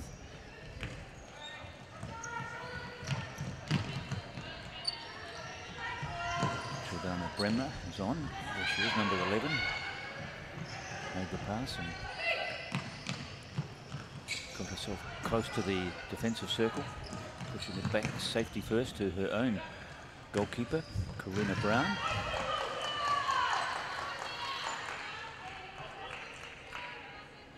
Three goals to one. So it's been producing some exciting futsal this court today with the Canterbury Auckland match preceding it. Four goals. And again, rather similar look about uh, this match. The underdogs uh, a good, strong advantage, but this is a more determined and urgent look about for Papakura already in the first couple of minutes of this match. There's another shot off the left foot there from uh, Hana Reddy, and it didn't miss by much. No, certainly Papakura City fighting their way back in, climbing their way back into the light. Really, it's all been them in this first two and a half minutes in the second half, and that pass is a little bit wayward. Cooper, well, she didn't have much chance of getting up there with a central defender all over it, but anyway. There's Reddy again, trying to work her way free. Bremner with the long shot. But Walker equal to the occasion and goal. Yeah, danger here is when you start to get this level of dominance is that it doesn't just become about the individual, constantly individual shooting. Still got to play the structure, still got to play futsal at that top end of the court.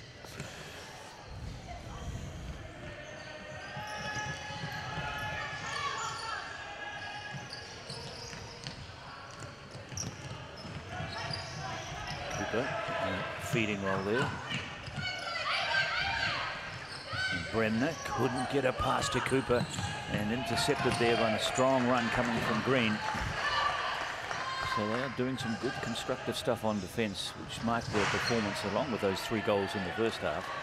And subs made yeah. in the fourth minute of the second half. Yeah. And this is this will be a real test of the ability of the coaches here to read the condition of their players. He knows they're all tired and suppose the simple solution is that you don't keep the players on the court for very long. No, get them to come on, do small shifts but intense shifts. Anthony is on, Shivantha Anthony, wonderful player of Indian descent there in the number two. Quality, quality futsal player. And so they've got a good lineup on at the moment, but it is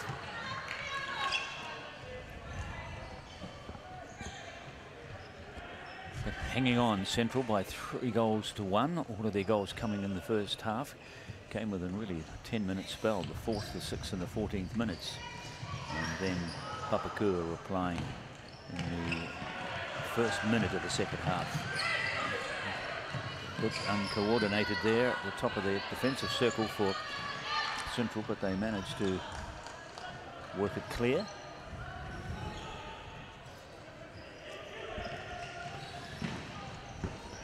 Yeah, interesting Papakura here, looking pushing to push a lot higher, forcing Central at the moment to play a little bit more in their own half. And again, you're starting to now see them looking to try and play that long ball rather than looking to try and maybe thread the needle.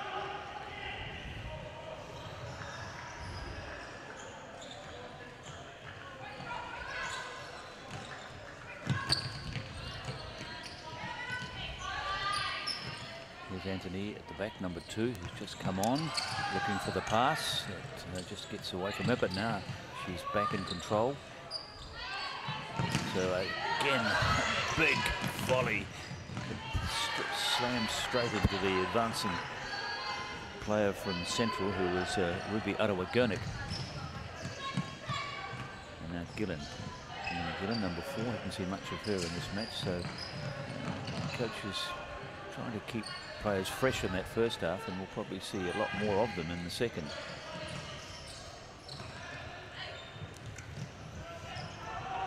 Shivangi Anthony. Giving them a lot of time, aren't they? Not really pressing height. More than happy for Papakura just to take their time and play out from the back. Not really wanting to come into Papakura's half on defence. So Gillen. Anthony.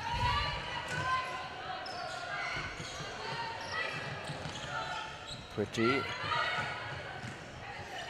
Shot again. Might be tempted to have a long shot there. She was relatively free of any opposition players anywhere near it. So she thought, well, she's got time to line that up. Didn't miss by much either, just over the top of the far post. Yeah, slowly just starting to break the central defence down. And now this is where depth on the bench will be important because you're right, the fatigue levels will kick in. I mean, they're tired anyway from the number of games they're playing, but fatigue is just going to kick in any game anyway in the second half. And that's where it does come down to bench. And that's where Papakura, you run through the ages of the central team, you know, 16, 16, 16. You know, you've got Cleo Harding there, who's just 15 years of age. Anthony again, controlling the defensive half of their court. Now Barroso is a Brazilian player, and she, without much doubt, would be the smallest player on the court. I'd imagine a fairly dynamic player coming from that part of the world.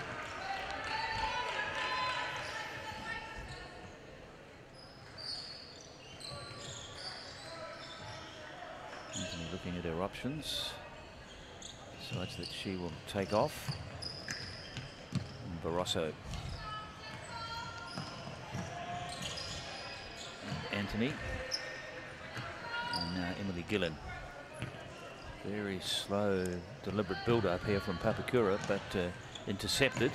But Anthony is back there, decides that she will let the goalkeeper extract them from that end of the court. Yeah, it's just those lazy passes that are just undoing some of the good work at times. Just not enough, quite enough weight on them, not accurate enough.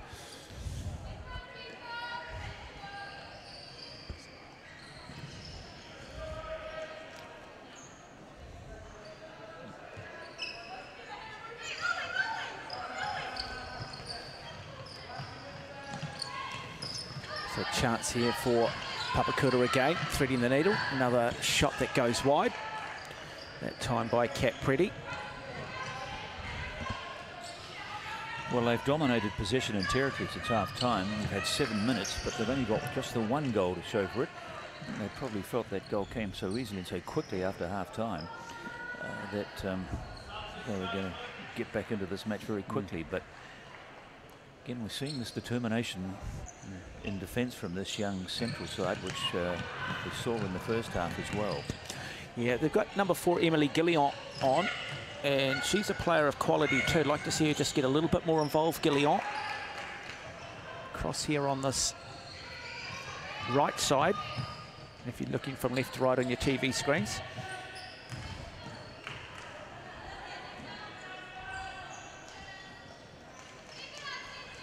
And uh, Karina Brown, I'm not sure we've even mentioned her name in the second half. She's been virtually uh, redundant, hasn't she?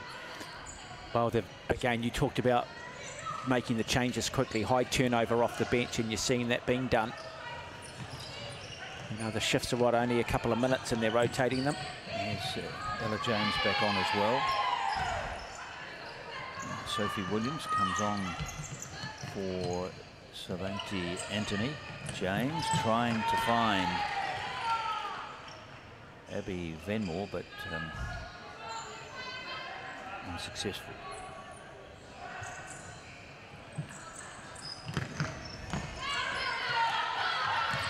Now on the break, opportunity here for Central.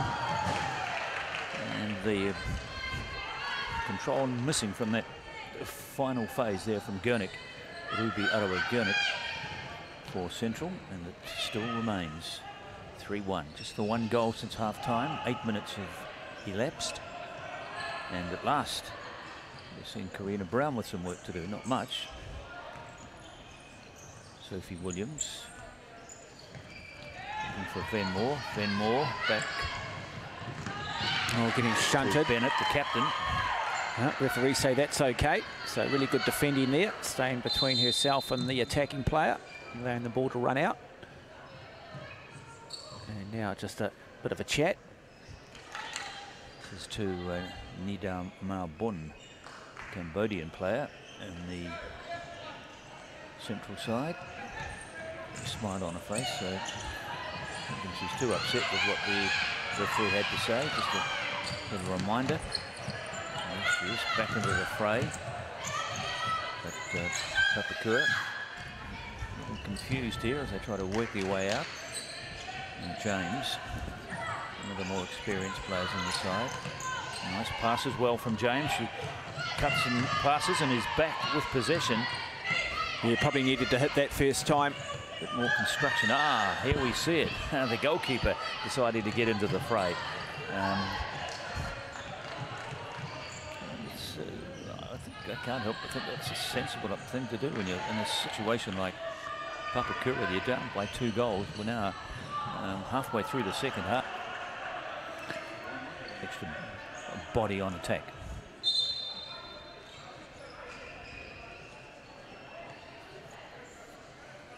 Doesn't come does come with some risks, of course. Williams.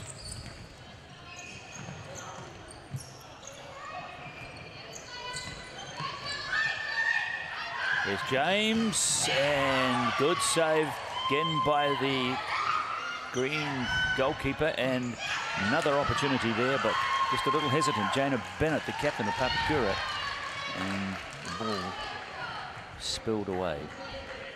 Yeah, really good opportunity. Again from this Papakura City side. Just got to continue to do what they're doing. Goals will come. Still 10 minutes 56. What point do we maybe see them go to that fifth man? Well, she's... Uh, so Karina Brown's come high already up into the halfway yeah, line here. Yeah, she's made a couple of forays up, but now she wisely just retires back to her territory. The opposition with the ball. They would have noted where she is as well and be hoping to exploit the risk that she's taken from leaving her safety zone.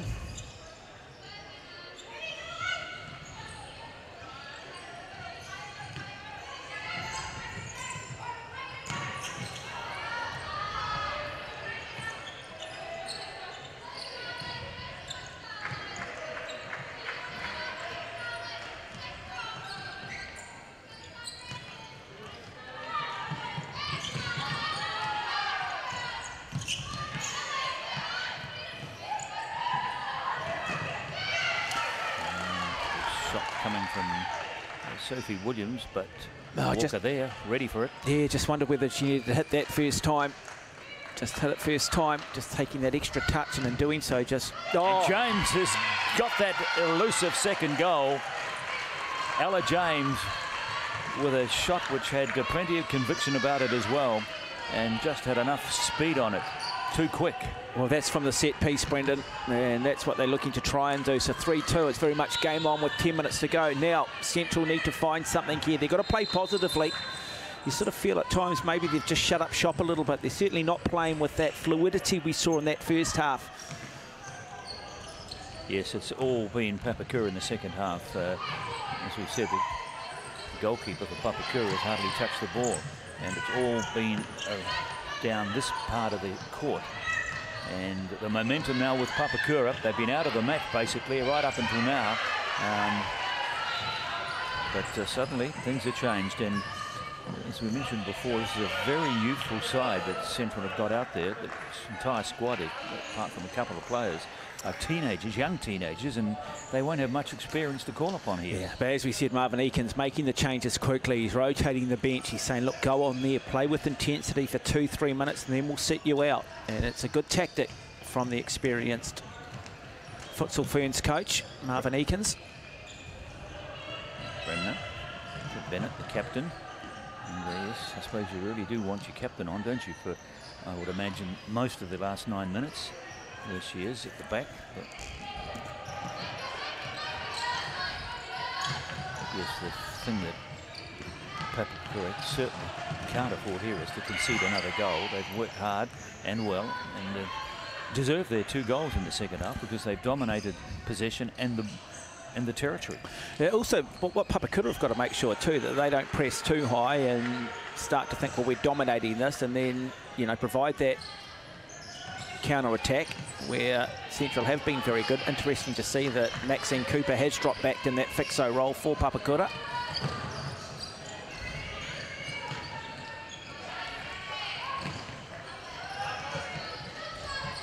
Reddy, still with it, and yes, nutmeg the goalkeeper and has tied the match up at three all. Wow. So it's just taken them 11 minutes actually to score those three goals. And you just wonder where were they in the first 20 well, minutes? I think what we've seen, Maxine Cooper in that fixo role at the back, she's just controlling things. She's just passing. She's almost acting in that sort of, if it was in football terms, that central midfield role, being the distributor, being the playmaker.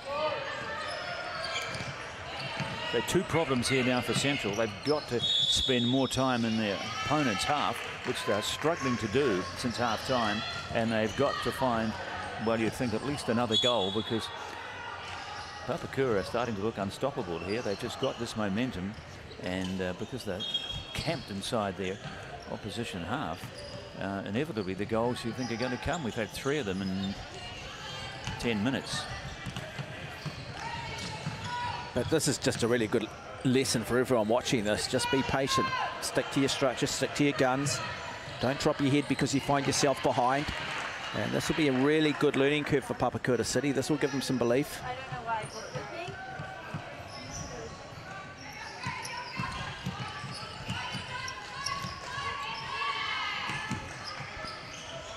I don't think Brown has had to make one save in this second half, which is now 12 minutes old. But very different story at the other end as Hana Reddy tries to muscle away up into that uh, defensive circle, but yeah, you feel if Auckland City score here now, the heads might just drop from this young side. You get that. That's an age and thing. There's a chance. Two of them there. A little bit of confusion amongst the two Papakura players at the top of that defensive circle. they were competing with each other. That's Sophie, the ball. Yeah, Sophie Walker, though, really, really good in goal. She'll be a couple of that she might be disappointed with, but she has been a superstar today.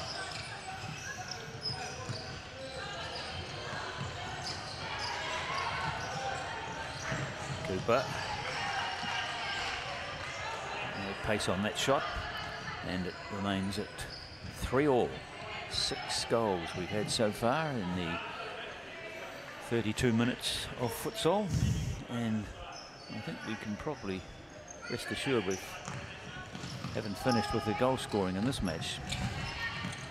And hungry for more, Papakura, you can kind of sense it, you which is the urgency which was just not there in the first half. the rhythm and the urgency, but both of them are there, getting back in a hurry. Cooper doing a very good job as well, but opportunity. There we are for the first time in the second half. Yeah, Maxine Cooper's really just taking control here for Papakura. She's their best player. Doing her best to foil him, of course, is Sophie Walker. Another fine save. Another corner. Yeah, really good effort from Abby Wright on that right foot too, down that right side. Seven minutes left. Little bit ambitious there from Maxine Cooper. There's some real consternation, I imagine, on that central bench because if they are able to win this match, it will lift them off the bottom of the points table as well. And they will join Southern United on four points. Yeah. If they're held to a three-all draw, I'm afraid they still remain in possession of the wooden spoon, even if they do get only their second point of the season. Uh, but a win, very important. So they're only one goal away, and they just got to convince themselves again that they can do this. They scored three goals in 10 minutes in the first half against these same players. But Anthony's now come on for Papakura, just again showing their depth. They just take take one off, replace like with like. And so Cooper's still on though. Interesting, isn't it, Sheep? Maxine Cooper still on for another shift in the number seven shirt. So they know how important she is. She has just set the tone really in this second half. Papakura as well. Uh, plenty to play for here. They're currently in third place, but they can join Capital with 15 points if they win this match. So both at the moment looking in pretty good shape to make the playoffs at the end of the month, start of April. But a win here will help them, and uh, another volley, but uh, nothing to show for it. Seven minutes remaining.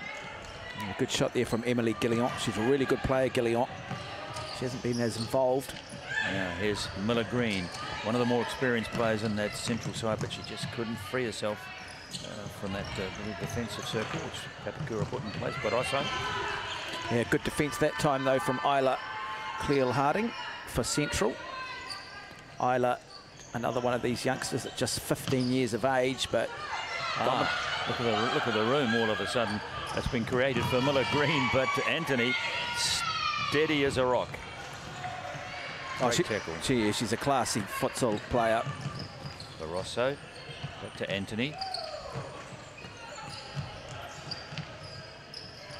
Position given away. Here's Harding. Going on a nice little run here. Harding manages to keep a footing as well. And, oh, in the end, she runs right over the top of the Papakura yeah. goalkeeper. Yeah, Karina Brown there just didn't really get down enough and really needed to take that ball. But this is the danger here for Papakura. They're pressing really high, but they're opening themselves up if they do turn possession over and creating that one-on-one -on -one situation for Central. And I notice also that the uh, bench, central bench has gone very quiet, hasn't it?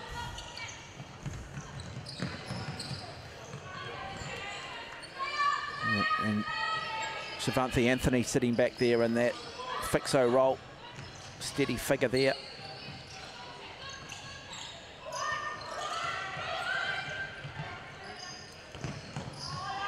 Anthony, what's she going to do now? She was thinking, I think, of lining up the long shot, but she had time to set it up. But see, just you just noticed Cat Pretty there in that forward position, in that pivot role, how she can just hold players at bay. She just has that ability to return her back. Timeout. Yep, and just keep those defenders and allow her players to push. And she's so strong and so physical. If it's not her, it's Hana Reddy. And that is this diversity that I think Papakura do have.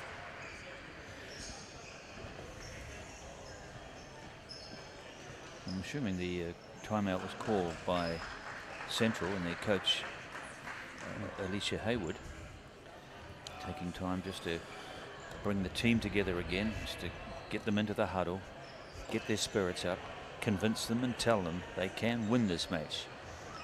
And Well, I think they'd be happy if they could come away with a draw too, but they've got five and a half minutes and well, I, don't, I don't know whether they would be that happy. After being up 3 0, you might be right. Yep. Um, at half time as well, being up 3 0 at half time, haven't had a win this year, and have just played the best 20 minutes of futsal they've put together anywhere in the North Island um, or South Island for uh, the entire season. And suddenly they've just seen it evaporate into thin air. And so their spirits will be down, and I guess that's what uh, Alicia Hayward has detected. So she's had her minute to talk to them and see what they can do.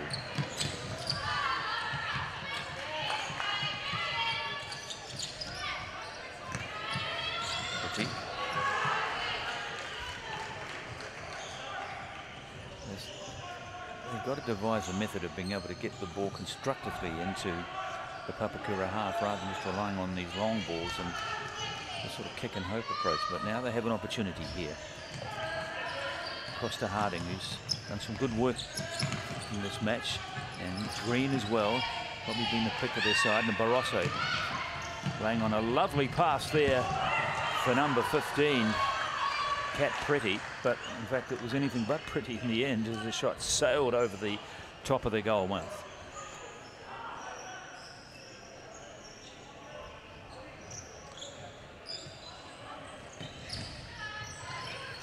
Barroso again decides should have a shot from a very narrow angle. He's verging on the uh, optimistic. Harding Yeah, 5'18. to, to no one in particular, just sailed through a huge big gap. At, the court opened up like the Red Sea in the middle, and the ball sailed right down to the other end of the court. Yeah, nice ball there from Karina Brown. Lovely futsal. But uh, Walker saw it coming.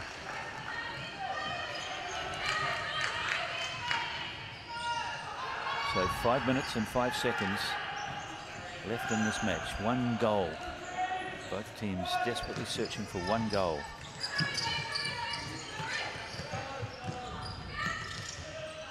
Aye. Cry of despair there. Coming from, I think it was Cooper there who had an opportunity. Interception. Good work here from the captain. She goes sliding into the goalkeeper who decided to come out really early, came off the line very early, and they clashed, the bodies clashed. Grace Smith, who got past her opponent on halfway, and off she went. But um, good thinking there from Brown. She saw the threat posed by Smith and decided to confront her on the top of that defensive circle. Which way has the call gone? It seemed to me to be that it was either player was really much at fault. They were just competing for the ball. But it looks like it is a free kick to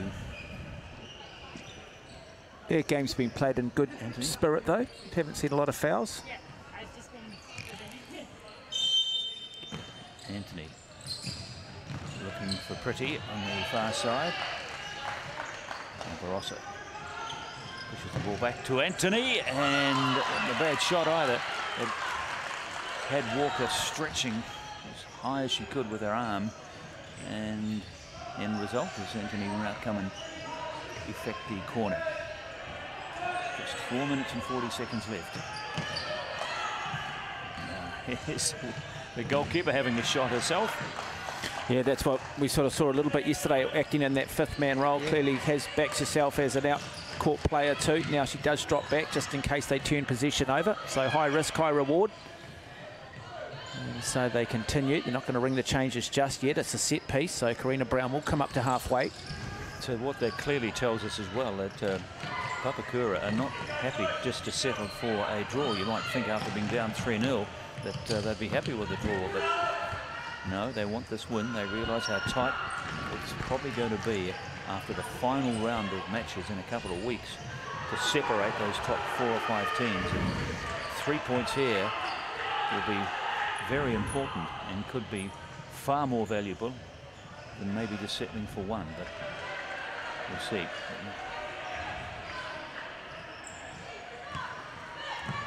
Bennett, captain.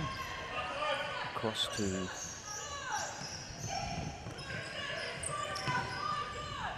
Karina Brown.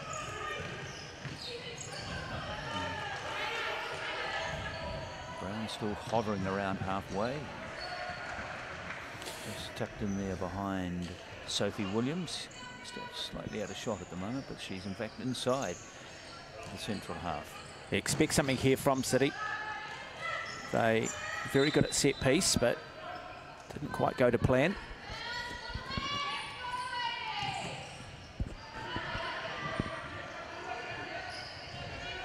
What point do they maybe bring the Karina Brown up and just play her in that fifth man role? They are now, so they go across to here. There she is, number 26, the goalkeeper. That's Has a crack at goal too, and she didn't miss quite much. I think that had beaten uh, Walker. That would have been a stunner, wouldn't it? Would have been one of the great goals. That's the thing with futsal. A lot of the goals are just stunning. James, but uh, foiled by Topote there from uh, Ruby Gurnick and Barroso. The kick in. So, Brendan, we've got just under four minutes still remaining, three minutes 50. Still plenty of time.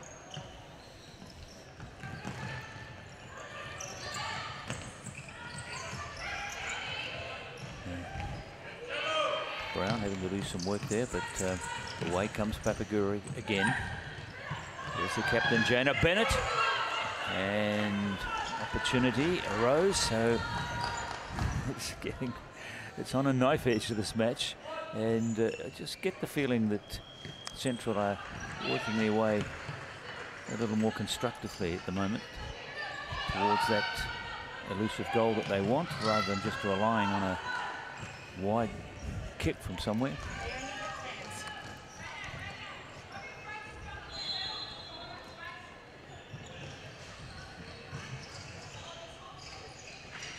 Now under four minutes, just over three minutes left. Stop clock, of course, in action here whenever the ball goes out of play. So a long ball. There's their captain again.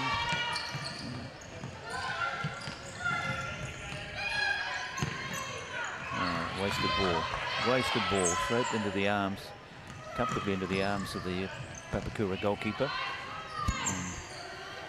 Getting to the stage now where just kicking the ball around and holding on to possession. Oh, look. And a little sloppy in front of the central goal, but they managed to extract themselves from it. And their captain, It will be a corner. So set piece opportunity for Papakura. Hustled. Come now with a shot over the top though.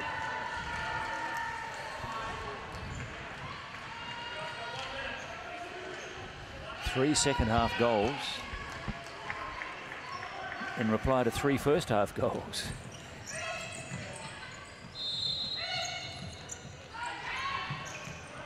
Here's Bennett again, the captain. Yeah, took a heavy fall too. And it's a free kick.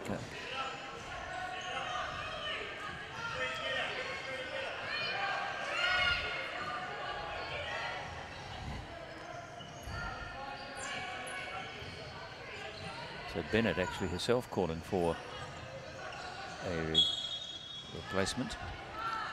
And on comes, I think, by the look of it again, it's Maxine Cooper. And there it is. It's worked, the little positional change. And the deadlock has been snapped.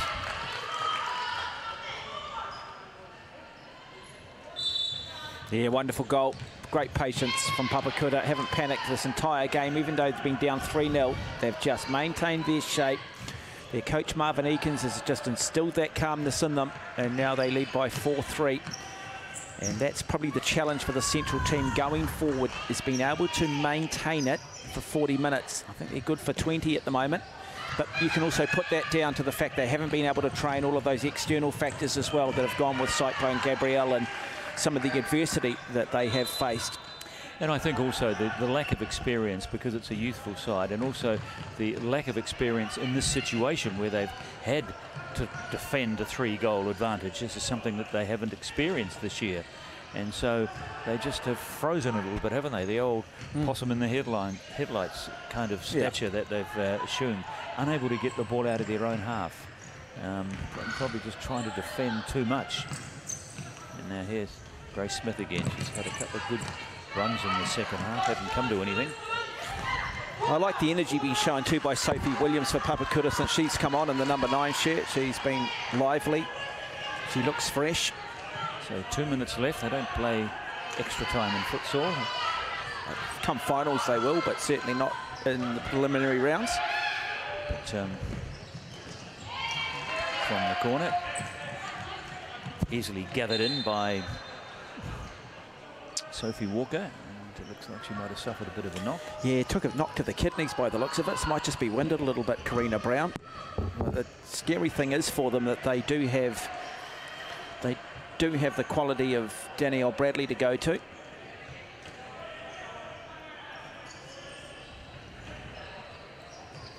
So a minute 46 to go.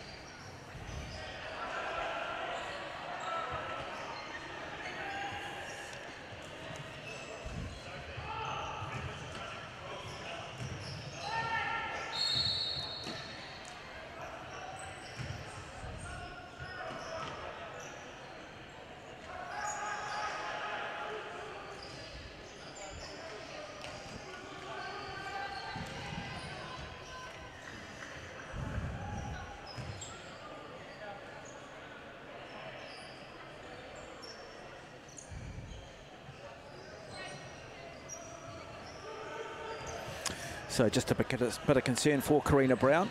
Hope you are enjoying coverage here on day three of this Ford Futsal National Super League. Saw a really good game earlier this morning when we saw Auckland City get beaten by Canterbury. A reversal in fortunes for Canterbury, who lost that same fixture last night by five goals to three. But Karina Brown looks like she's back up and ready to go again. Doesn't exactly look 100%. I think she was just winded more than anything. And anyway, she's quickly back in action. James laying it on for Cooper, but Central able to foil it. Another corner. They scored one of their three goals from a set piece from the corner. And there was nearly the fourth as Ella James just clipped the crossbar, but it bounced back into the field of play.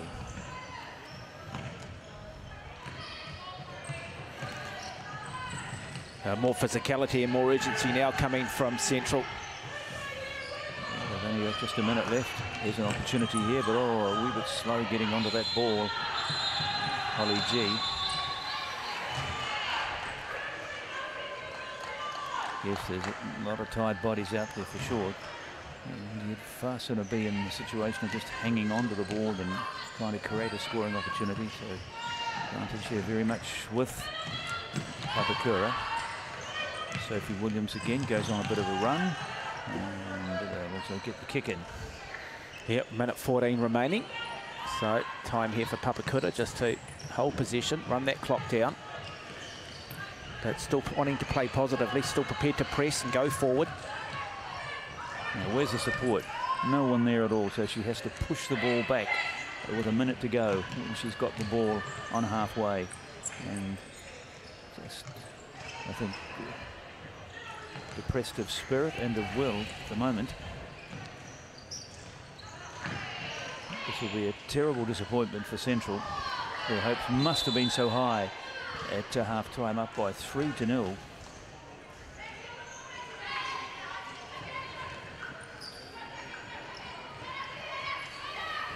Yeah, clock ticking down, 45 seconds. Can they find that miracle? Do they believe? There's Green with the shot. She's probably been their best player on attack.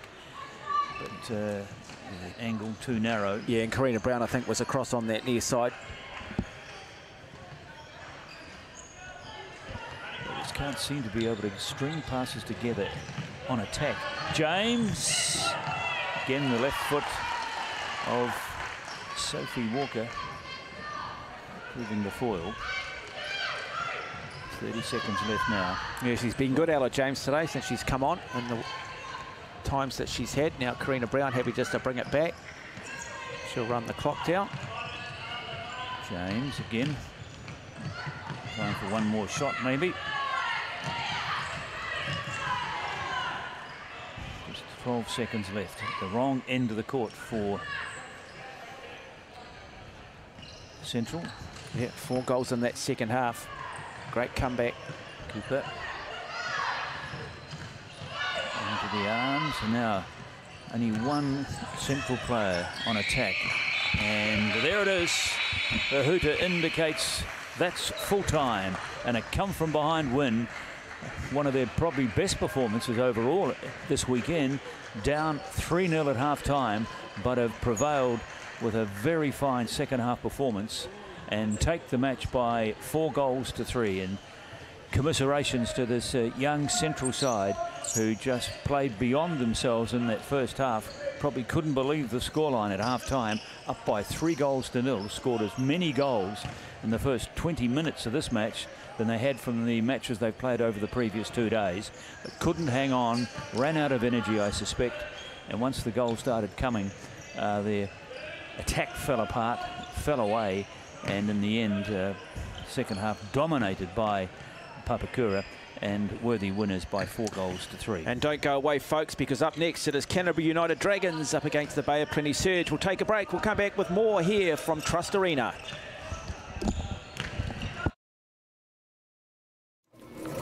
Ford has a long history of building the cars you love while leading the charge on innovation. Harnessing the strength, style, and capability you know and electrifying it. Because every generation has its own defining moments. The Ford EV and hybrid range, and coming soon, the Mustang Mach E. Ford, built for now, ready for tomorrow.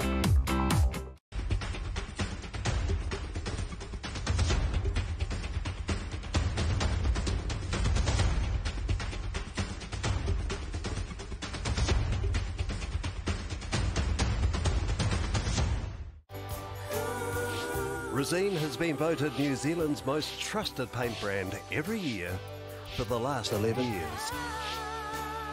Resene, the paint Kiwis trust for years and years. The fern is a symbolic representation for all New Zealanders and has been reimagined to represent all of football in Aotearoa, New Zealand. A circular shape not only symbolises the round ball used by all those that play the game, but also, and more importantly, represents the strength and infinite connection created by all those that play a part of the game. With each piece of the fern recognising and acknowledging those that make the beautiful game beautiful. The stalk represents our grassroots, our communities, our clubs, our volunteers, and our fans. They are the foundation and are at the centre of all we do. The pinna represents our federations across the whole of New Zealand. Our federations guide and protect our clubs and communities, allowing everyone to be heard, to be represented, and provide guidance and opportunities at every pathway. One brand identity with regional differentiation. Federations in New Zealand football working together to serve our communities, creating more than a game, creating a sporting whānau where everyone is welcome.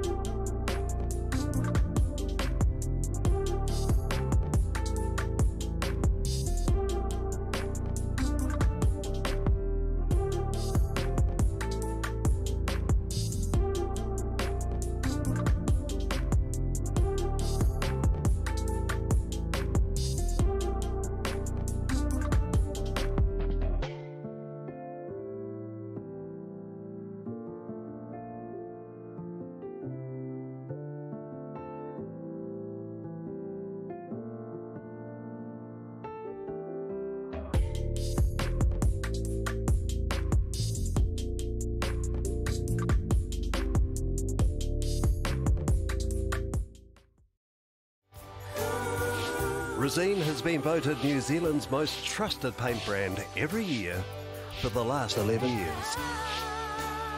Resene, the paint Kiwis trust for years and years.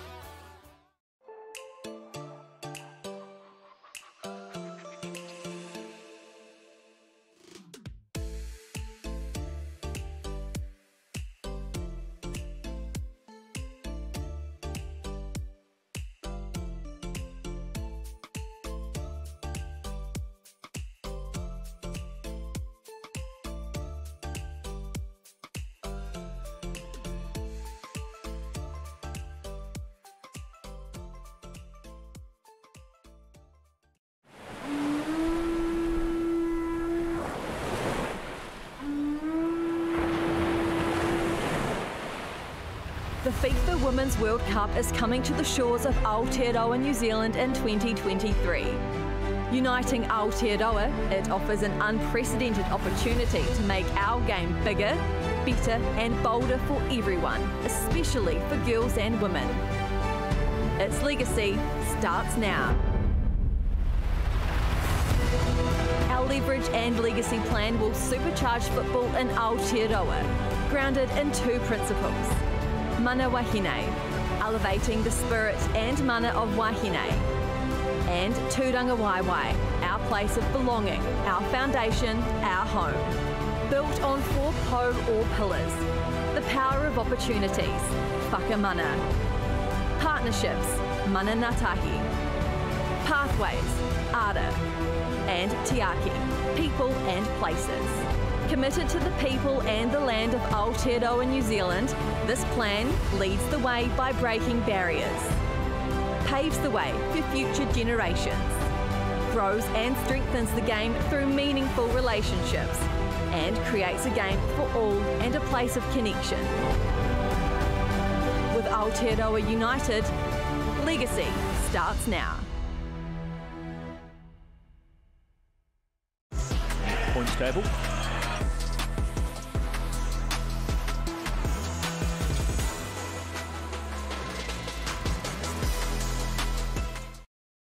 Fourth place, which is what this weekend is really all about. All of these teams that are here trying to get enough points to go to Wellington in fortnight for the final round before the playoffs.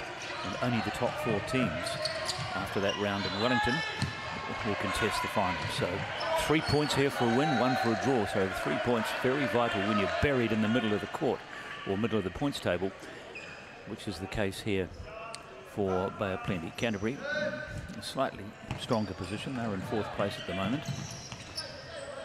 But also breathing down their neck is uh, Waikato. So a win here would just give them a bit of breathing space uh, before going into the final round.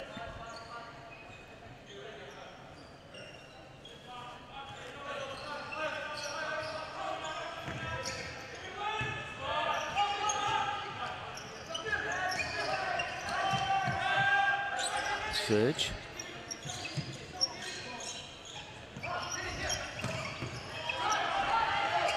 Pass nicely intercepted by Canterbury and turning defence into attack.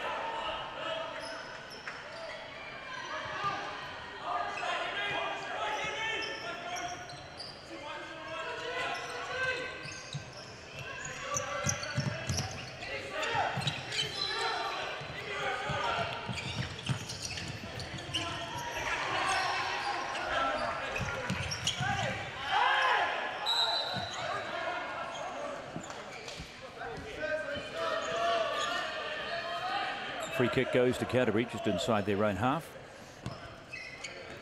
Cameron Emberton. Emberton again.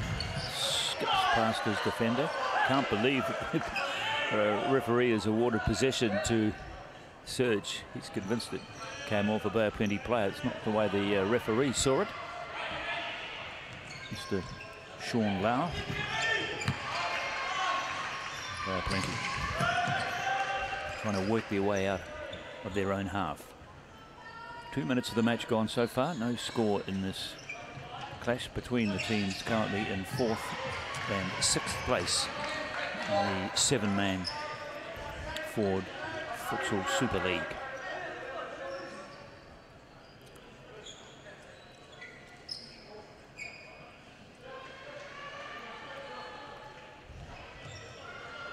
Canterbury United goalkeeper Hamish Mitchell, who likes to play the unofficial role as a fifth player. an interception here, the support, two players. Oh, but the pass was hopelessly misdirected.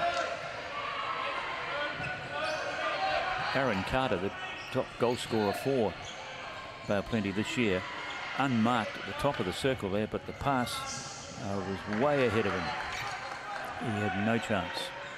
So very good scoring opportunity wasted by by a plenty in just the third minute of the match.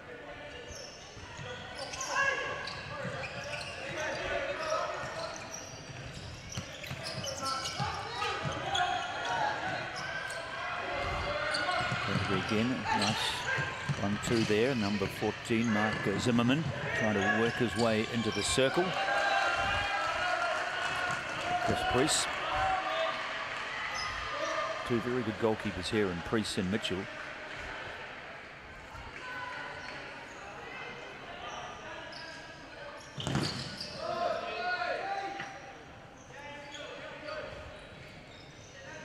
Tristan Kawana and so Canterbury will get the corner.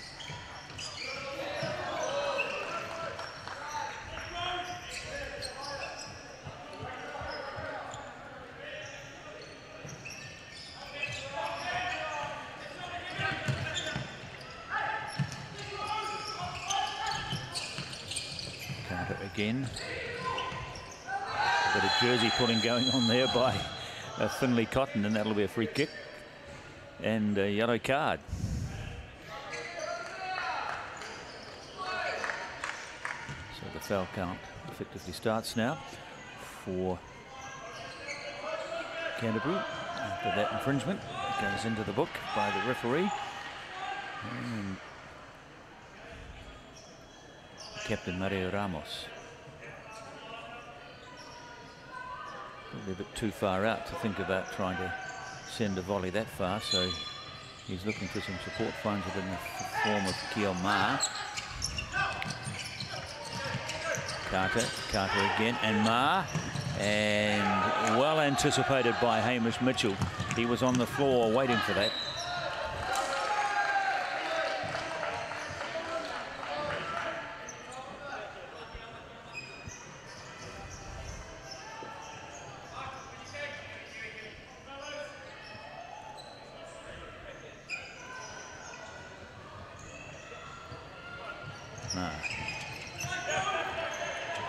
captain.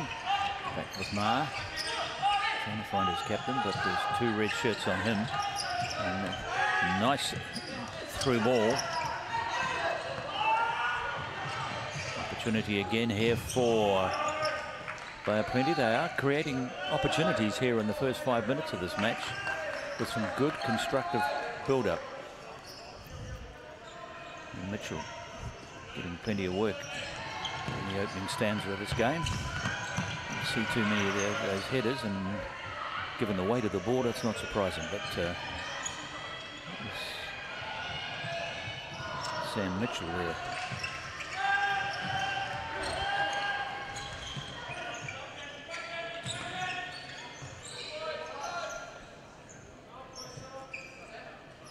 across the far side of the field now, along side of him there is his captain Ramos. Ramos finds his man inside the circle, but uh, couldn't free himself. Now away comes Canterbury. Oh, excellent work again. And there's support here, but Ma decided to go on his own. Might have been better off to have tried to have freed the pass to the man unmarked on the near side. Amma Akbar. So again, another scoring opportunity created by the Surge, Plenty Surge and their coach. I'm sure will be heartened by what he's seeing here.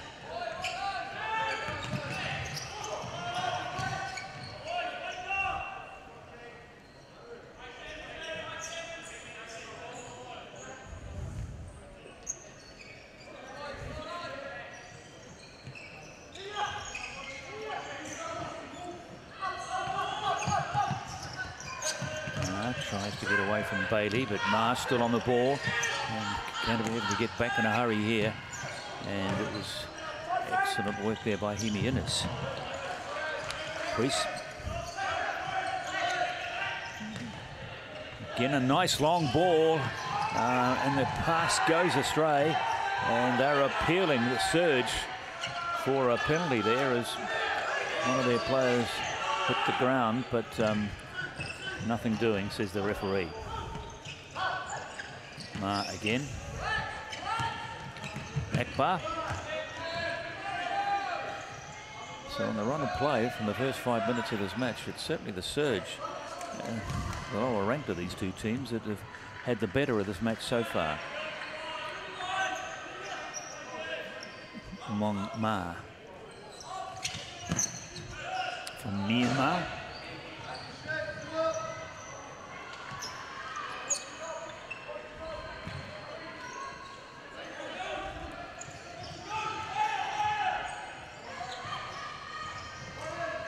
Canterbury goalkeeper trying something different, finds a player unmarked, and there is the shot coming from big Sam Mitchell, but uh, the defender had got back there. Smart thinking from uh, Hamish Mitchell. He saw his uh, pivot unmarked. And used the long ball for throw, which he's entitled to do.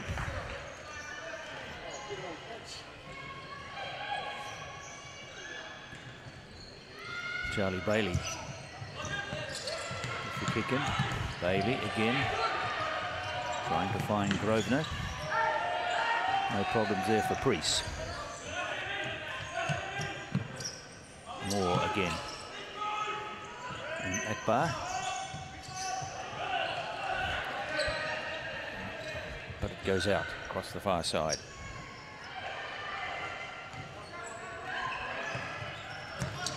Grosvenor inside his own half, looking for some support.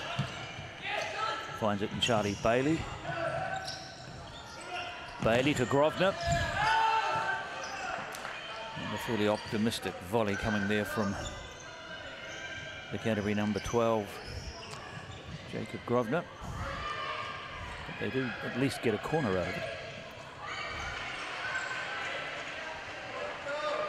And it will be Finton Montgomery Monty Joseph that has just come onto the field of play.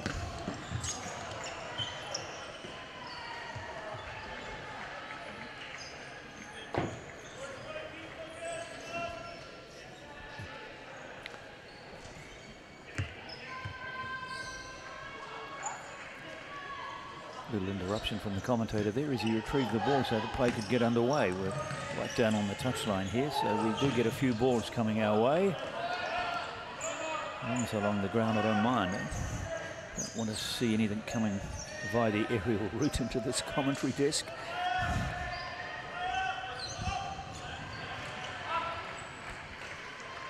More. Back to Akbar, but oh, misdirected pass from Bailey and the goalkeeper out of position. He was stranded on the floor and very nice work there, in fact, by Akbar, who managed to foil that shot with his body rather than touching it, which he probably was inclined to want to do, but of course couldn't. That was uh, nearly fatal for Bay Plenty with a misdirected pass. Canterbury with uh, really their best opportunity so far, but nothing to show for it. Still nil all after six minutes of the first half.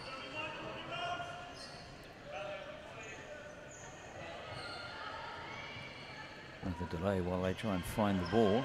They do have more than one. But anyway, it's back in play for the corner for Bay Plenty.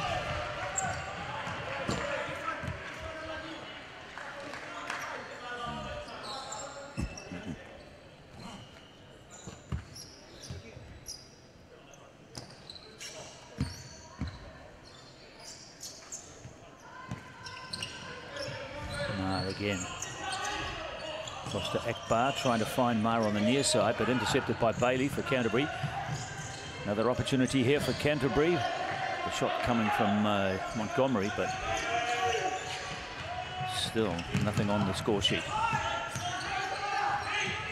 Bailey. Across to Okawa, the Japanese player in the Canterbury side. They've got a mix of nationalities in this side of theirs.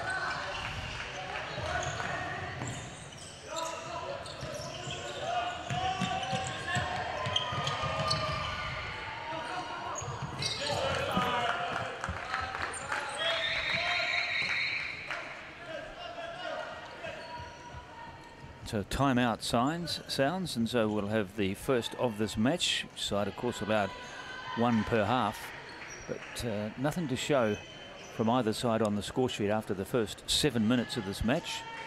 Of Plenty probably creating more opportunities. Canterbury have had one or two, but some good constructive play from Bay of Plenty. And uh, should probably have had at least one in the back of the net from these opportunities that have come their way, but just the final pass going astray, the final touch not there.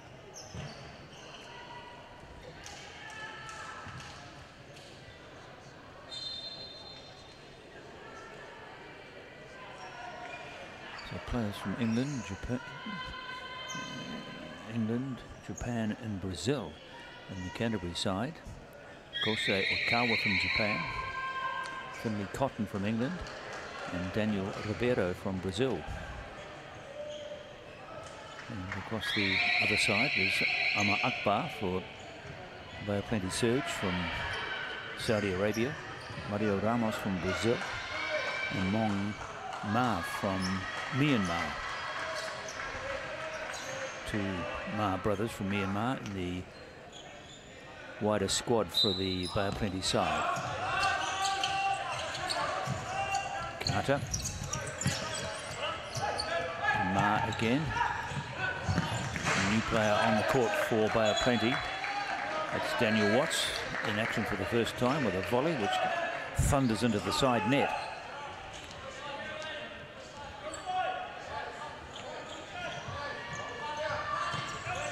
So Ma crashes into Aaron Carter, looks at the referee with his arm out, looking for a, a free kick, but nothing given.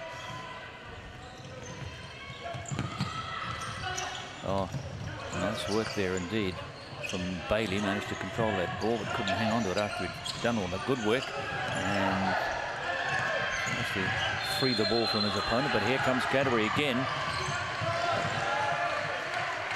Nice run from Sam Mitchell. Not wasting any time, and it's paid a nice dividend. Charlie Bailey, who's probably been the pick of the Canterbury side so far in this match, um, on hand no time wasted at all from the corner and just slotted it past Priest, the Bay of Plenty goalkeeper. So, first goal of the match uh, coming in the ninth minute. Probably a little against the run of play because, I mentioned, it's Bay of Plenty that have been more constructive of the two teams and now and there's number two two in two minutes and it was Kosei Oikawa, the Japanese player in the Canterbury side, that uh, with his twinkle-toed footwork, deceiving the Bay of Plenty defence and slipping it into the back of the net. Placement rather than power prevailing there, but uh, suddenly Canterbury out of nowhere, uh, that timeout seemed to have done the trick. And they've unlocked this Bay of Plenty defence. Two quick goals.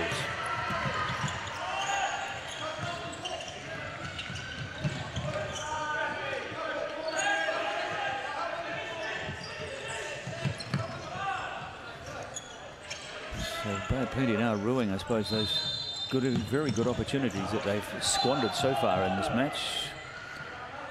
As away goes Finn Gopset, but the uh, whistle had gone.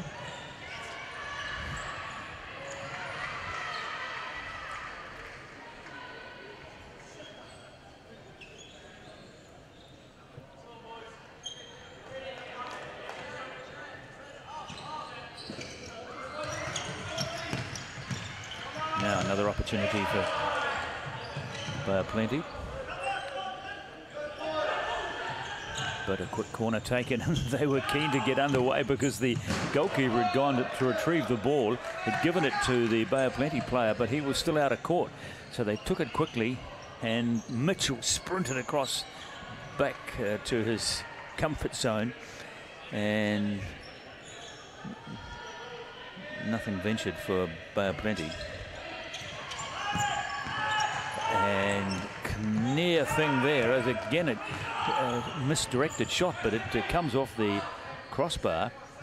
And that would have been a rather fortuitous goal had it been scored but nonetheless these deflections can happen. But away goes Canterbury and here comes Ricardo again. One goal to his credit so far in this match.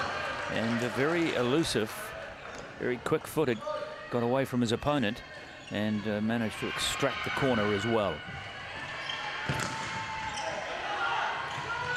Canterbury. Mitchell trying to create something out of nothing, but uh, really had no angle to work with there.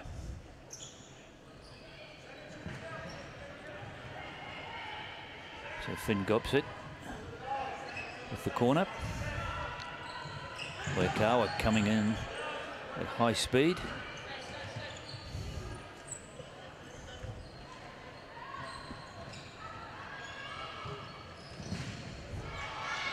Want a drink?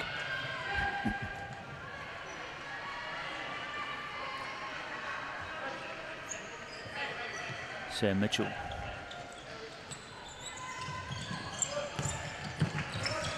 Gopsit, Gopsit in there. Two Canterbury players. Monty, Montgomery, and another shot from Oikawa, who's been a very busy player since he's come on the court. Quickly scored a goal and has had a couple of other shots as well. And the Canterbury ahead by two goals to nil. Looking against the run of play for sure, but if you can't make the most of your opportunities, you probably don't deserve to be leading in the match. And that's been the tale of of Plenty for the first half of the match so far. And probably giving some credit also here to the Canterbury defence, which has done a good job at foiling them and just spoiling their work from up the court from Bay Plenty. So they get another corner.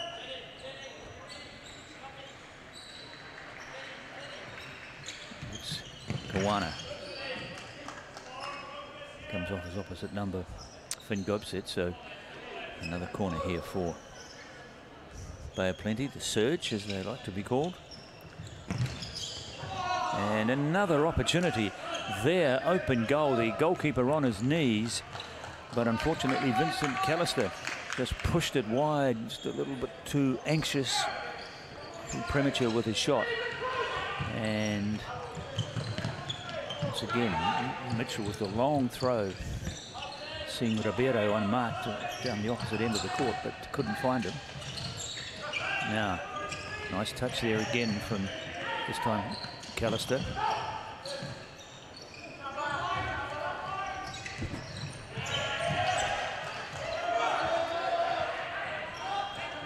Walker.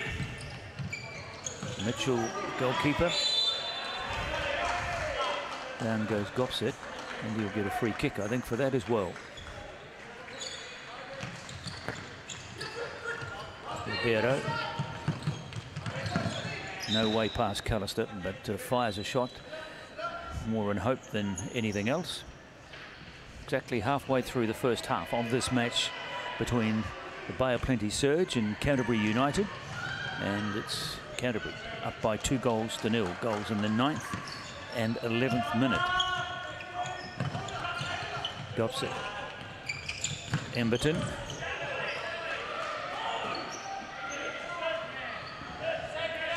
Frustration in the Canterbury side. Richards convinced that that ball had come off about plenty player.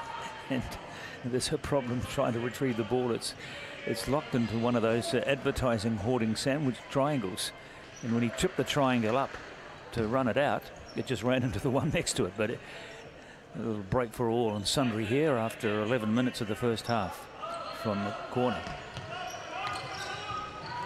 And there we see Priest coming out of his goal, trying to add a little bit of input into the Bay plenty attack. Priest better get back there in a hurry. He has.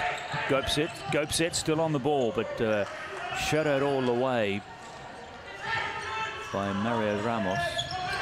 And Callister, shot from afar, but once again, Mitchell showing what a fine goalkeeper he is. No problem in putting that away. Ribeiro on a long run, all the way down to the circle and into the back of the net. One of the best individual goals we've seen, not just in this match, but at any time over the weekend. He started from deep in his own half and off he went. He's got a very strong upper body and he's got leg speed as well. And it carried him past and through the Bay of Plenty defence. And suddenly Canterbury up 3 0.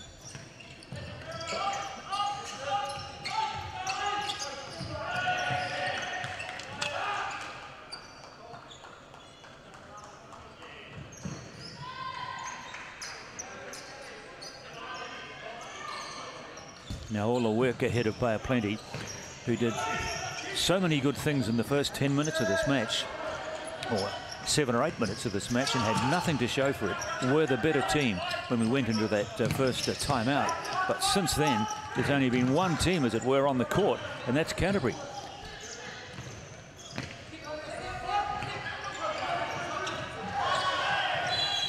Three goals in not much more than about four minutes.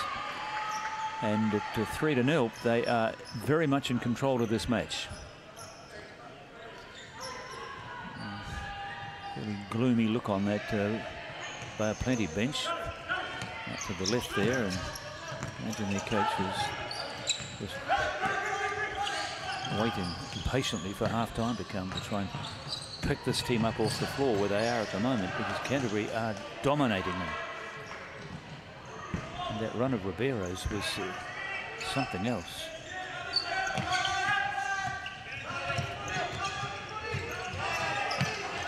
Akbar. Across to Carter. Carter again. And Ribeiro using that strength of his again. Another opportunity, but this time Priest decided to come off his line and run to the top of the circle. And thwarted the opportunity right there. But um, Ribeiro, he is proving a real thorn in the Bay of Plenty side. We've seen this in other matches this weekend as well.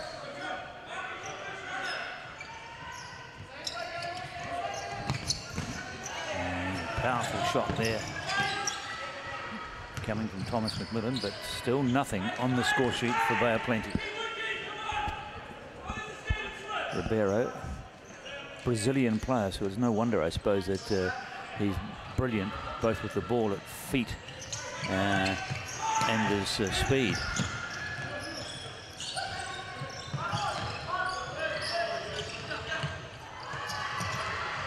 Now, another opportunity here for Bay of Plenty. They can finish it off, but they can't.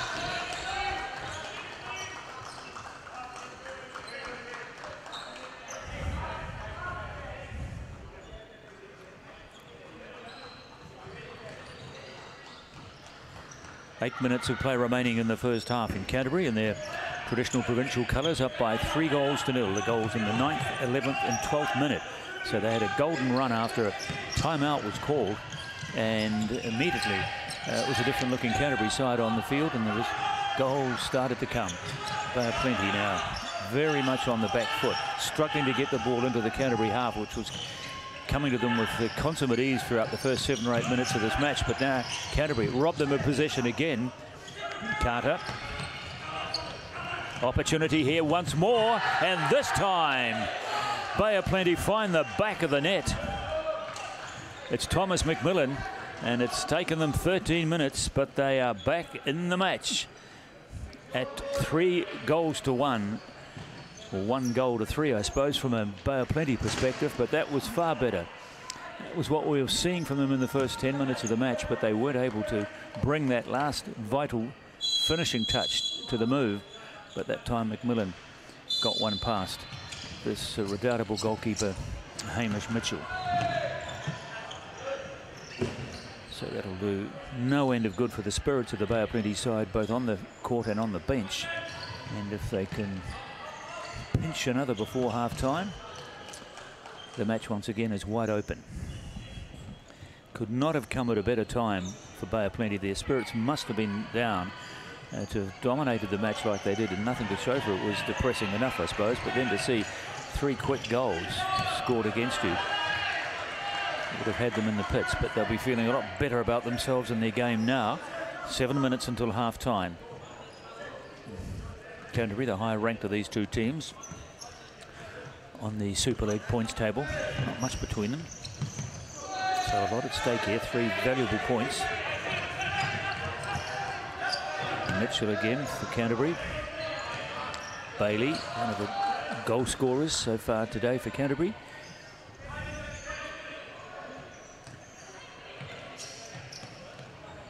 Bailey again. Bruce in ideal position to just uh, tap that away. Carter coming from the back. Daniel Watts all alone. Across to Akbar. There's the goal score for Bay Plenty, this man, McMillan. They do have a good passing game, Bay Plenty, and we're seeing an example of it here. Stringing a series of passes together. Ma, one of the two Ma brothers on the lineup for Bay of Plenty, and Ma gets there, but uh, tangles with uh, Mitchell. He'd come off his line and did a good job. I think he got a bit of a knock as well from the foot of uh, Kama. Kiama, he's okay. And Mitchell, he looks like a pretty tough customer. Likes to wander far and wide from his home. Um, hasn't had much need to do it so far with the side uh, ahead by three goals to one. But in their previous game yesterday, he didn't bother about the formalities of the fifth man having to swap the shirt each time he came up the court. He just wandered up the court of his own free will many times in the match. Of course, if the fifth man is invoked, the goalkeeper has to wear a specially coloured jersey when he leaves his goalkeeping position. But here's Mitchell again with an opportunity, and yes, well, you have to feel for Chris Priest. He was exposed there. He foiled the first attempt, but unfortunately then from the rebound, uh, Mitchell was on hand and put it away. Fourth Canterbury goal in the first half. And with five minutes left until half time, Canterbury again assume a three goal advantage.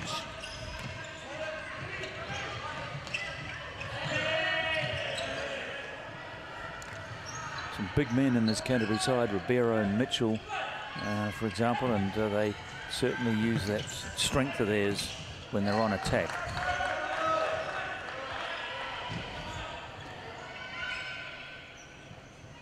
Ribeiro being used uh, sparingly. In the short time that he was on, he scored a brilliant individual goal. Parried away by Mitchell. And Finlay Cotton, the Englishman in the Canterbury side. Another opportunity here for Canterbury as the shot comes in from Sam Richards. Now Cotton. Richards again. Back to another one of these tall players in this uh, Canterbury side. That's Innes. Just under five minutes remaining until half time. Five goals so far. So it's been a very exciting match with plenty of action and plenty of goals. And five goals, in fact, are coming in the space of six minutes. First one came after nine.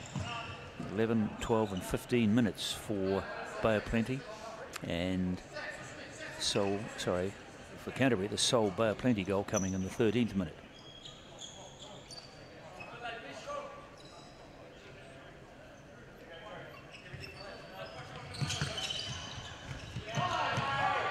A little header there from Ramos but uh, no real power in the shot and Mitchell untroubled.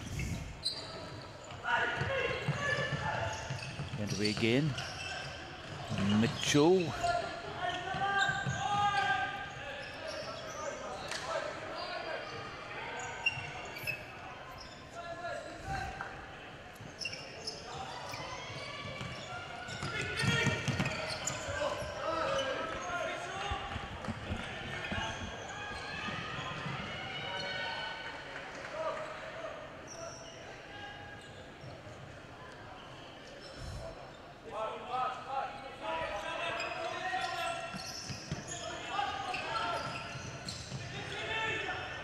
Some nice interpassing here from Bay of Plenty, but Canterbury managed to recover possession. And out of court it goes from the uh, boot of Volley Harris, who's uh, I think making his first appearance in the match, just come off the bench. Zimmerman.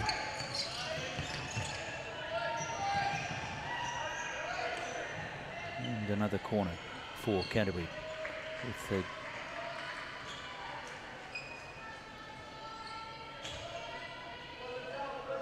Jacob Grosvenor about to take it across the far side of the court.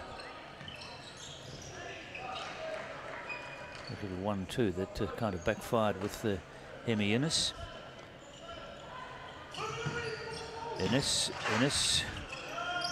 It's a pretty narrow angle to expect that one to find the back of the net. The long ball, too long, and Mitchell just ambles across and gets rid of it.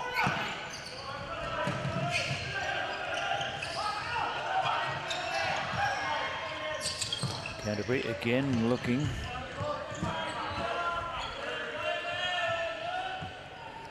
Just under four minutes of the first half remaining.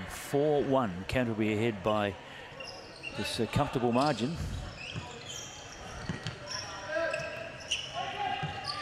Back to Grosvenor playing in the fixo role at the moment but decides to get up front. And there he is waiting for the ball. An opportunity. Beautiful ball laid on there by the fixo. But unfortunately, Mark Zimmerman just a little hesitant with his trap and gave Priest time to clear the ball. Here comes Canterbury again. Oh, but nice work there from Watts.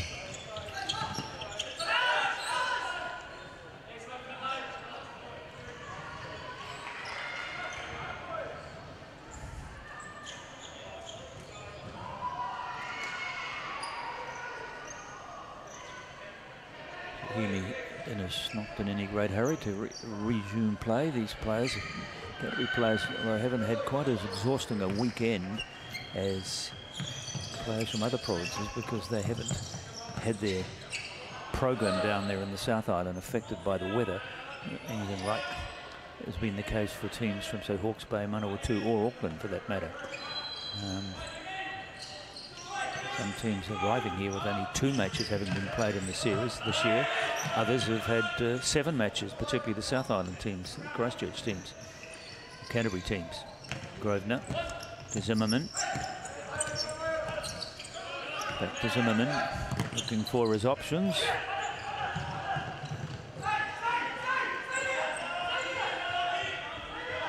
Innes couldn't control that ball.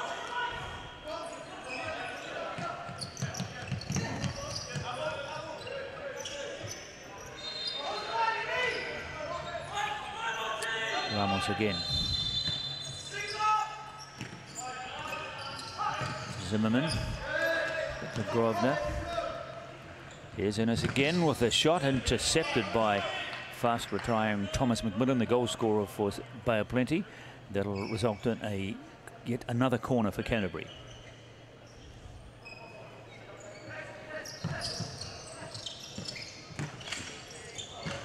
And in the net it goes. An awful scramble there.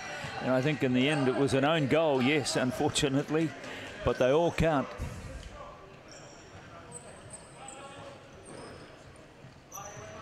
And that's goal number five for Canterbury. So it's all come horribly wrong for, or gone horribly wrong for Bay of Plenty, who had the better of the first nine minutes until they conceded that first Canterbury goal.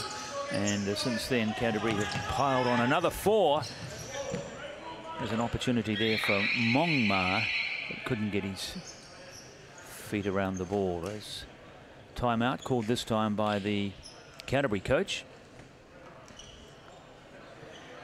And half time only two minutes away. Coach deciding he wants to tell them obviously seen something that he wants his players to be aware of. But uh, not doing much wrong at the moment of the lead like five goals to one. Uh, they probably didn't deserve to be ahead 1-0 because really Bay of Plenty had had the better of that first seven or eight minutes. But you've got to bring finish, as we've said. It's, it's good. It's constructive to be able to string the passes together, but uh, when you get inside that uh, circle, you've got to have the finish, which they didn't have. And only one field goal coming in about the 13th minute from memory. And Canterbury in total control of this match. Up by five goals to one. And the only consolation is for Bay Plenty they should have had a couple, at least a couple of other goals to their name. They've done enough and created enough scoring opportunities, but only the one goal to show for it.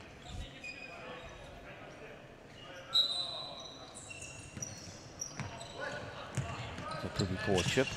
And Ma straight into the goalkeeper. And another penalty. Uh, uh, corner, should I say.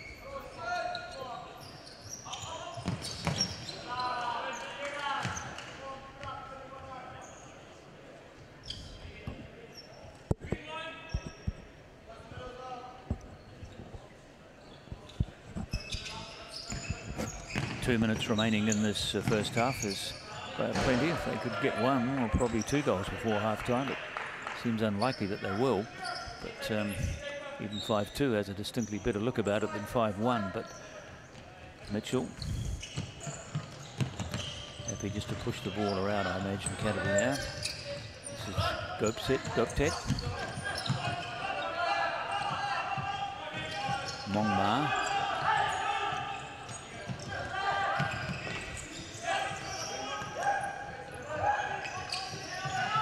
Montgomery. Uh, nice work by Thomas McMillan. Trying to lay the ball on for Mong Ma, but um, just putting it into the back of the Canterbury defender. Away they come again. McMillan. Ma. Desperate clearance there off the boot of Sam Richards with a minute and 18 seconds left until half time.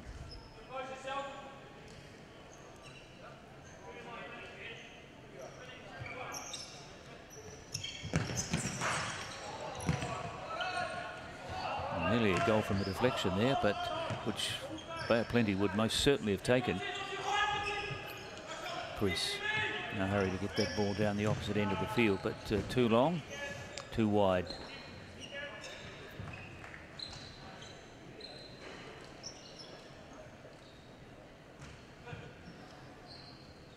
So there's some pretty tired bodies out there uh, as well, I imagine. 20 minutes of futsal takes around about 40 minutes, and although uh, the clock stops, of course, when the ball is out of play, players don't stop moving, and so it's 80 minutes of times frenetic activity that these players are putting their bodies through, and they've done that in some cases half a dozen times with six matches over the weekend for some of these teams. And there's yet another goal for Canterbury. Number six, virtually on the strike of half time.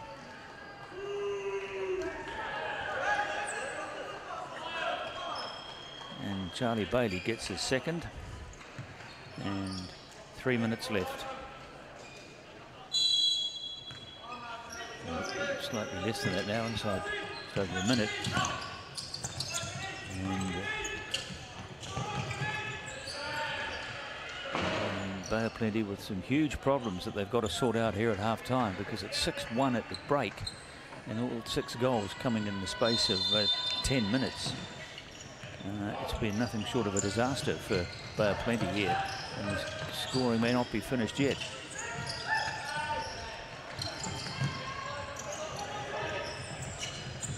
Akbar. Akbar with a promising shot.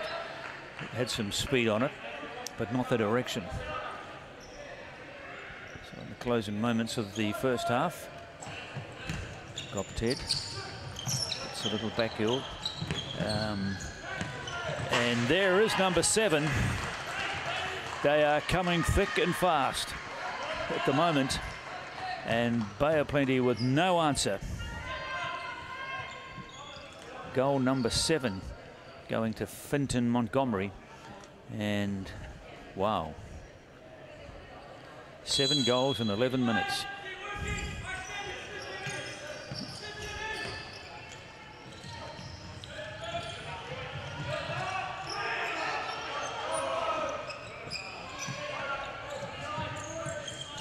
Ted. Thinks he might have a little run on his own. There's the man who just scored the seventh goal and uh, fires a pretty ferocious shot in as well. But the hooter sounds much, I'm sure, to the relief of the Bay of Plenty bench, coach and players. But a lot of damage done in the second 10 minutes of that first half. Seven goals in the 9th, 11th, 12th, 15th, 18th, 19th and 20th minute. Seven goals in about 12 minutes. And the sole reply from Bay of Plenty was a goal in the 13th minute to Thomas McMillan. But at half time, uh, the score speaks for itself. Canterbury in complete control, ahead by seven goals to one.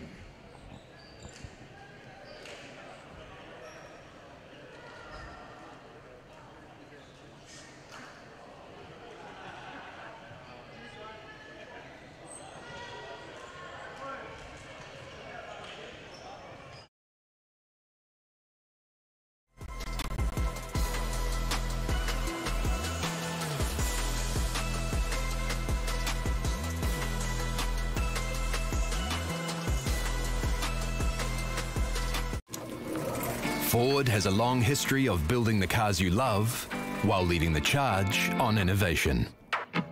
Harnessing the strength, style, and capability you know and electrifying it. Because every generation has its own defining moments.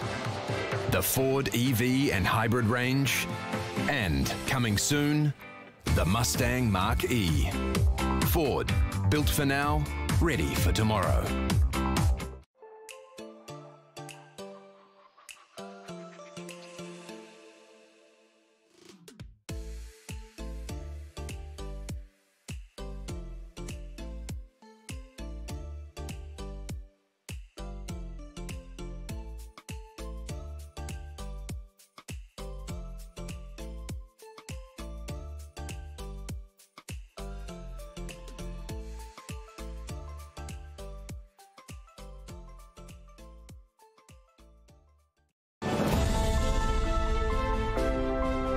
We believe in supporting and nurturing our extended sporting whānau, working towards promoting a healthy group activity that kids, parents, and friends love.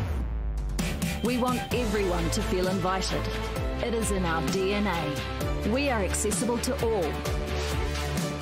We are football in Aotearoa. We are the beautiful game, and we are proud to be the largest sporting whānau in New Zealand.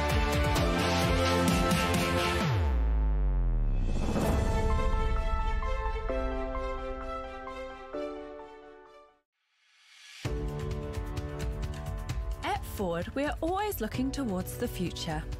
So while we're proud of our range of vehicles, we're even prouder of being the first company to support not only the football ferns, but the next generation. And the legends we grew up wanting to be.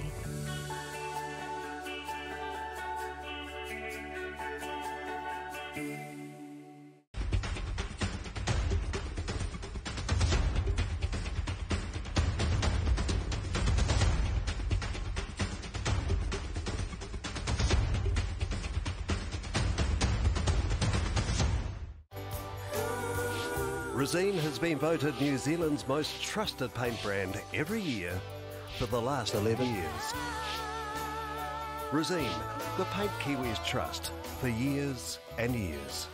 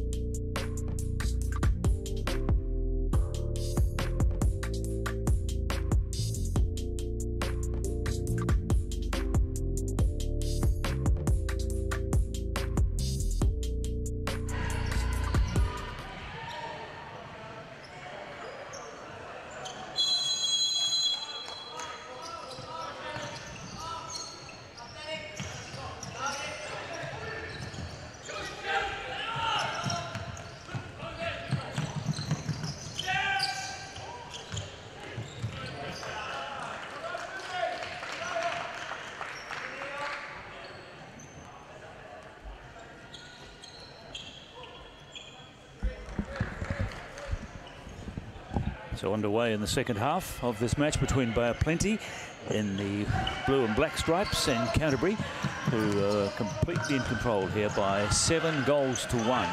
That was their half-time score, and here was one of their key players, Brazilian player Ribeiro, Daniel Ribeiro, doing some good work in defence there, but uh, scored probably the best individual goal that certainly we've seen over the weekend when he ran virtually the entire length of the court and then just unleashed this powerful volley. But a good shot fired in there by, by Plenty to start the second half. But they'll need a lot more of that. It's Vincent Callister. He decides the safest thing is just to push it back to his goalkeeper. But uh, seven goals to one down, you'd think that probably all they can play for is some pride here. Um, the one goal to show for their efforts in the first half, but as I said on a couple of occasions, they should have had more than one goal. They did enough in the first 10 minutes to create at least two or three scoring opportunities, which they, in the end, just let slip by some shoddy finishing work to some good constructive play that they've put together up court. They've got a good passing game, good understanding, uh, we should also give some credit to those Canterbury defenders who did a very good job. Big, powerful men, and there's one of them. Mitchell. Samuel Mitchell firing that at the goal, but far too wide. And so nothing eventuates from it.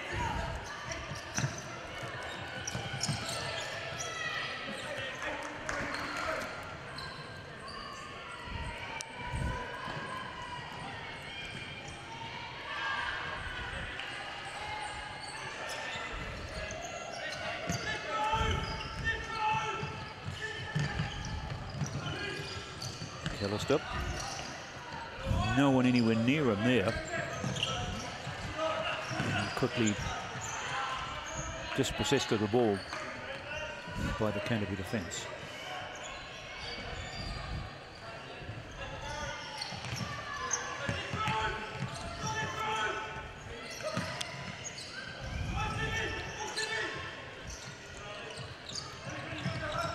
Kayama.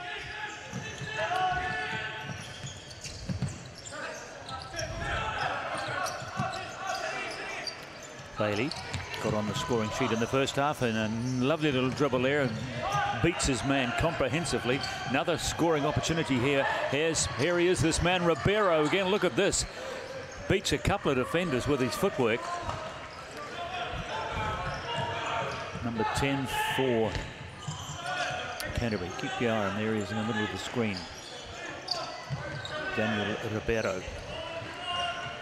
Bailey so many big, powerful men in their side. Bailey, Mitchell, Richards, Ribeiro.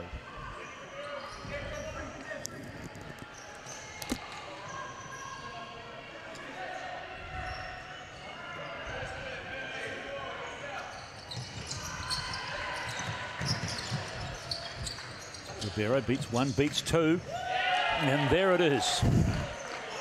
It's only taken two and a half minutes Canterbury add to this escalating tally of goals. And Daniel Ribeiro with some brilliant footwork beat two or three defenders close to the nets and then laid the pass on and the goal had an air of inevitability about it once Ribeiro beaten those two defenders. Now Carter, the top goal scorer for Bay of Plenty, trying to conjure up something there but without any success.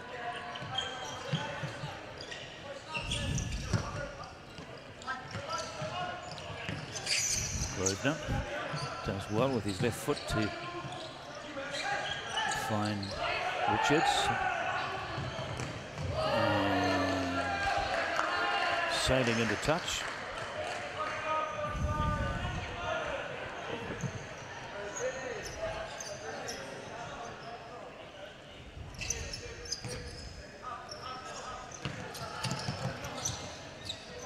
Bailey gets away from one. Nice work here from Plenty, possessing the big Canterbury pivot. Ramos, captain of the Bay of Plenty side. Um, must be wondering what if he can do to stem this tide and then try and get some scoring action themselves. But at the moment, they're just trying to hold Canterbury off. And that's proving very difficult.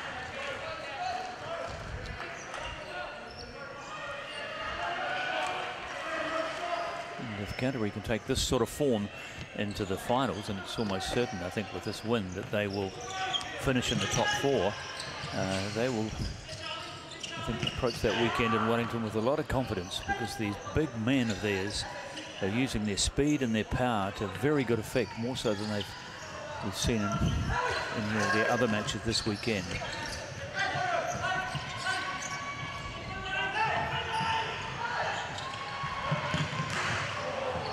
And still not able to find the back of the net. Mong Ma had two or three chances today, but the finish not there. What's the call? And one of the very fine example of sportsmanship from the Canterbury player. I think it's uh, Jacob Grosvenor who's calling out to the referee that it wasn't a foul. It wasn't a foul, but um, the referee saw it differently. Well, his word is final. can be a foul, of course, even if there isn't any malicious intent, and I think that's what uh, the referees probably ruled here. Brees, long way from home, but quiet little push up the court to Finley to Amar Akbar.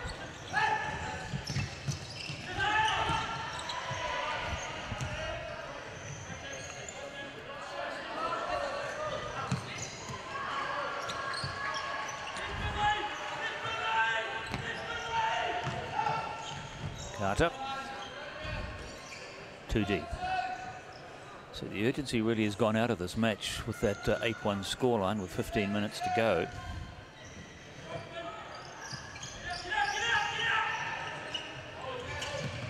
Mitchell again.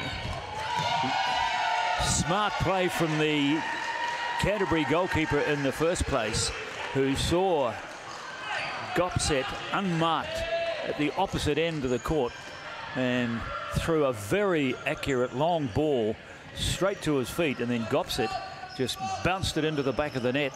It's 9-1.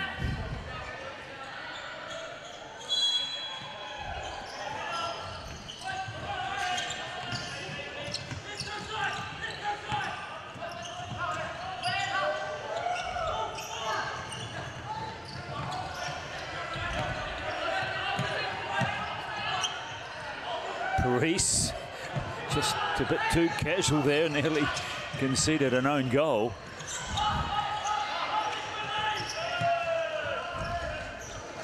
Gopset looking for a second. There he is. Five on his jersey. Finn Gopset in the scoring sheet here in the second half of this match.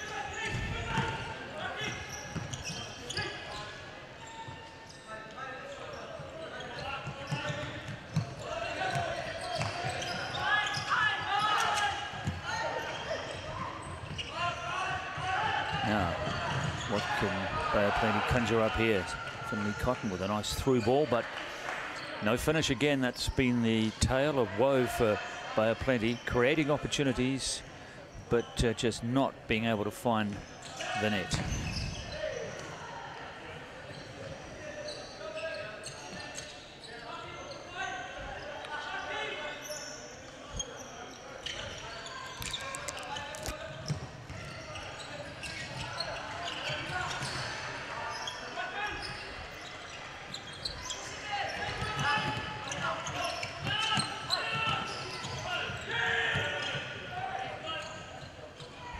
Plenty of space on the court now for both teams, really, with the intensity gone out of this match. The result now, of course, a foregone conclusion.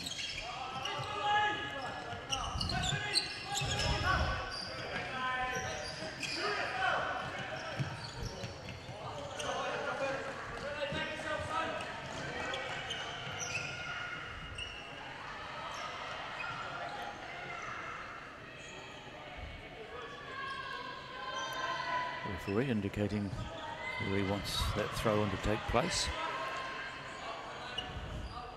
So Ollie Harris. Back to Mong Ma.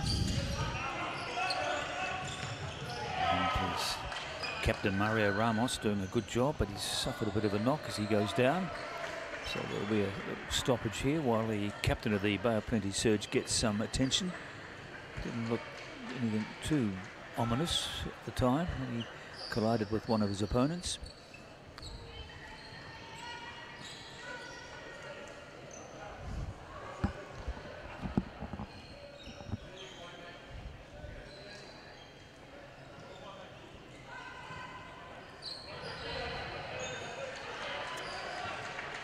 Staying on the court anyway. Restarting play with a kick in. A shot fired in there from uh, Mong but to, to no avail. Harris. And Mario Ramos not showing any signs of that knock that he suffered a minute or so ago. Trying the long high shot, but way over the net did it go. And so he tries again. You never score a goal when you're kicking the ball that high.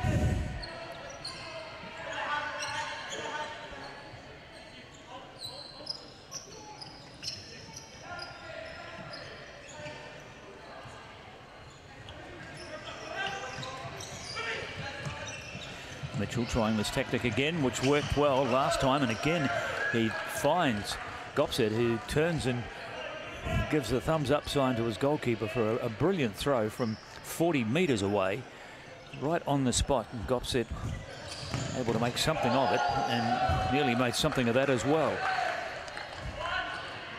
So it's just a question, really, of how many more goals can Canterbury score here, or how many more do they want to score?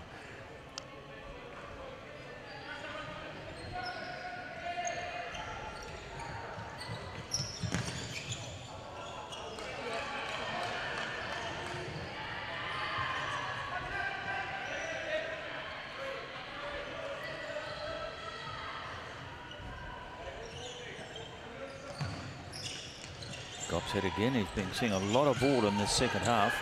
And uh, that'll be a foul against Ollie Harris for the foot trip.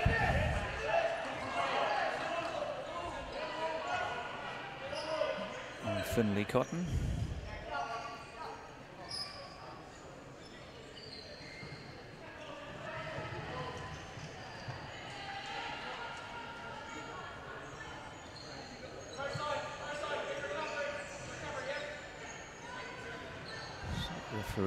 Them five metres back.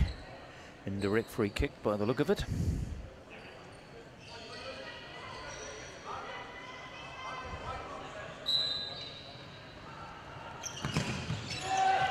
Swivel and a kick from Gopset and it's a second shot at it, but uh, both astray.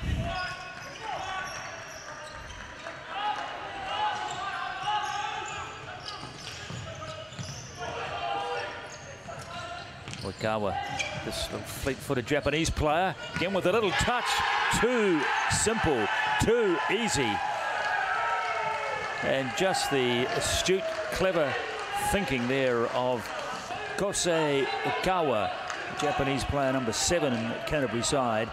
He just stopped with gentle pass to his teammate who just hammered it into the back of the net. But all the credit goes to Osawa Okawa, who scored a brilliant goal in the first half and has played a very big part in Canterbury recording their 10th goal of the match. Three so far in the second half to add to their seven in the first. Clash of bodies there, but uh, nothing with any malicious intent, but free kick anyway to Bay of Plenty. McMillan, the one Bay of Plenty player today that is on the score sheet.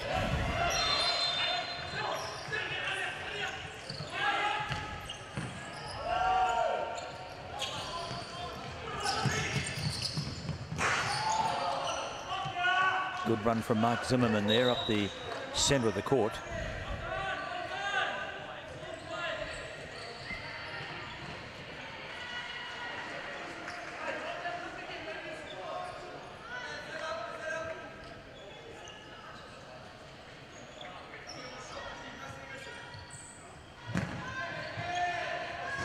all casual, isn't it, all of a sudden for Canterbury when you're up by 10 goals to one and Sam Richards just uh, ambles in and fires a shot and nowhere near the goal. And Priest the restart to McMillan, Thomas McMillan. With a fairly aimless kick that uh, no one, not even his teammates or the Canterbury players were terribly interested in. Um, Hamish Mitchell goes fetching the ball. Sam Richards with the restart. Opportunity here for Zimmerman to stop just when he looked as if he was in full flight to let go with the volley. Millen playing the role of fixo at the moment at the back there. Now the ball loose. Opportunity here for Bay Plenty as uh, Ma tries to get round his opposite number but can't. Zimmerman again laying it on for Oikawa. And every time he's on the ball at Oikawa, something exciting happens.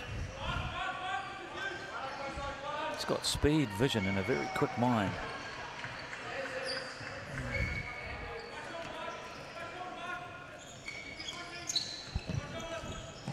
Priest with another aimless kick. That's two in two minutes. And his body language, there he is, number two in the centre of the picture there. Looks like he's just had enough. Here's Oikawa again. Gets away from one. And just sees the ball trickle out.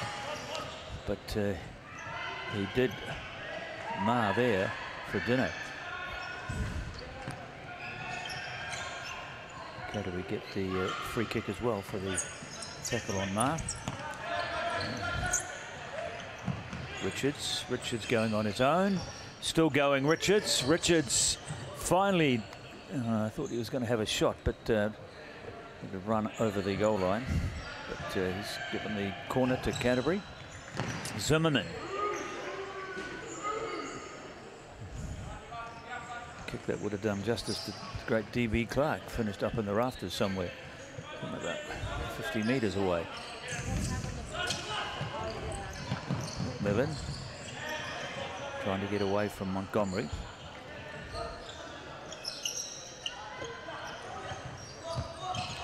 Now, Mitchell. Trying something different that time, the header. And uh, wouldn't be at all surprised to see Mitchell sort of get into the swing of things and leave his goalkeeping duties behind and play a sort of fifth man role here because he's absolutely unemployed at the moment. Has been for most of the second half, which is now 10 minutes old.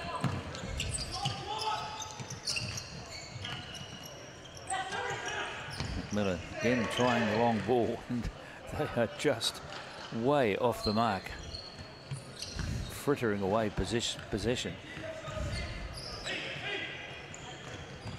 Zimmerman finding Montgomery, but into touch it goes.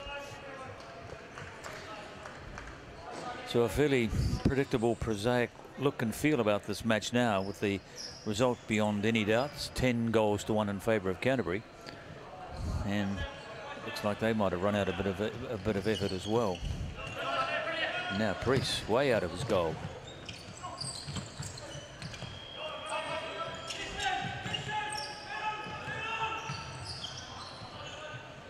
Richards trying to avoid Daniel Watson does so and uh, one of the few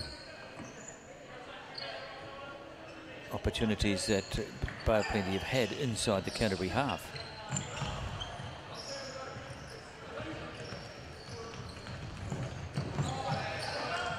giving chase was Montgomery, but um, ball got away from him as well. So not a lot of constructive futsal unfolding here in front of us, which not to be I suppose, unexpected with a scoreline like 10-1.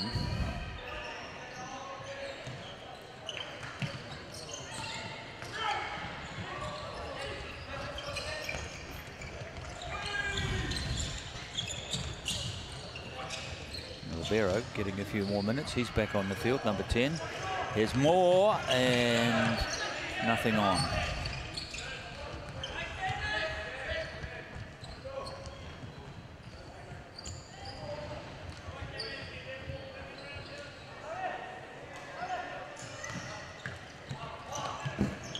Series of aimless kicks at the moment coming from uh, these uh, deflated and innovated Bay of Plenty players. They have very little energy and the will supposed to win understandably gone when you're down by nine goals but uh, there still is the old cliche of course of personal pride that they should play for and certainly 10-2 or 10-3 looks better than 10-1 but nice work from Ramirez the captain and yes punching the floor number four Vincent Callister still shaking his head there with that uh, very good ball that was laid on for him by his captain and he could make nothing of it. Ribeiro.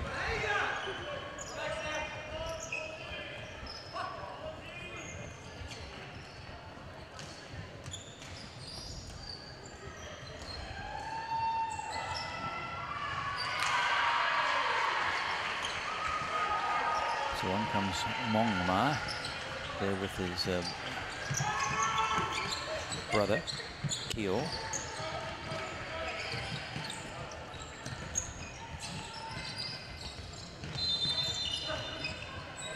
Ramos, the captain.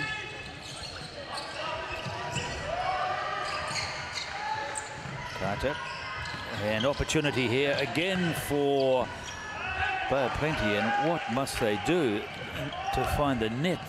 Two players with opportunities there in a space of a few seconds and both opportunities frittered away. And I guess that explains why it's 10-1 to the opposition.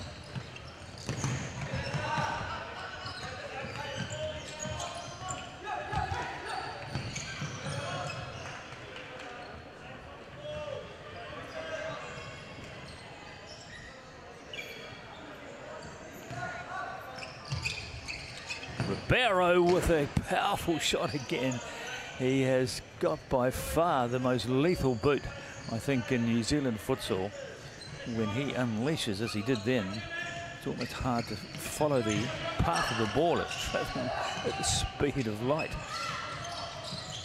Here he is again, but uh, tangled with a surge defender and has lost the ball. Just under eight minutes of the match remaining.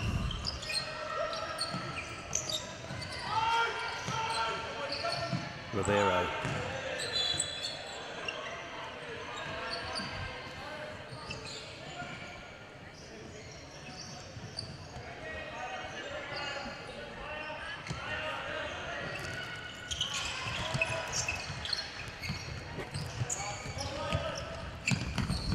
Innes.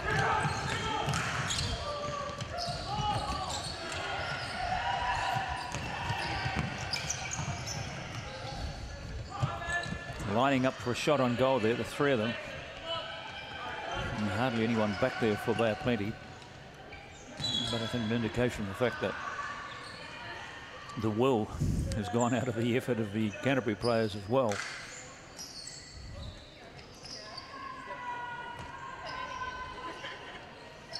Up by nine. Most of them had a, probably a pretty exhausting weekend, so they'll be keen to get into the showers and finish this tournament on a high note, which they almost certainly will do, up by 10 goals to one. There's some perspiration wiped off the floor. Ah,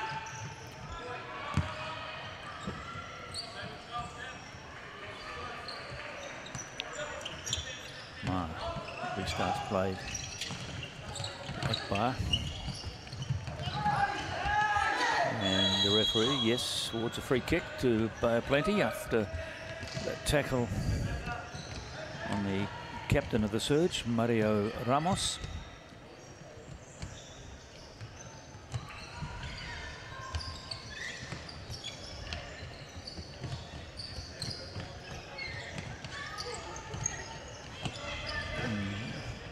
Not going to have a shot himself. Couldn't blame him if he did at this point in time. And couldn't imagine he would have done any worse than that. Fairly average attempt from way out wide from the free kick. Mitchell again. Rather likes this uh, long ball, but this time he doesn't find his teammate.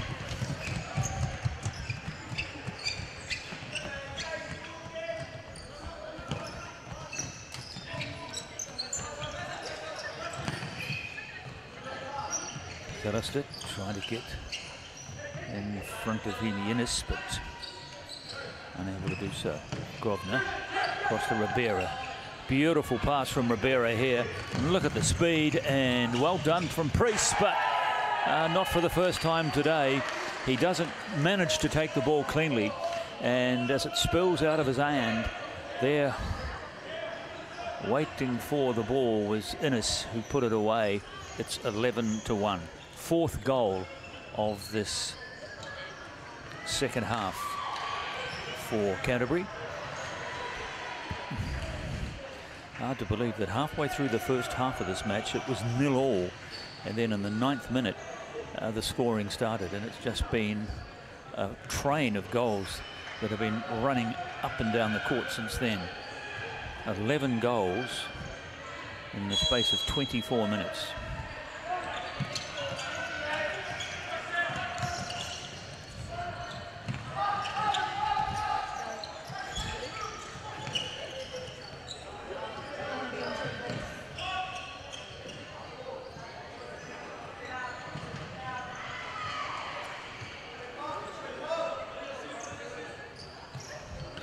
Mitchell. Seen very little of the action in the second half. And look at the space that was there for Canterbury but unfortunately Charlie Bailey couldn't make the most of it and so the opportunity is lost. But the players just going through the motions now I think on both sides. And Mitchell and nearly paid off. He does seem to have a very good understanding. Uh, once again with uh, it gives him the thumbs up on the money with that throw from 40 metres away. Carter couldn't keep it in play. So possession back with Canterbury.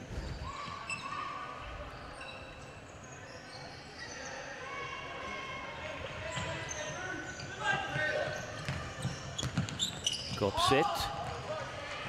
And Priest coming way out of his goal and committed to the shot. And so he just didn't try and do anything fancy, he just put his boot to it. Of course, he can't pick the ball up once he leaves that um, defensive circle.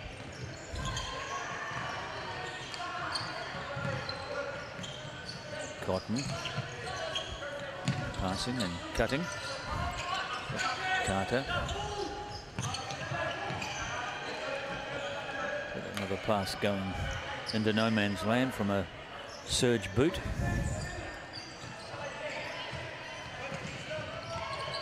There's Mitchell.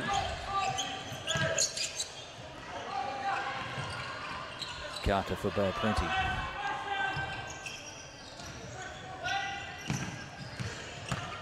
Carter, Callister.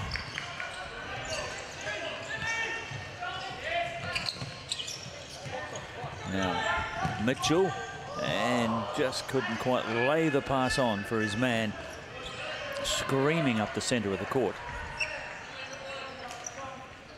Finley Cotton, the Englishman in the Canterbury team. Under five minutes left in this second half.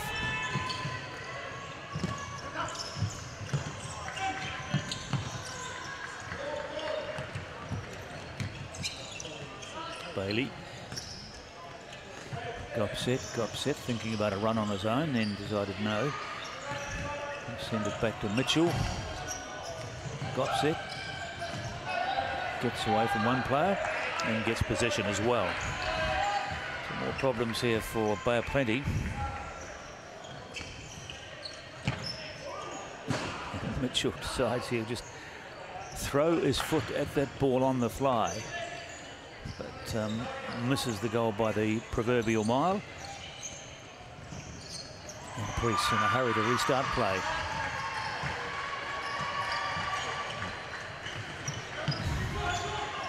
Moore.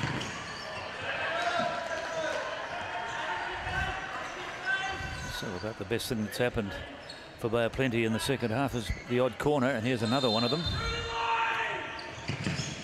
As Carter goes after that ball with a heavy boot. Bailey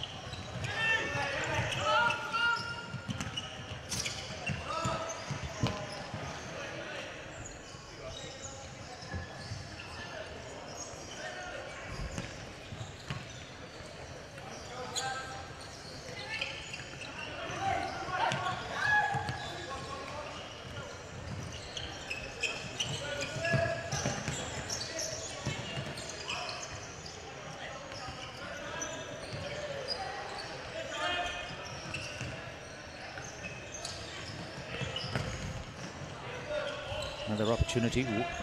Gone begging there for Bay of Plenty from the volley from the boot of uh, Emma Akbar.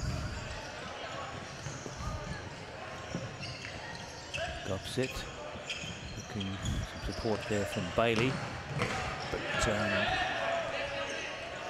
off a Bay of Plenty boot, and so Gopset again. With the kick in, and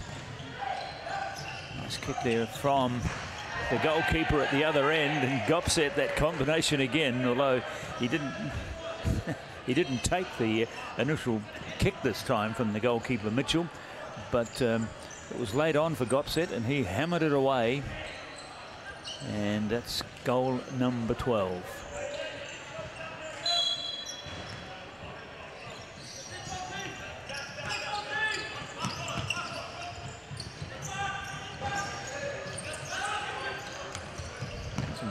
Registered on the score sheet here, but uh, it certainly was a goal.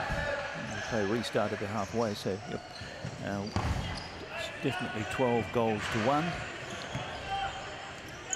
Five second half goals now to add to the seven from the first half, so it's been an unrelenting performance from Canterbury.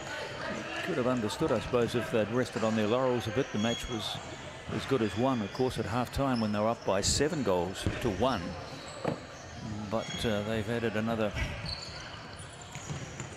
five in the second half and haven't conceded any. And their job has just been made a lot easier, admittedly, in the second half by, by a plenty.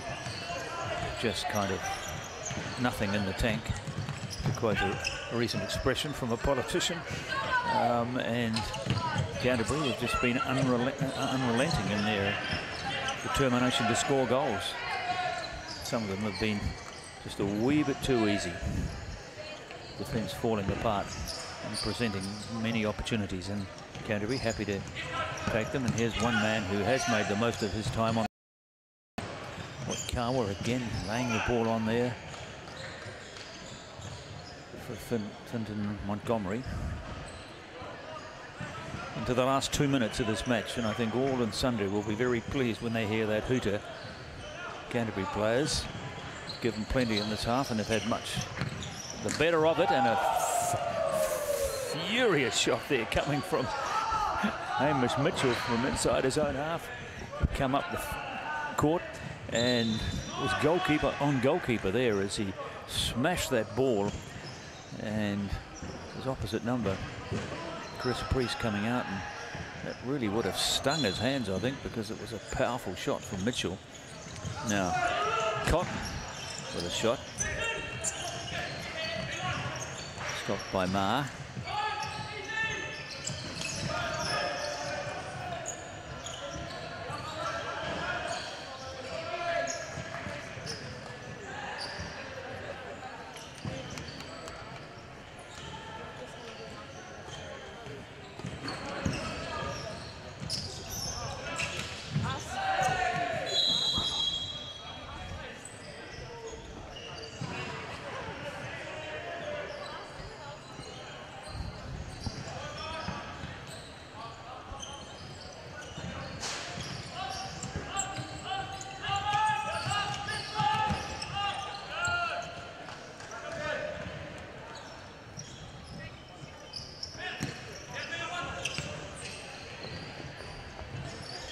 Canterbury just happy to, I think, just kick the ball around here to count the clock down inside the last minute. But um, Montgomery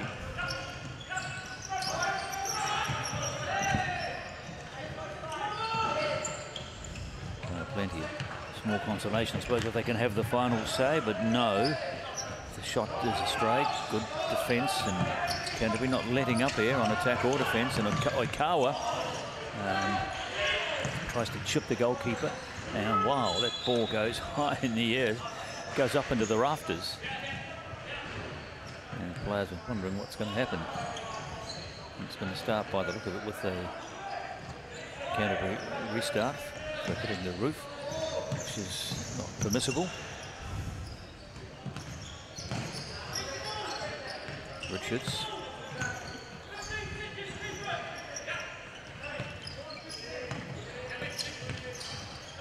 Oikawa. And the last rights of this match.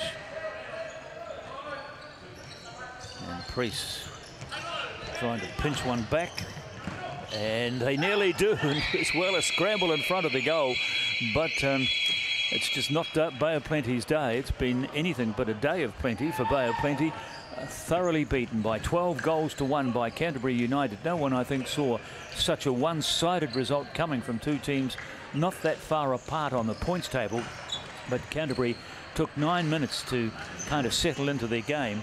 And at that point, uh, the goals started to come. Seven in the first half and a further five in the second spell in the second, sixth, eighth, 13th and 17th minute.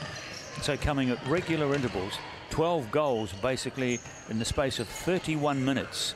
And that's how it finished. Canterbury United defeating Bay of Plenty Surge by 12 goals to one and Canterbury take the three championship points. Ford has a long history of building the cars you love while leading the charge on innovation. Harnessing the strength, style, and capability you know and electrifying it. Because every generation has its own defining moments. The Ford EV and hybrid range, and coming soon, the Mustang Mark E. Ford, built for now, ready for tomorrow.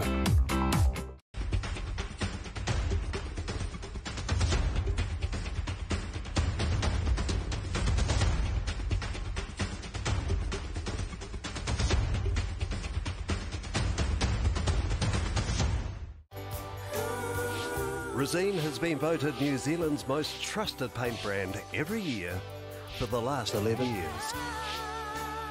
Resene, the paint Kiwis trust for years and years. The fern is a symbolic representation for all New Zealanders and has been reimagined to represent all of football in Aotearoa, New Zealand. A circular shape not only symbolises the round ball used by all those that play the game, but also, and more importantly, represents the strength and infinite connection created by all those that play a part of the game. With each piece of the fern recognising and acknowledging those that make the beautiful game beautiful. The stalk represents our grassroots, our communities, our clubs, our volunteers, and our fans. They are the foundation and are at the centre of all we do. The pinna represents our federations across the whole of New Zealand, our federations guide and protect our clubs and communities, allowing everyone to be heard, to be represented, and provide guidance and opportunities at every pathway. One brand identity with regional differentiation.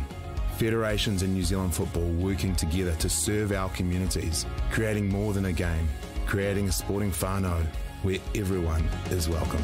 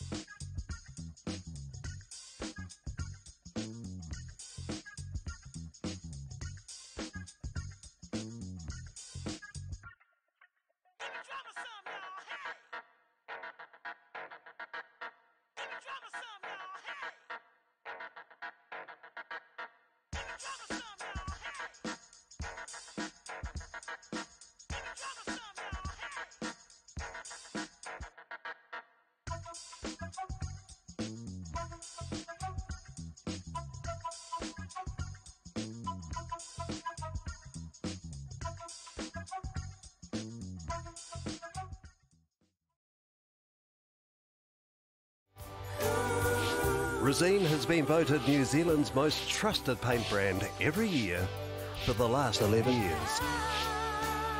Resene, the paint Kiwis trust for years and years.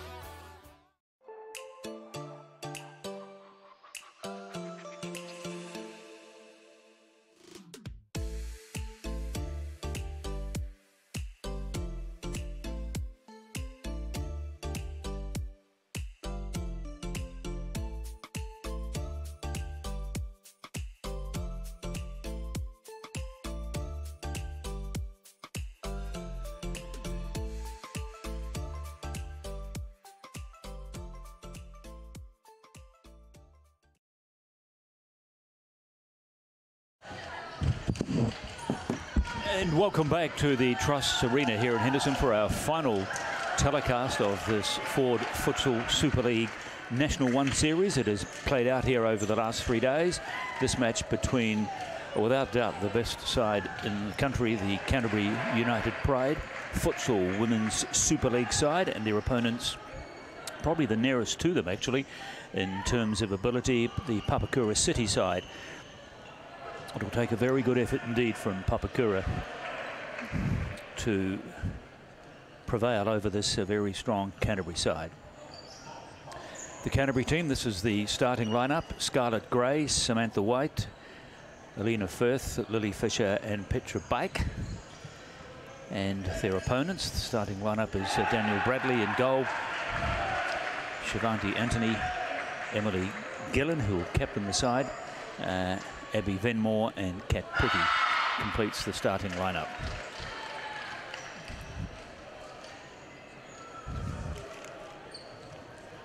Canterbury Pride who arrived here on the middle of the weekend, so have only played two matches because they haven't had their season interrupted by uh, cyclonic conditions and therefore have been able to play all of their scheduled matches. The two matches that they have had here this weekend have um, resulted in victories over Papakura and Waikato uh, Bay of Plenty.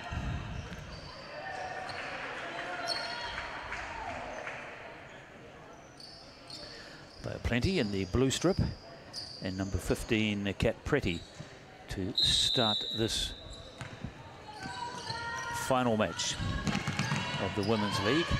Canterbury quickly dispossessing Bay of Plenty of that uh, early ball and managed to extract, by the look of it, a corner from the very first phase of the match.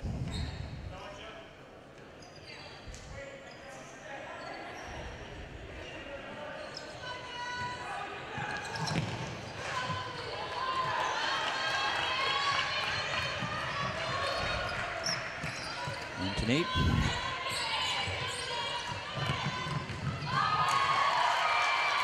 Good start there by Papakura. As uh, Shivanti Anthony comes up to take the corner. And that's how you get rid of the ball when it's in the middle of one of those sandwiches. But you make sure that the one sandwich next to it isn't going to receive the ball, as we've seen a couple of times. And it's a very long process of trying to work out where amongst all these advertising hoardings the ball finishes up. But um, I guess experience has shown these players how to get it back into play quickly. So Canterbury not in their traditional red colours.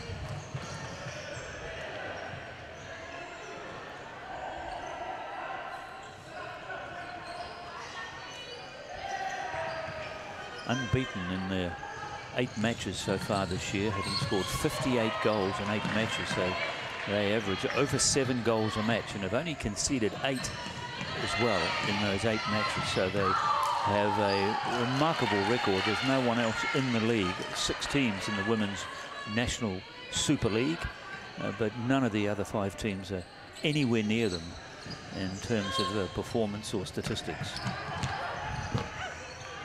Papakura, who are currently in third place, but 12 points behind with a record of four wins and two losses.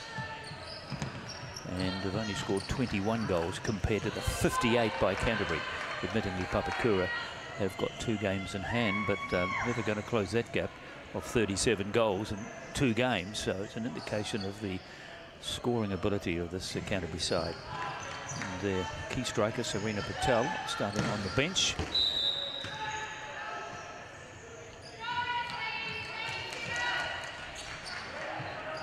So the coach of the Canterbury side, Ronan Naka, keen to get as many of his younger players as much game time as possible here. This is their final match of the weekend.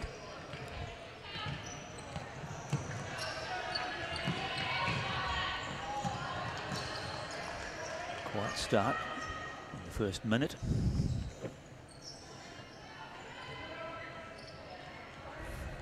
Papakura have a pretty good tournament here so far. They 5-0 won against Southern United.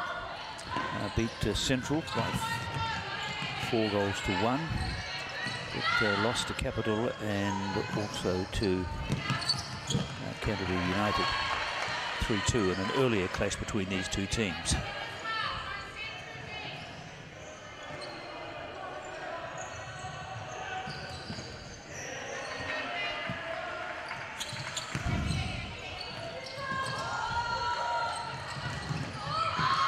There's the first goal of the match coming from the boot of uh, Lily Fisher. And it's only taken a minute and 12 seconds before Canterbury have once again established their superiority and displayed their credentials. Fairly soft goal, you'd have to say. Some pretty average defence there from Papakura. Doesn't augur well for the women from the Bay.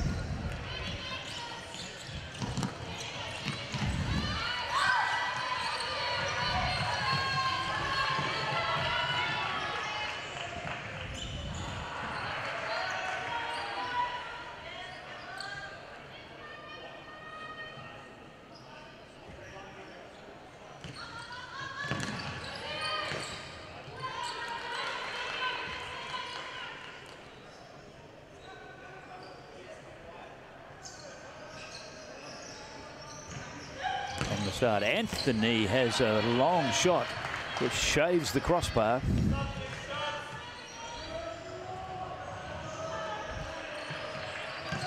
Scarlett Gray, the goalkeeper for Canterbury. And the opposite number there in the blue strip is uh, Daniel Bradley for Papakura, the defending champions, Papakura from last year. But clearly the favourites when these playoffs get underway will be the side in black in a couple of weeks' time in Wellington.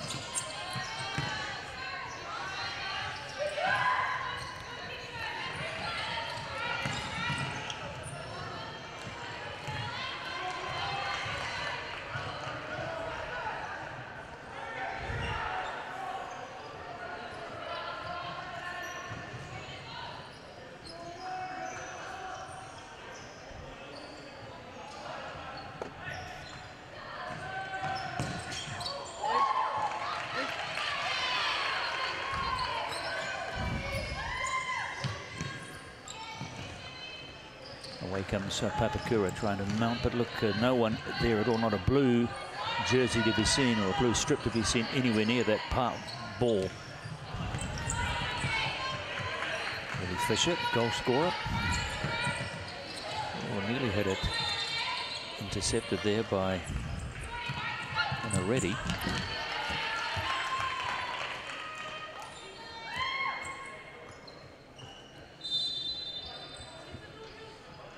Sophie Williams has gone hunting for the ball down the far end of the board here at Trusts Arena. And play finally gets underway. Ada James, who had a good game this morning for Papakura. And here she is again, James. Looking for some support, finds it in the form of Sophie Williams.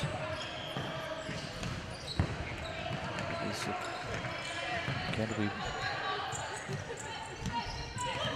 willing to press high even in this early part of the game. And so it cuts down the time that the Papakura defenders have to make a decision where to position the ball.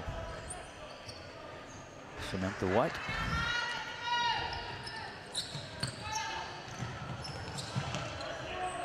Crossed it around Firth. Things all really pretty quiet at the moment. It's Ella James again back, searching and scrutinising the horizon, looking for a blue and white striped jersey, and she finds one in the form of uh, Jennifer Bremner, who comes through and across the goal mouth it goes, but um, Papakurat couldn't get a hand to that or a foot to that ball. Jordana Bremner had a good chase, but uh, it had eluded it.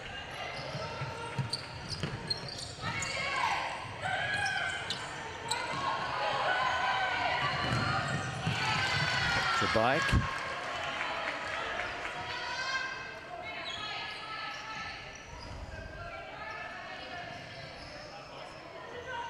Bike again. But uh, no success.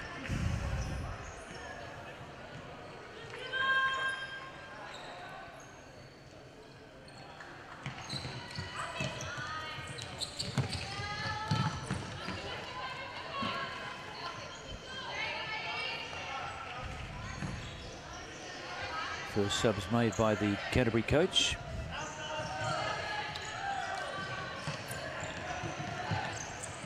no sign of uh, Serena Patel, this brilliant, uh, skillful attacker that Canterbury possesses.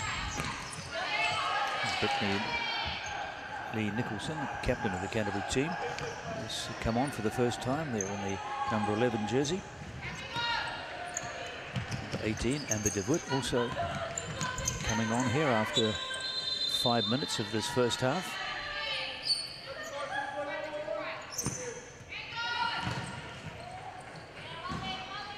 Fairly forlorn attempt at goal from somewhere near halfway by Dorothy Yick. Play restarted with Daniel Bradley. Good throw finds her opposite uh, or teammate Hana Reddy, but uh, and to touch it goes. So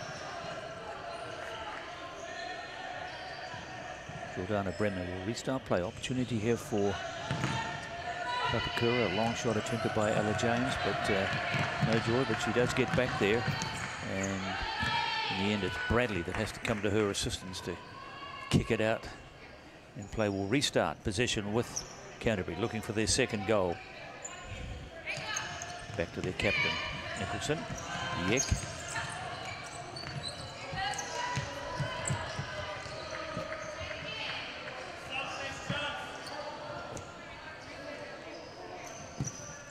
to it, to Yeck, but trying to find a couple of black jerseys, which she does in that uh, far corner. But plenty of defence back there as well. Not so much now. And down goes Dorothy Yeck, but uh, nothing called by the referee. Bremner going on a little run here for Bay of Plenty, but Unfortunately, Reddy couldn't get onto that ball. So it remains 1-0. Exactly five minutes of the first half gone in this match between uh, the leading side in this competition. Canterbury United, Pride, as they call themselves.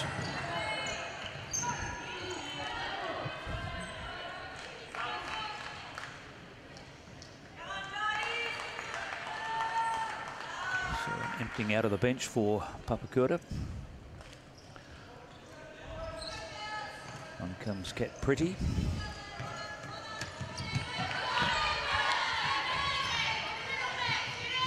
Joyce Barroso, this but uh, very exciting Brazilian player in the Papakura side. Another opportunity here. Yeck with a shot. And out off the arm of Amber DeWitt. And so Anthony restarts for Papakura. Trying the long ball for Pretty. Finds her now.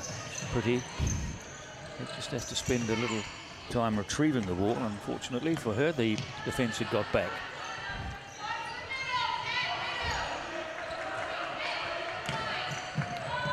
Long ball finds the head of Savanti Anthony. Dorothy Yek gets her foot to it. Amber Witt having a shot. But good aggressive defence coming here from Bay of Plenty. And Anthony again.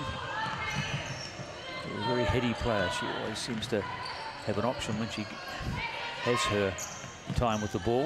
Barossi quite sure what she was trying to do there, but it's opened up for DeWitt anyway.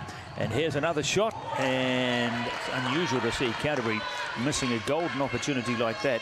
Rachel Brody it was that had the chance, but she's put it around the back of that uh, far post. They must have been a deflection because they do get the uh, corner.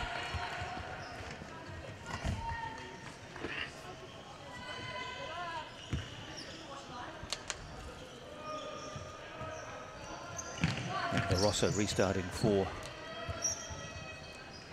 Papakura. She'll do go through that ritual again. Trying to tries the long ball to Pretty. Looking for some support, but it's very slow getting there. So she's got to pass it right back deep into her own half.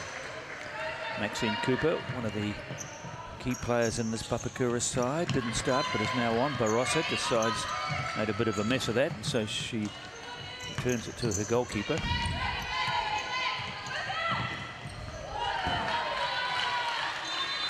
Bit more urgency about the play player both sides now after seven minutes in this first half.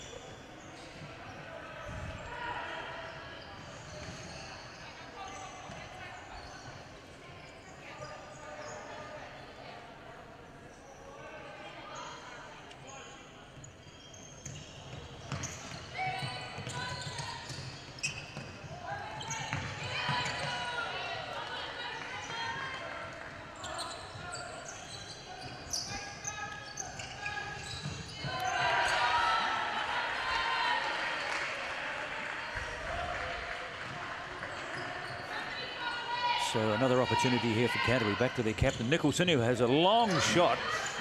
And certainly the Papakura goalkeeper had to get interested in that.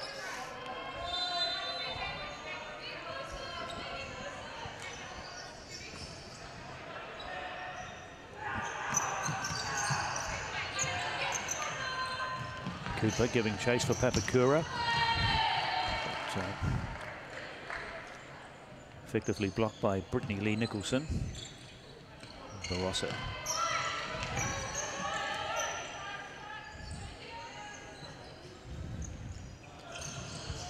Looking for Pretty, finds her as well. Good throw, and Pretty blocked there by some smart play from the Canterbury defenders. So very few raids into the Canterbury half coming from Bay of Plenty so far in the first eight minutes of this match. Going to be ahead by one goal to nil. The goal coming in the second minute by Lily Fisher's boot. It's Dorothy Yek. Sends it up the middle, but uh, to nowhere in particular, or no one in particular.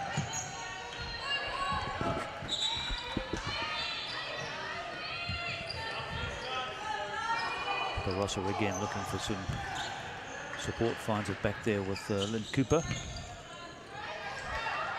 Anthony finds Pretty. Nice pass from uh, Anthony. Pretty opportunity here for Bay of Plenty. As uh, Cooper make, does well to get there, Maxine Cooper. But no real concerns for Scarlett Grayling. Canterbury goalkeeper. Nicholson, fixo for Canterbury, doing a sterling job at the back there, just stifling any of these uh, would-be attacks from Bay of Plenty. And Rachel Brody with the shot on goal, but not successful. So stoppage here while we get a few more new players onto the court. Ella James has come back for Papakura and Emily Gillion, their captain, also started the match uh, nine minutes ago, gets her second shift.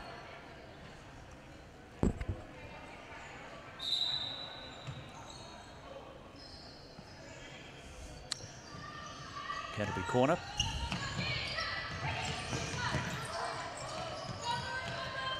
And stabbed away to no one in particular. Canterbury will restart from deep inside their own half.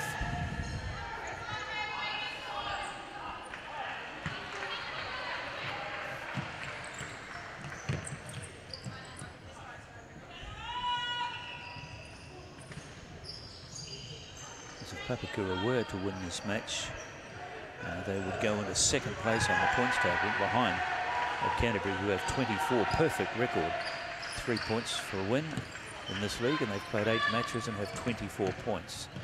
So they're miles clear of anyone else. In second place at the moment is the capital side from Wellington with 15 points. Um, like Canterbury team played eight matches, so they're nine points clear.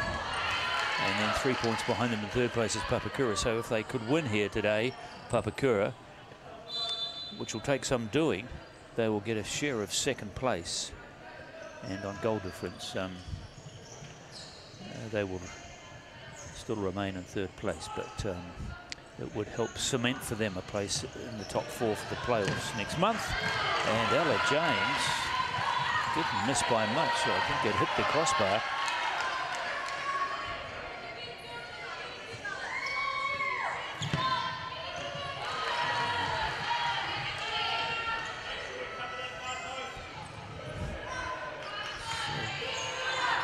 Papakura getting a few more balls deep into their opposition's half now, which they weren't doing in the first 10 minutes of the match.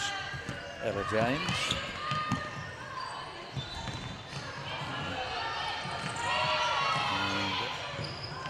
Venamore as well doing some good work. So getting into the game more, Papakura, after conceding that goal in the second minute, probably rocked them a little, although it shouldn't have. Canterbury have just got a goal scoring machine on the court and on the bench. 58 goals from eight matches. Next, most prolific scoring side is Capital, who've scored 26 in the same number of matches. 58 versus 26. Give you an indication of the ability. And here is Serena Patel. She's come on wearing the number five jersey. And just keep your eye on her when she has the ball. The skills that she can display uh, quite profound.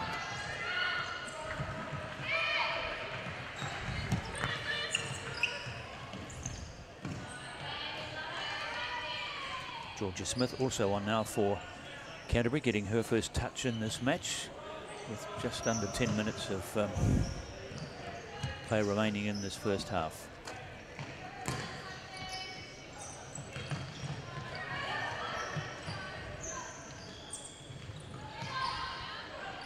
Patel.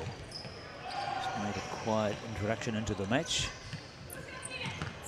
And there she is. Once she gets a bit of room and she goes on a bit of a run. And there we see her.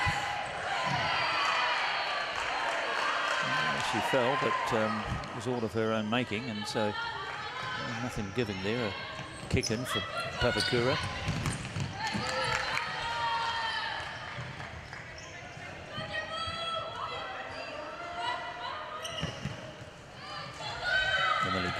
Director kick now. Here's Patel and nearly landed her first goal, but she's finished up flat on her back. I think she's um, none the worse for the wear. It Wasn't really a big collision there at all, but um, lost the footing. But from it, they get a corner anyway, Canterbury. There's Patel with the shot, but uh, no power or direction. And so the score remains at 1-0 after 11 minutes of the first half. Nine minutes remaining on the clock. James finds the throw from the keeper. Back to Williams. Williams staying on the ball. James there as well. Here goes Patel. Patel. Patel still running with the ball. Patel. And just her speed and her ability to dribble at speed, proving very much a handful for the defenders. And already having a shot with the left foot. Haven't been too many shots on goal. Haven't seen much of the Scarlet Grey. It's had a pretty quiet game so far. More replacements being made here for the Papakura side. As Maxine Cooper comes on. He's gone looking for the ball and look behind the blue curtain to the uh, match going on in the second court. Cooper back to Bremner. Cooper again. Far too close to halfway for her to having a shot. So she eventually gets all the way back to the goalkeeper. Back Bay of Plenty. Come again, or Papakura come again. Cooper looking for Reddy, finds it, but uh, the ball beats them all into touch.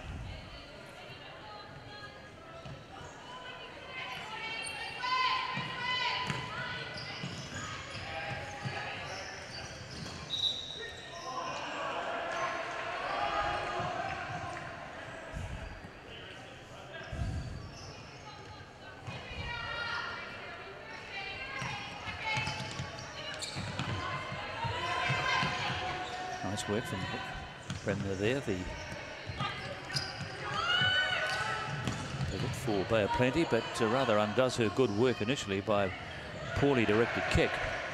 And uh, Selena Patel has had her first spell or first shift on the court. She'll take a break. Lily Fisher back on. Scored that first goal for Canterbury after just two minutes. And she is now in the fixo role at the back for some support and finishes up putting it into touch in front of the player that she was looking for, Petra Bag.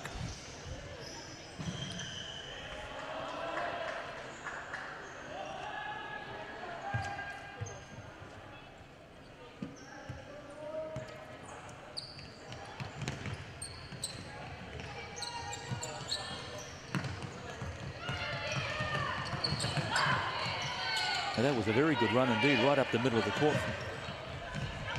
Papakura, but uh, turned possession.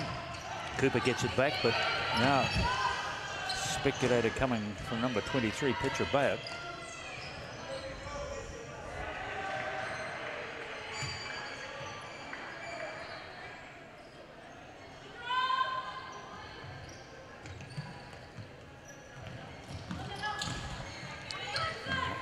Nice pass there to Samantha White. White goes for a skate. And on this very shiny, fast surface, you can skate for quite some distance if you hit the ground at pace. Pretty. Reddy.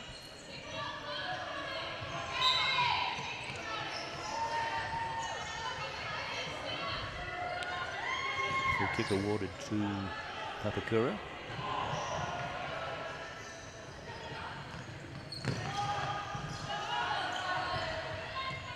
shot from Jordana Bremner, but to no avail. Bake. White. Bake again.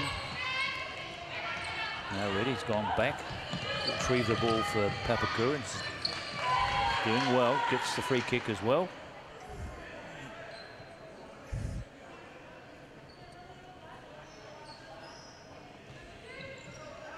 Cooper nothing much on from there, so Bremner from inside her own half.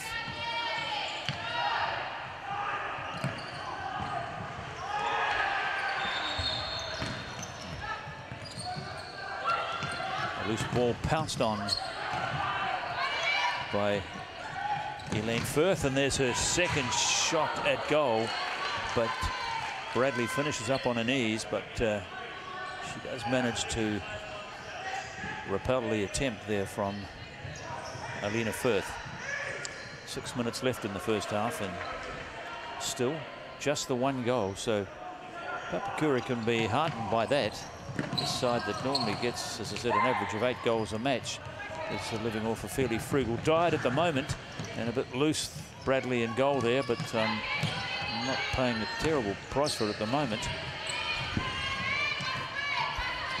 Reddy going back to try and retrieve that ball. So if they can hang on for another six minutes, they'll be heartened. They did hold them to a 3-2 scoreline, Papakura, when they met two days ago.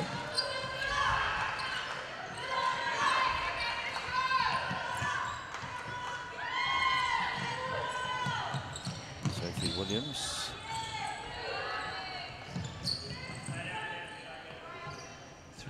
Through Cat but back with Canterbury. Bike. Poor pass down the line, and so chance for Papakura to come away with it again. They've done a fairly good job defensively. They haven't really created many, if any, real scoring opportunities. Mind you, Canterbury as well, after that initial goal that came in the second minute, uh, also have been a bit poor in that area in terms of conversion. Barroso.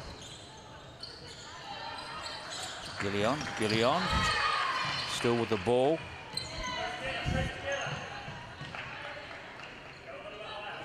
Okay, Pretty trying to get a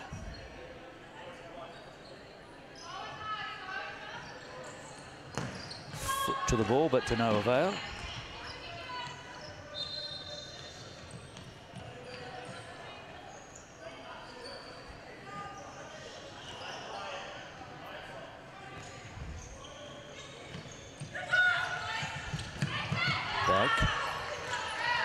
Opportunity there that presented itself for Kate Pretty, which got past her opponent but couldn't keep the ball in play.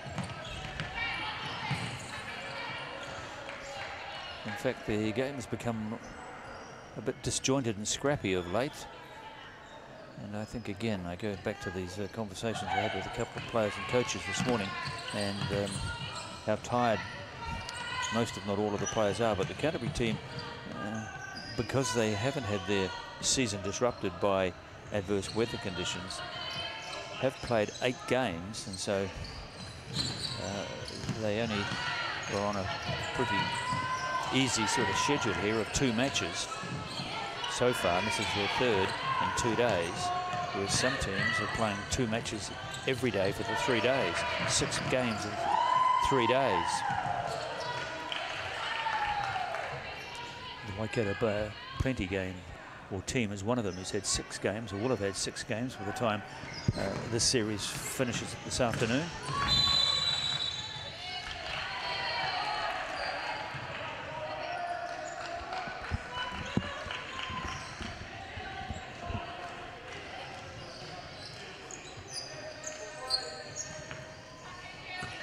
And uh, Whitbank on the court for Canterbury. So it hasn't been a truly Spartan display here by Canterbury, but um, given their superiority and their position at the top of the table, and the coach, I suppose, mindful of not overexerting his players. Nicholson, Nicholson still with the ball under control, but eventually losing it. So four minutes of play remaining in the first half. And Canterbury um, really concerned, I suppose, that uh, for all their efforts and domination, particularly of uh, territory and the ball, they've only got one goal to show for it. Pretty.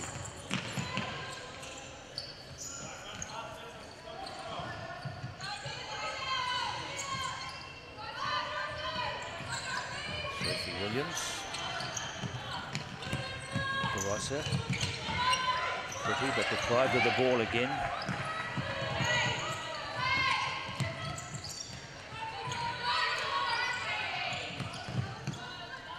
Williams.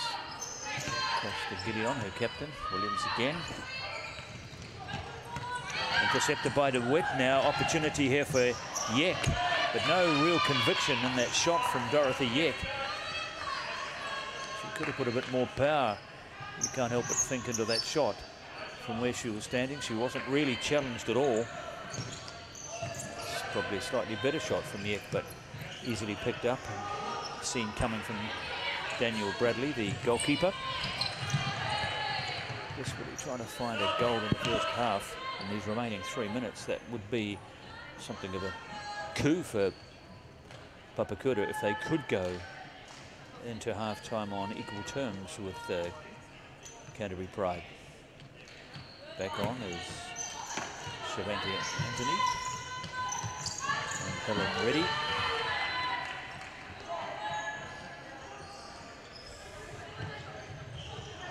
Anthony with the kick in.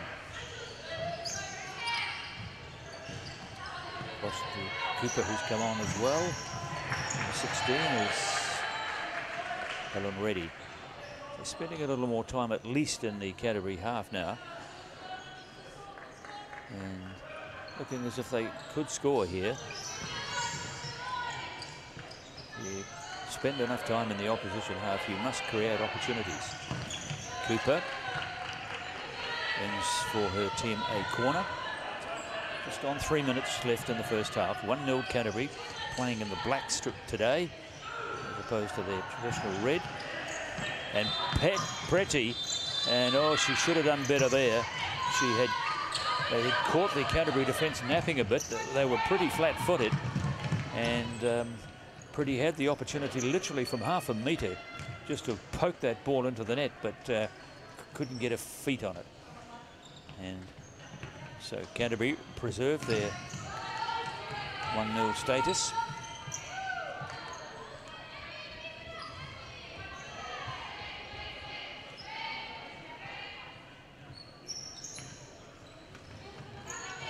Nicholson, the captain. A strong shot, Anthony.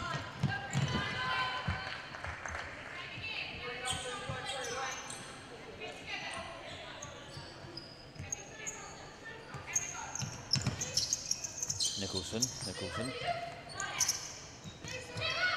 Challenged by Helen Reddy, but uh, Canterbury win the ball. Back to Nicholson, but uh, well wide with the right foot volley.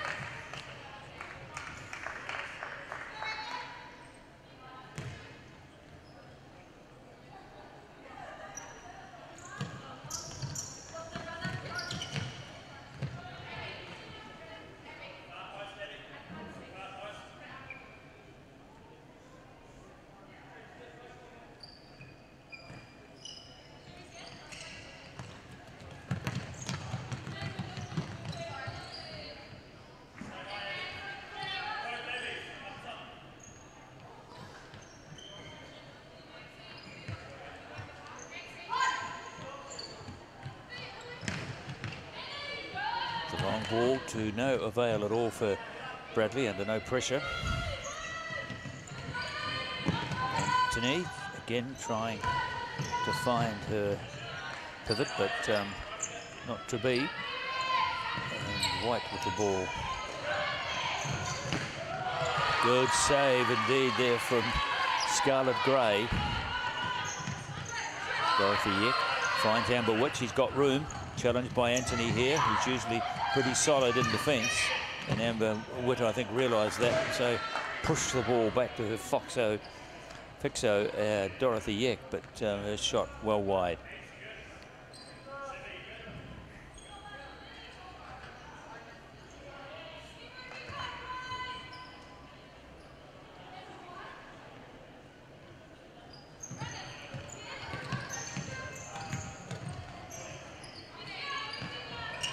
Nothing much on there.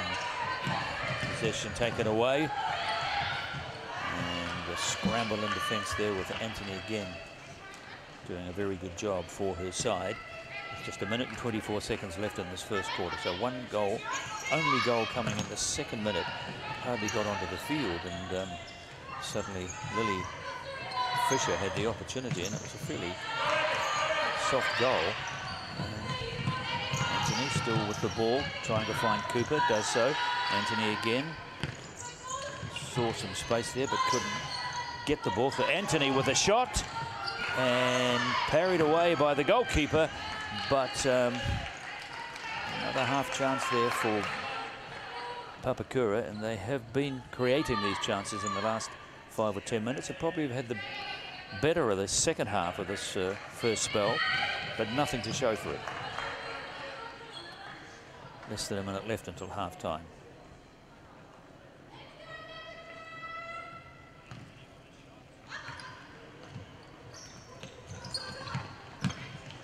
Cooper It's a quick look up and see what's available. But uh, again, the pass had too much pace on it.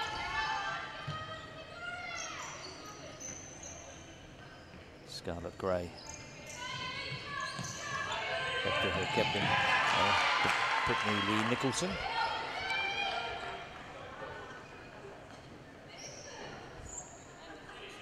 In the final moments of this first half. Savante Anthony to Maxine Cooper.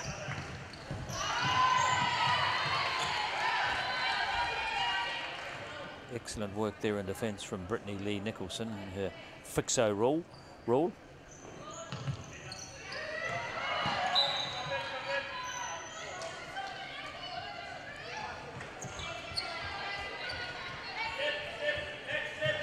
Serena Patel is on as well for the final couple of moments of this quarter.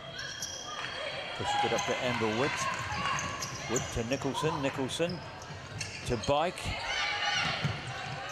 Uh, but nothing on. So back there is Patel. Only eight seconds left in the quarter, in, in the half. And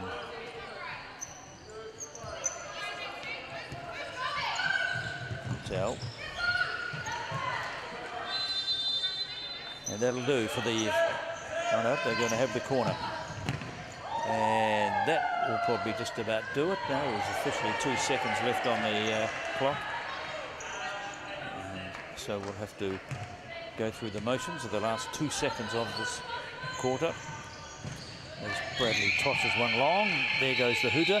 And so, well, both teams, I suppose, can take some satisfaction from this first 20 minutes. Canterbury, because they're leading by one goal to nil and Papakura very much the underdog starting this match, holding this champion Canterbury side to just the one goal at half time.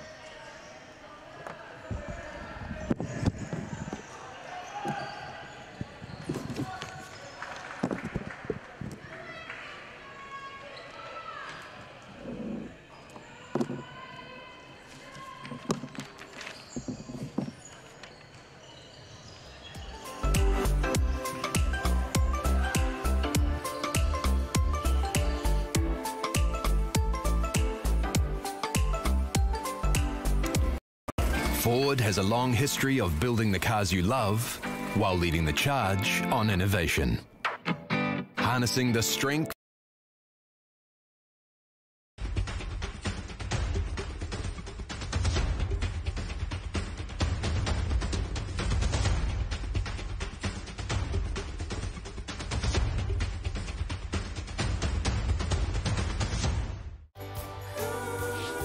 Resene has been voted New Zealand's most trusted paint brand every year for the last 11 years. Resene, the paint Kiwis trust for years and years. The fern is a symbolic representation for all New Zealanders and has been reimagined to represent all of football in Aotearoa, New Zealand. A circular shape not only symbolises the round ball used by all those that play the game, but also, and more importantly, represents the strength and infinite connection created by all those that play a part of the game. With each piece of the fern recognising and acknowledging those that make the beautiful game beautiful. The stalk represents our grassroots, our communities, our clubs, our volunteers, and our fans. They are the foundation and are at the centre of all we do. The pinna represents our federations across the whole of New Zealand. Our federations guide and protect our clubs and communities, allowing everyone to be heard, to be represented, and provide guidance and opportunities at every pathway. One brand identity with regional differentiation. Federations in New Zealand football working together to serve our communities, creating more than a game, creating a sporting whānau where everyone is welcome.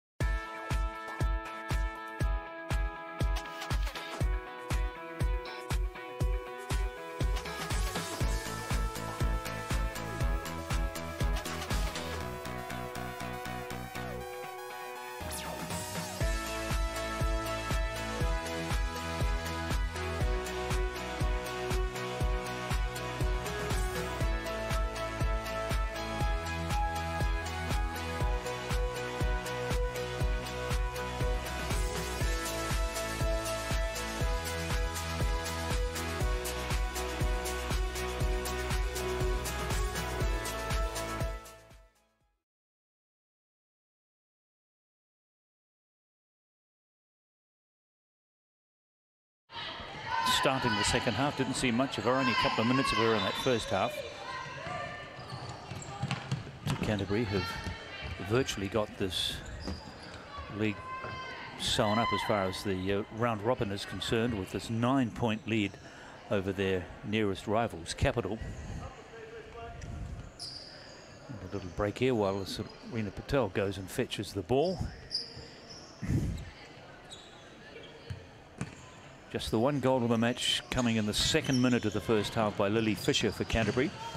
And be fair to say that Papakura probably finished stronger than Canterbury in the last five, ten minutes of that uh, first half. But uh, had a couple of scoring opportunities, one very good opportunity, which they weren't able to convert. And so Canterbury ahead by one goal to nil. Unbeaten this year from their previous eight matches, so they'll be very keen to preserve that as well sending a clear message to everyone else in the league that if you want to win that, this title, you're going to have to beat us. And uh, no one's been able to do that this year.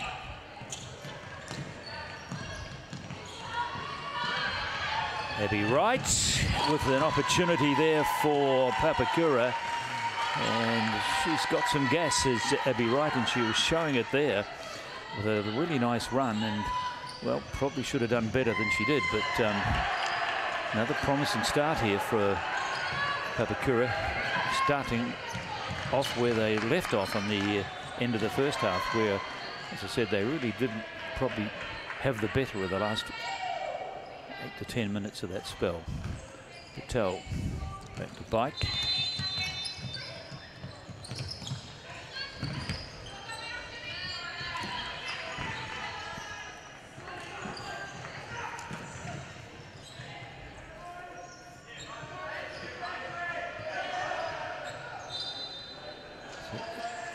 Captain of the Papakura side, Emily Gillion, starting, restarting the match.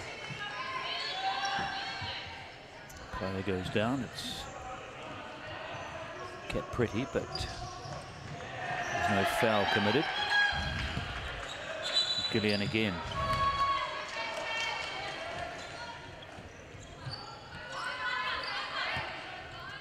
Georgia Smith restarts Canterbury. Back to the goalkeeper. Smith again challenged strongly there by Gilliam.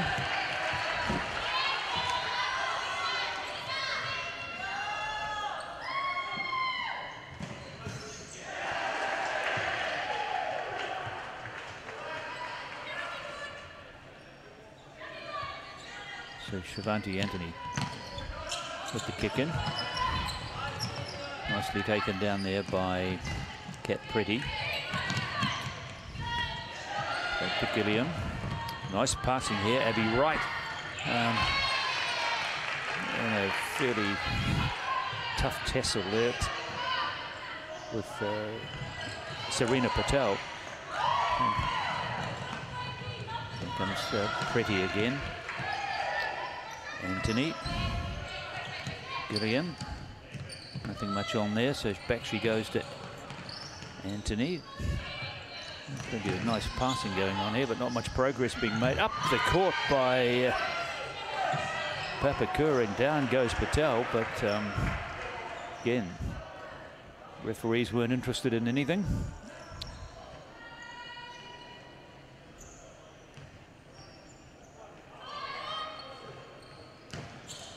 Starting with the long kick. Good run there from Jennifer Merkin, who's hasn't seen much game time either today in this match. Here goes Wright again, using that speed to good advantage to try and get round her opponent, and just about succeeded in doing that as uh, Jennifer Merkin tried to stay with her. She looked very good in the uh, closing stages of the first half. Abby Wright, and she's continued with that form as well. Misdirected pass opportunity for Papakura. And the shot from Gillian. Canterbury just a little unsettled at the moment by uh, this aggressive sort of play coming from Papakura. Patel having a very quiet game in her second, third shift of the match so far. Patel, nice little pass. It's one of her very nice skills. The ability to be able to slip the pass almost unnoticed to a teammate. Trouble here for Papakura. Gillian manages to work it away.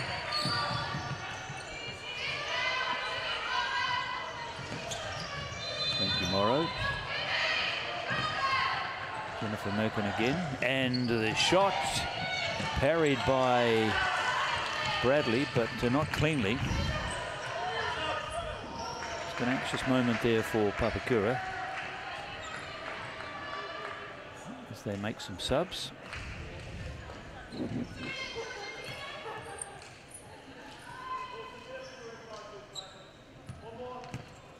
Cooper. Back to Sophie Williams, who's just come on. Cooper again. Williams. Giving chase was uh, Williams with uh, Patel for the ball, but it goes out over the sideline. And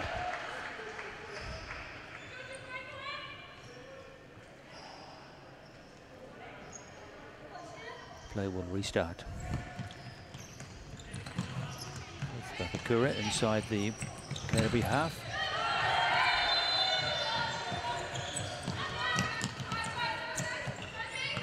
Williams.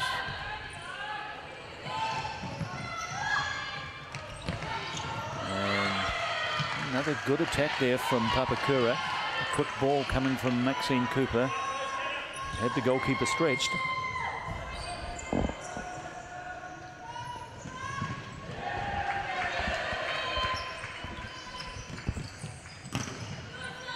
And a fairly forlorn attempt there coming from somewhere near halfway by Jordana Bremner for Papakura, but uh,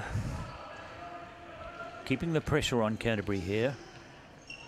Not really allowing them much room, which they were guilty of at times in the opening exchanges of this match. Bremner again. Nicely controlled. Cooper. Intercepted by White. Opportunities here now for Canterbury maybe. Serena Patel has uh, left the court. Back on the bench. Good work here from Cooper. Gets away from her opposite number and fires the shot, but just needed a little bit of curve on that ball and didn't have it, so it went round behind the net. But off the hand of the goalkeeper, so Sophie Williams will restart from the corner. So nearly five minutes have elapsed in this uh, second half. Still no addition. Haven't seen a, a, goal since the second minute of the game. So that's uh, 23 minutes ago. It's an indication of how tight this game is. And Papakura, the longer they can hang in there, uh, the more they might get something out of this result.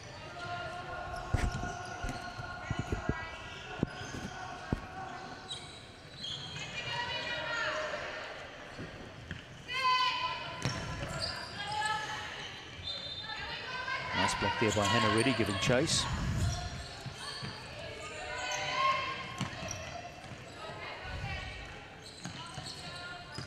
Cooper again.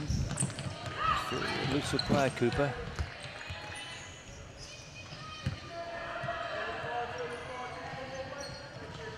Williams. Trying to find Reddy. She does, but uh, well, I think the referee has ruled that it's come off the foot of the Canterbury defender, and so a corner to Papakura.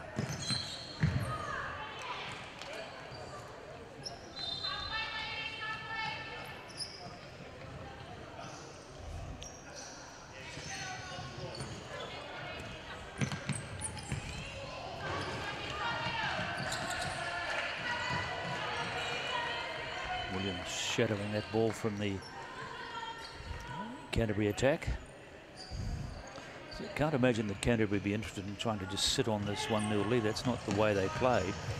Uh, they will be frustrated that they haven't scored more. But uh, they found Papakura a tough nut to crack a couple of days ago when they first played them, winning by three goals to two. And Papakura probably learning a few things from that experience.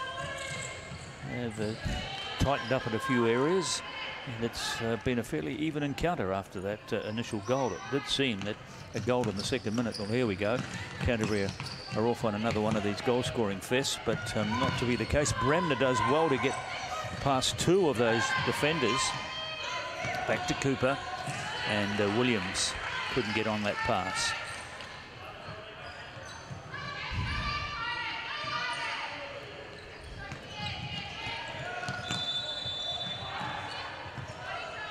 Abby Wright, Sophie Williams, but uh, into touch.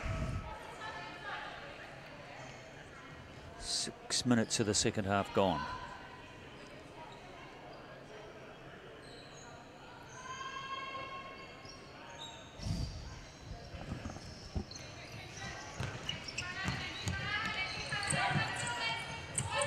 The back heel, and yes, it worked beautifully for Canterbury. On hand to take that was Petra back and put it in the back of the net. That's more of the play we expect from this Canterbury team with their very high skill set. And that's exactly what produced that goal. And that's a real blow to Papakura, who are hanging on to uh, Canterbury thinking that maybe they could sneak a goal or two, they could win this match. But their task has just been made immeasurably more difficult. Still got 14 minutes of the match remaining, but 2-0, it's uh, suddenly got twice as hard, I guess, mathematically speaking anyway.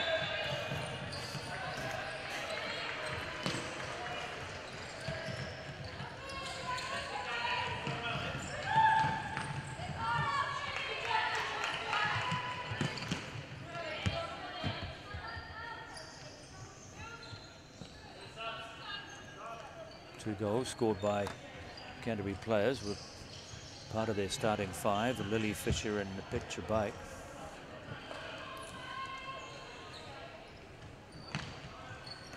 Anthony finds Pretty. So they've got to go goal hunting and uh, pretty quickly now that they're two goals behind. Certainly a, a draw was uh, distinct for possibilities as long as the game was at 1-0. But now that it's 2-0, they have to take a few more risks. And that could just open up the game a bit more in favour of Canterbury.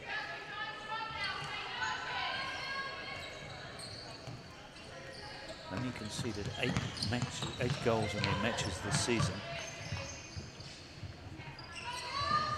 Did concede two a couple of days ago to Papakura when they first met here this weekend. Serena Patel has come on. See her there running back into her position as the fixo.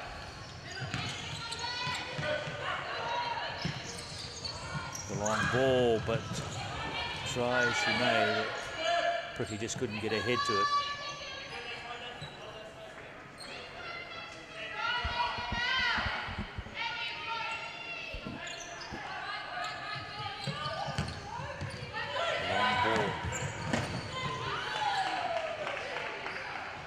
Samantha White.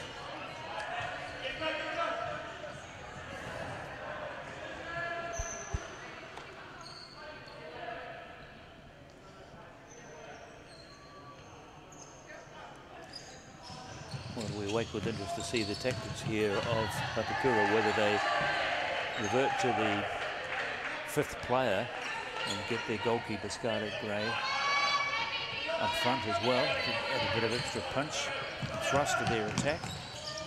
No sign of it so far. This is what's happened here for Papakura. They have made that change. And, uh, Danielle Bradley has come on. There she is in the green number 11. That's the requirement, and the goalkeeper becomes part of the attack. She has to wear a different coloured jersey or strip. And that must um, be exchanged every time she leaves. So there she is, she makes, takes the kick in. scurries back. And then turns around and comes back again to where she took the previous kick in. Certainly giving opportunity here for Papakura by having the fifth player. There she's uh, left the field and the original goalkeeper has gone back into her position.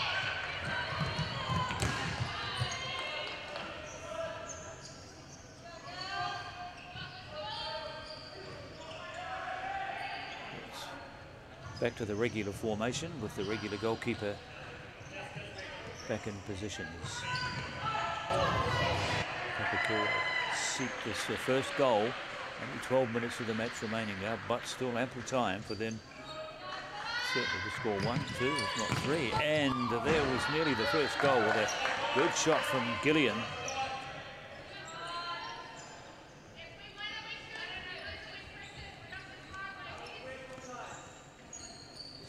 Gray back and goal.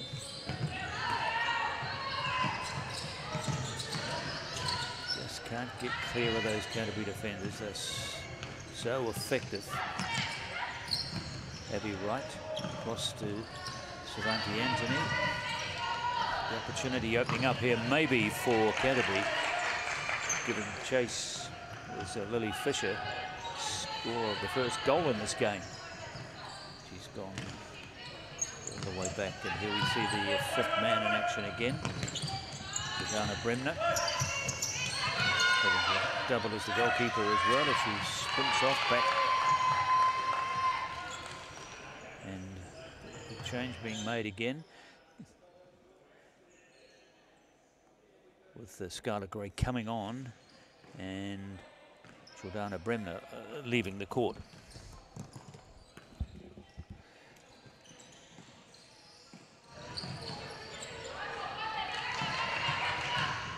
Fisher again.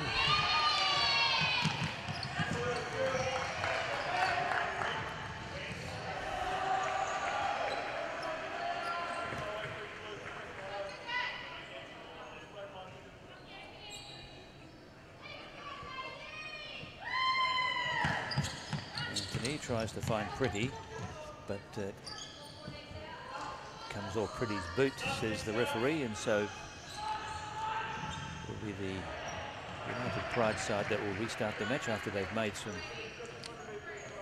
substitutions with Amber Witt on. And also Jordana Bremner, who's got her conventional uniform on now. She was acting as the fifth player while she was uh, subbed. But uh, right, Pretty trying to find Anthony, but uh, to no avail.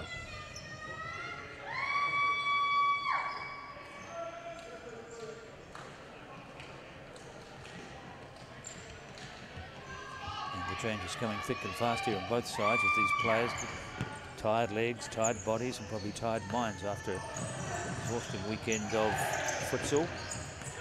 Witt. Yet there as well muscling her way through, but able to get a foot on the ball. Nicholson to Yek, laying it on nicely for Rachel Brody. She had plenty of power behind that shot, but didn't find its target. Still remains 2-0, so it's a low-scoring game. Canterbury, still 10 minutes of the match to go, so just at the halfway stage of the second spell.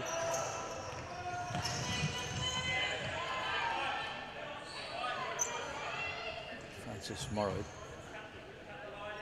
and Abby Venmore contesting the ball, but Venmore couldn't get onto it for that cool. So DeWitt again trying to find Dorothy Yick.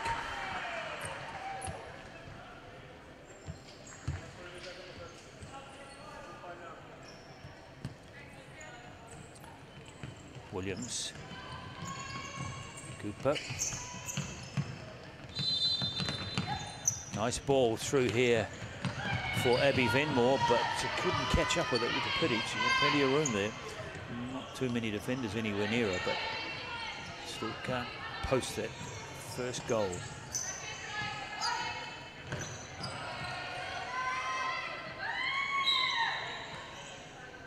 Yeah, the restart. Nicholson, DeWitt. Back to the captain. And the back heel again from Yek, which has produced one goal so far. And DeWitt staying on the ball. And her persistence nearly paid off. Cooper looking for someone to pass it to. Finds Williams. Williams to Venmore. To Wright. Williams. But uh, thwarted that attack, and so it's back where it started from. The presence of the tall, strong figure of uh, Dorothy Yek and DeWitt. DeWitt again. Yes, still got possession of the ball. DeWitt, excellent work here. Nicholson. And frantic scramble from one of those defenders. I think it was. Abby Wright that eventually got the ball out of play. But it's almost as if that second goal has uh, rejuvenated the effort of the uh, Canterbury team. They're just playing with a lot more purpose now than they did uh, opening minutes of the second half. Up by two goals to nil. I probably sense if they can get another here now, that'll probably bury uh, Papakura well and truly. Two might be enough, but they'll be feeling, feeling a lot more comfortable if they can get a third.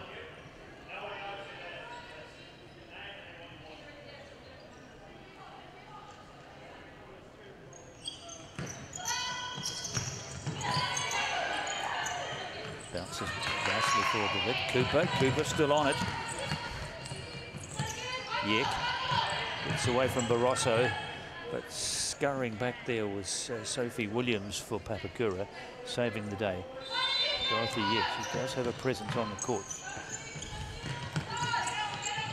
Nicholson, another who's doing a very good job as captain, and uh, Witt trying to jump onto that board. She did, but couldn't get it past. Danielle Bradley. And tipped away by Bradley, so it'll be another corner for Canterbury. They're pressing high here, and you get the impression that um, the third goal may not be far away. It's a breather here for Papakura as they restart with the kicking down near their own line.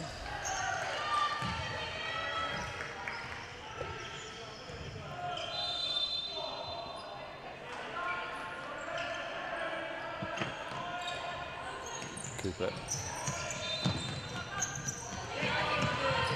And back there again to save the day on attack and defence. Dorothy Yek is a real force within this Canterbury side.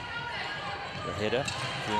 Cooper trying to get onto it, but again, it's powerful figure of Dorothy Yek back there, saving the day for Canterbury.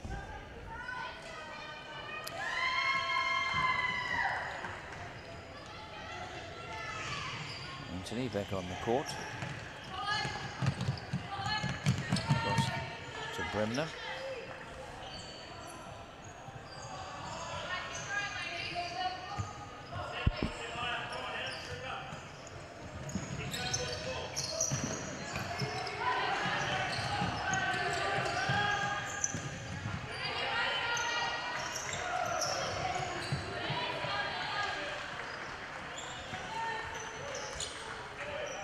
Under eight minutes left in this match.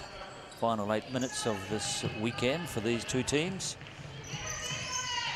Papakura two wins and two losses. Another reason, I guess, why they'd like to win this match. Give them a 3-2 result line for the weekend. But at the moment, um, they don't look as if they have the wherewithal to score three goals against this Canterbury side. And DeWitt with a Rather embarrassing attempt there. It slides off the side of a boot.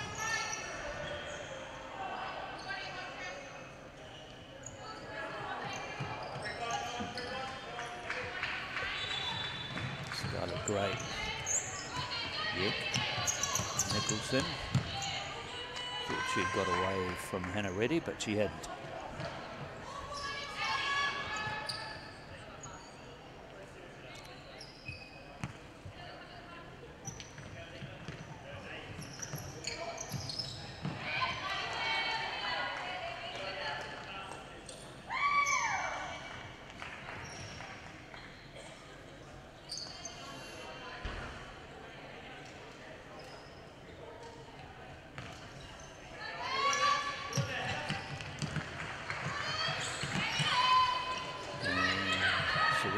Patel on the court. And so quick with her feet. She will take the corner for Canterbury.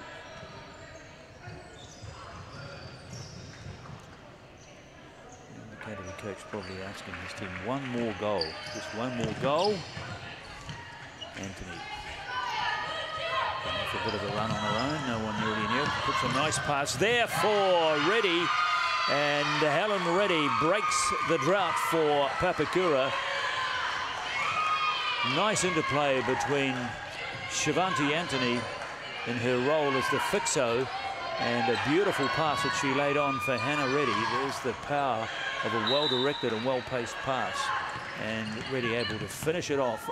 Okay we have a ball game, as they say. Patel.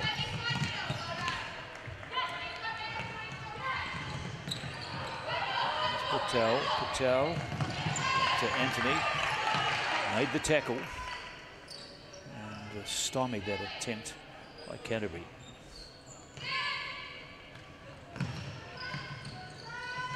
The Canterbury coach will certainly be wanting one more goal from these final six minutes.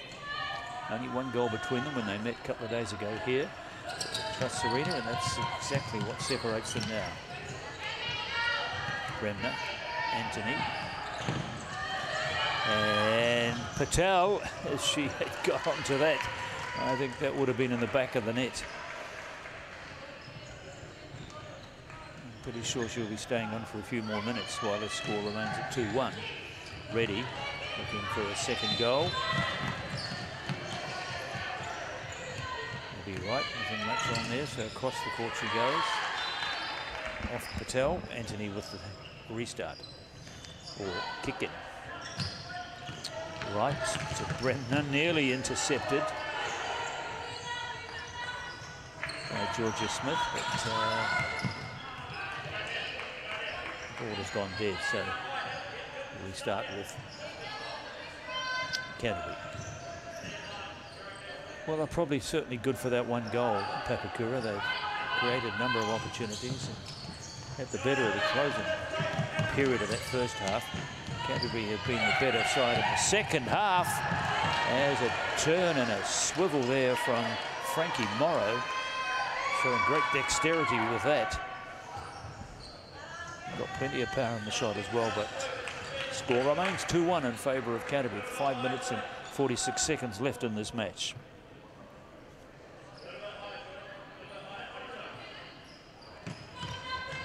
Patel. There's a foil there and another strong attempt this time coming from Jennifer Merkin. Peppering that goal, but to, to no avail. And too deep.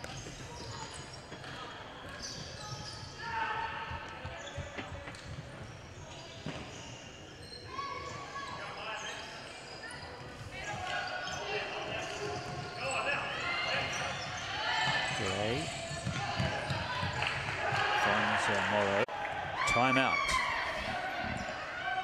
by the Papakura coach.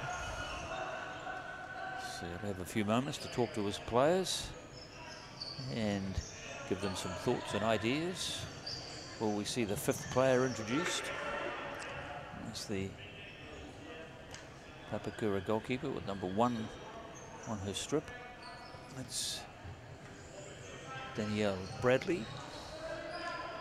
I've seen it deployed already by Canterbury. Didn't produce a goal, but it just gets the opposition thinking, what is their plan? What are they trying to do here? So we'll have to wait and see. But They have matched Canterbury very well in this match, and um, scoreline indicates that. Just on five minutes exactly remaining in the match.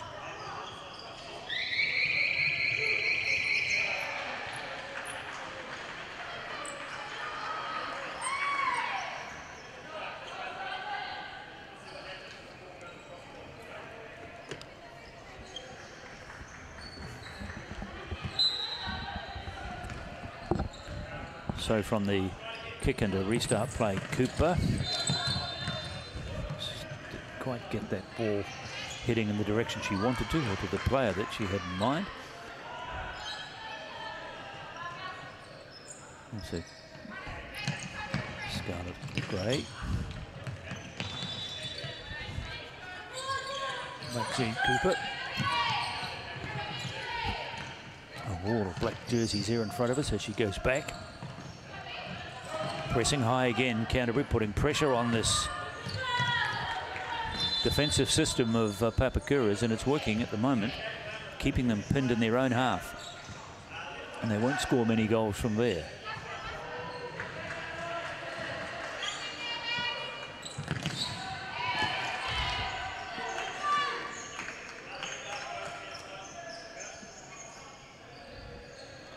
Firth. Goes to Bayek. flick there coming from Lily Fisher, but one goal to her credit so far in the match. Goals have been few and far between. One in the second minute and uh,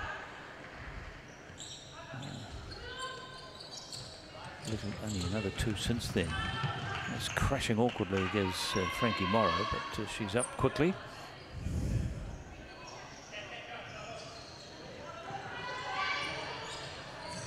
One goal on each half, one in the second minute and one in the 26th minute. And then another just a couple of minutes ago with about eight minutes of the match remaining.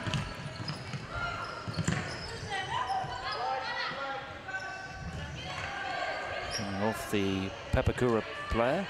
It's an opportunity here for Canterbury. This uh, high press that they've put on Papakura defence seems to be working at the moment. They're keeping them pinned in their half. Cooper trying to do something about it. Couldn't get the ball to Cat Pretty. So they go back in order to go forward. Emily Gillian, their captain, good work. Williams. Ball deflected off the shirt of Samantha White, and so opportunity here. Haven't had that many.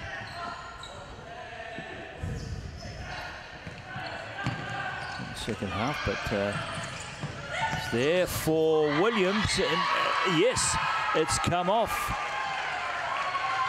the goalkeeper, and I think one of the other Canterbury players might have also helped nudge it into the net. It doesn't matter who it came off.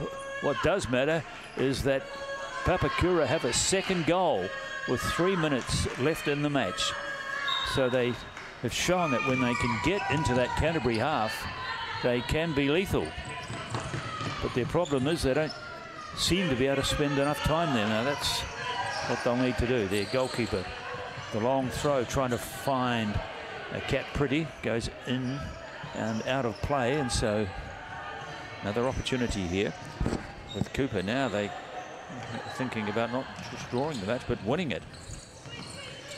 And what a coup that would be to inflict the first defeat on Canterbury this season. Well, they've got to just three minutes to do something like that. And a big kick there coming from Cat Pretty, but her foot didn't really find the ball. But they do get anyway. Well, I think it might have just come off the side of a boot and across the line, so they've had the corner awarded to them. But uh, rather wasted there with that kick. So Canterbury for one of the few times this year, I suspect, uh, under some pressure here. They've got their perfect record on the line here. They eight matches they've played this season. They've won them all. Just repeating those statistics, remarkable. 58 goals in eight matches. And that's over seven goals per match. But today, they've had to survive on a diet of just two.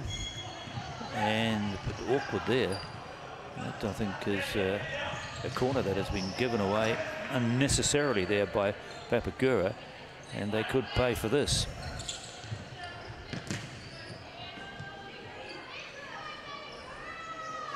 And less than three minutes now remaining in the match. Two all, Canterbury and Papakura.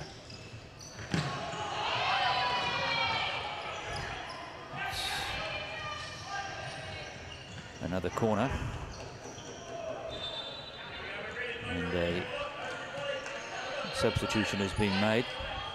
In fact, made two of them. Their captain and Patel is on as well. As, and there's their captain, Brittany Lee Nicholson, did well to get away from her opponent and still get her kick in.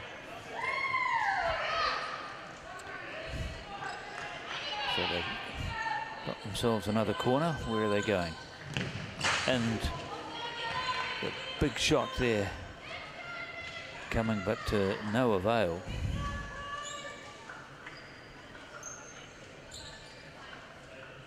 Two minutes and 34 seconds.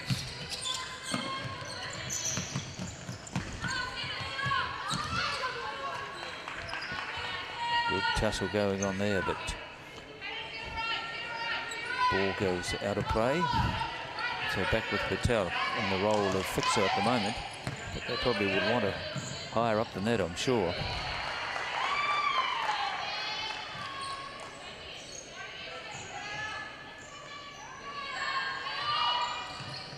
And here she goes, trying to elude one player, does so, but uh, comes off her boot. She's a little disillusioned with that call, a wry smile on her face, but uh, the referee had a pretty good view of it, so you suspect he's got it right.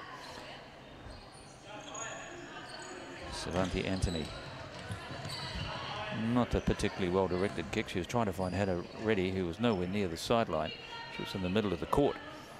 So wasted opportunity there, wasted possession by Papakura. Hard to know whether they're just trying to hang on here for the draw or whether they're going to risk trying to win the match. Nicholson. Desperate clearance there from Savanti Anthony.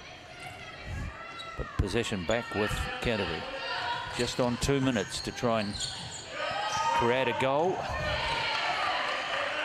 They're playing in the right half and they have the kick in again.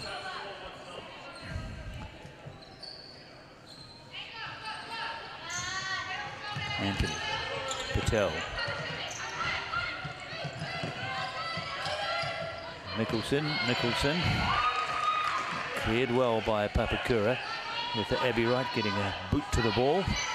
One minute and 47 seconds left. Two all. Canterbury's unbeaten record, winning record on the line here.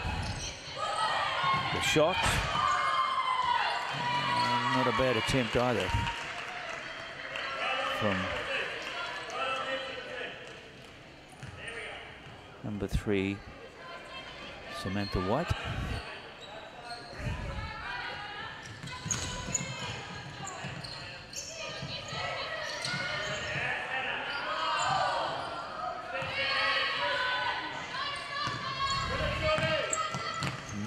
Nicholson.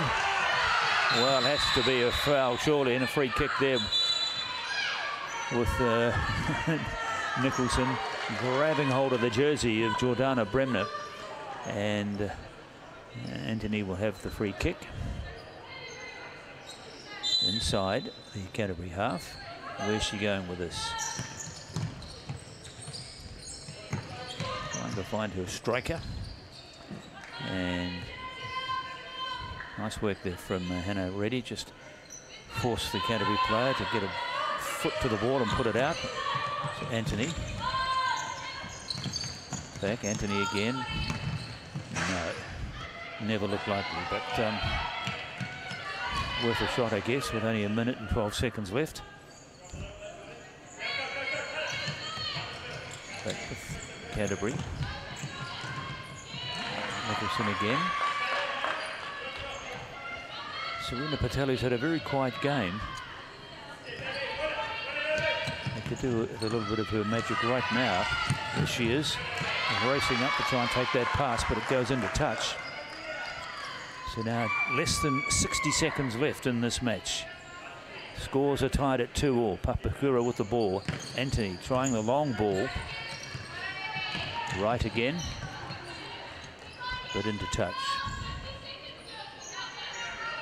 Well, I'm pretty sure that of these two teams on the court, it'll be Papakura that will be far more delighted with this result than Canterbury.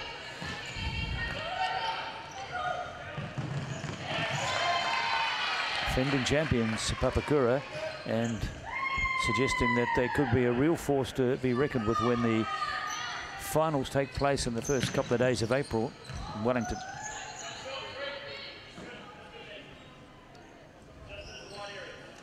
A lot of tired bodies out there, their hands and arms hanging limp. Many, I imagine, just hanging on for that final hooter, but um, can't come quick enough probably now for Canterbury, but um, Papakura would like one more shot if they could. They've got 28 seconds to try and conjure up a goal here. They don't have the ball at the moment. That's their first problem. Patel, smart move, getting the ball to Patel, but it's back with Papakura. Oh, wow. No, nothing going, says the referee. It was just a slip on this glassy floor by Helen Reddy. A long kick from one end of the court to the other reduces the elapsed time left to 13 seconds. So it looks for all the money that we are going to have a two-all draw here. Well, we did see a goal on a match yesterday, which came with eight seconds remaining. Patel, Patel, into touch it goes. Three seconds left, so it's all but over now, you would think. One last frantic chance if they've got. One long shot from halfway. Anthony, here it is. And an opportunity there presented itself to Hana Reddy. She turned, swiveled, uh, but the goalkeeper equal to the challenge. And so with a second left on the clock, uh, Papakura couldn't finish it off.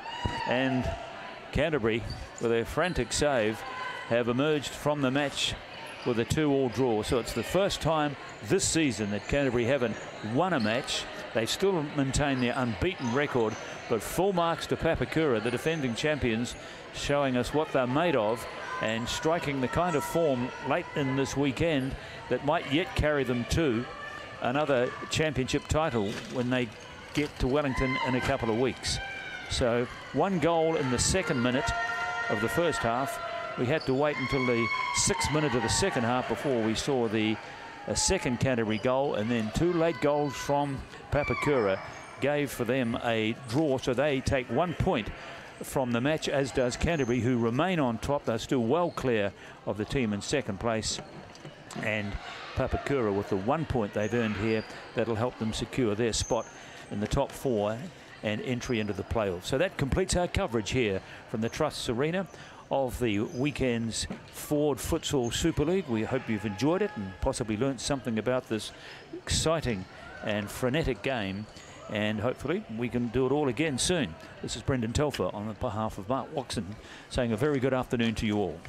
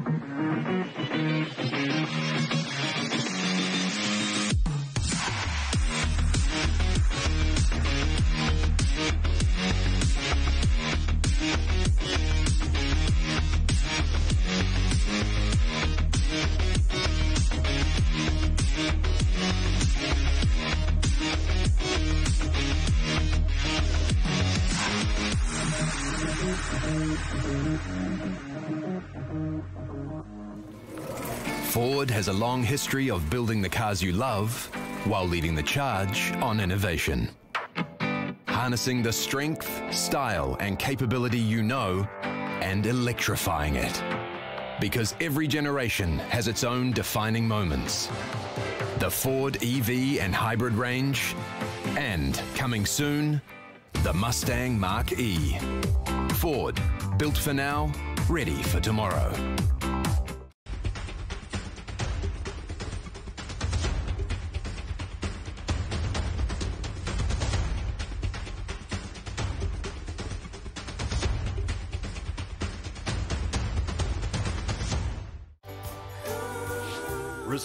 Been voted New Zealand's most trusted paint brand every year for the last 11 years.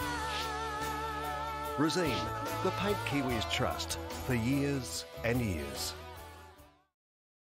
The fern is a symbolic representation for all New Zealanders and has been reimagined to represent all of football in Aotearoa, New Zealand.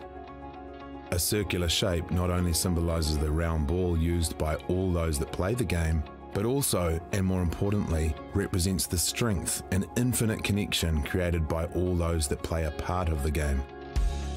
With each piece of the fern recognising and acknowledging those that make the beautiful game beautiful. The stalk represents our grassroots, our communities, our clubs, our volunteers, and our fans. They are the foundation and are at the centre of all we do. The pinna represents our federations across the whole of New Zealand. Our federations guide and protect our clubs and communities, allowing everyone to be heard, to be represented, and provide guidance and opportunities at every pathway. One brand identity with regional differentiation. Federations in New Zealand football working together to serve our communities, creating more than a game, creating a sporting whānau where everyone is welcome.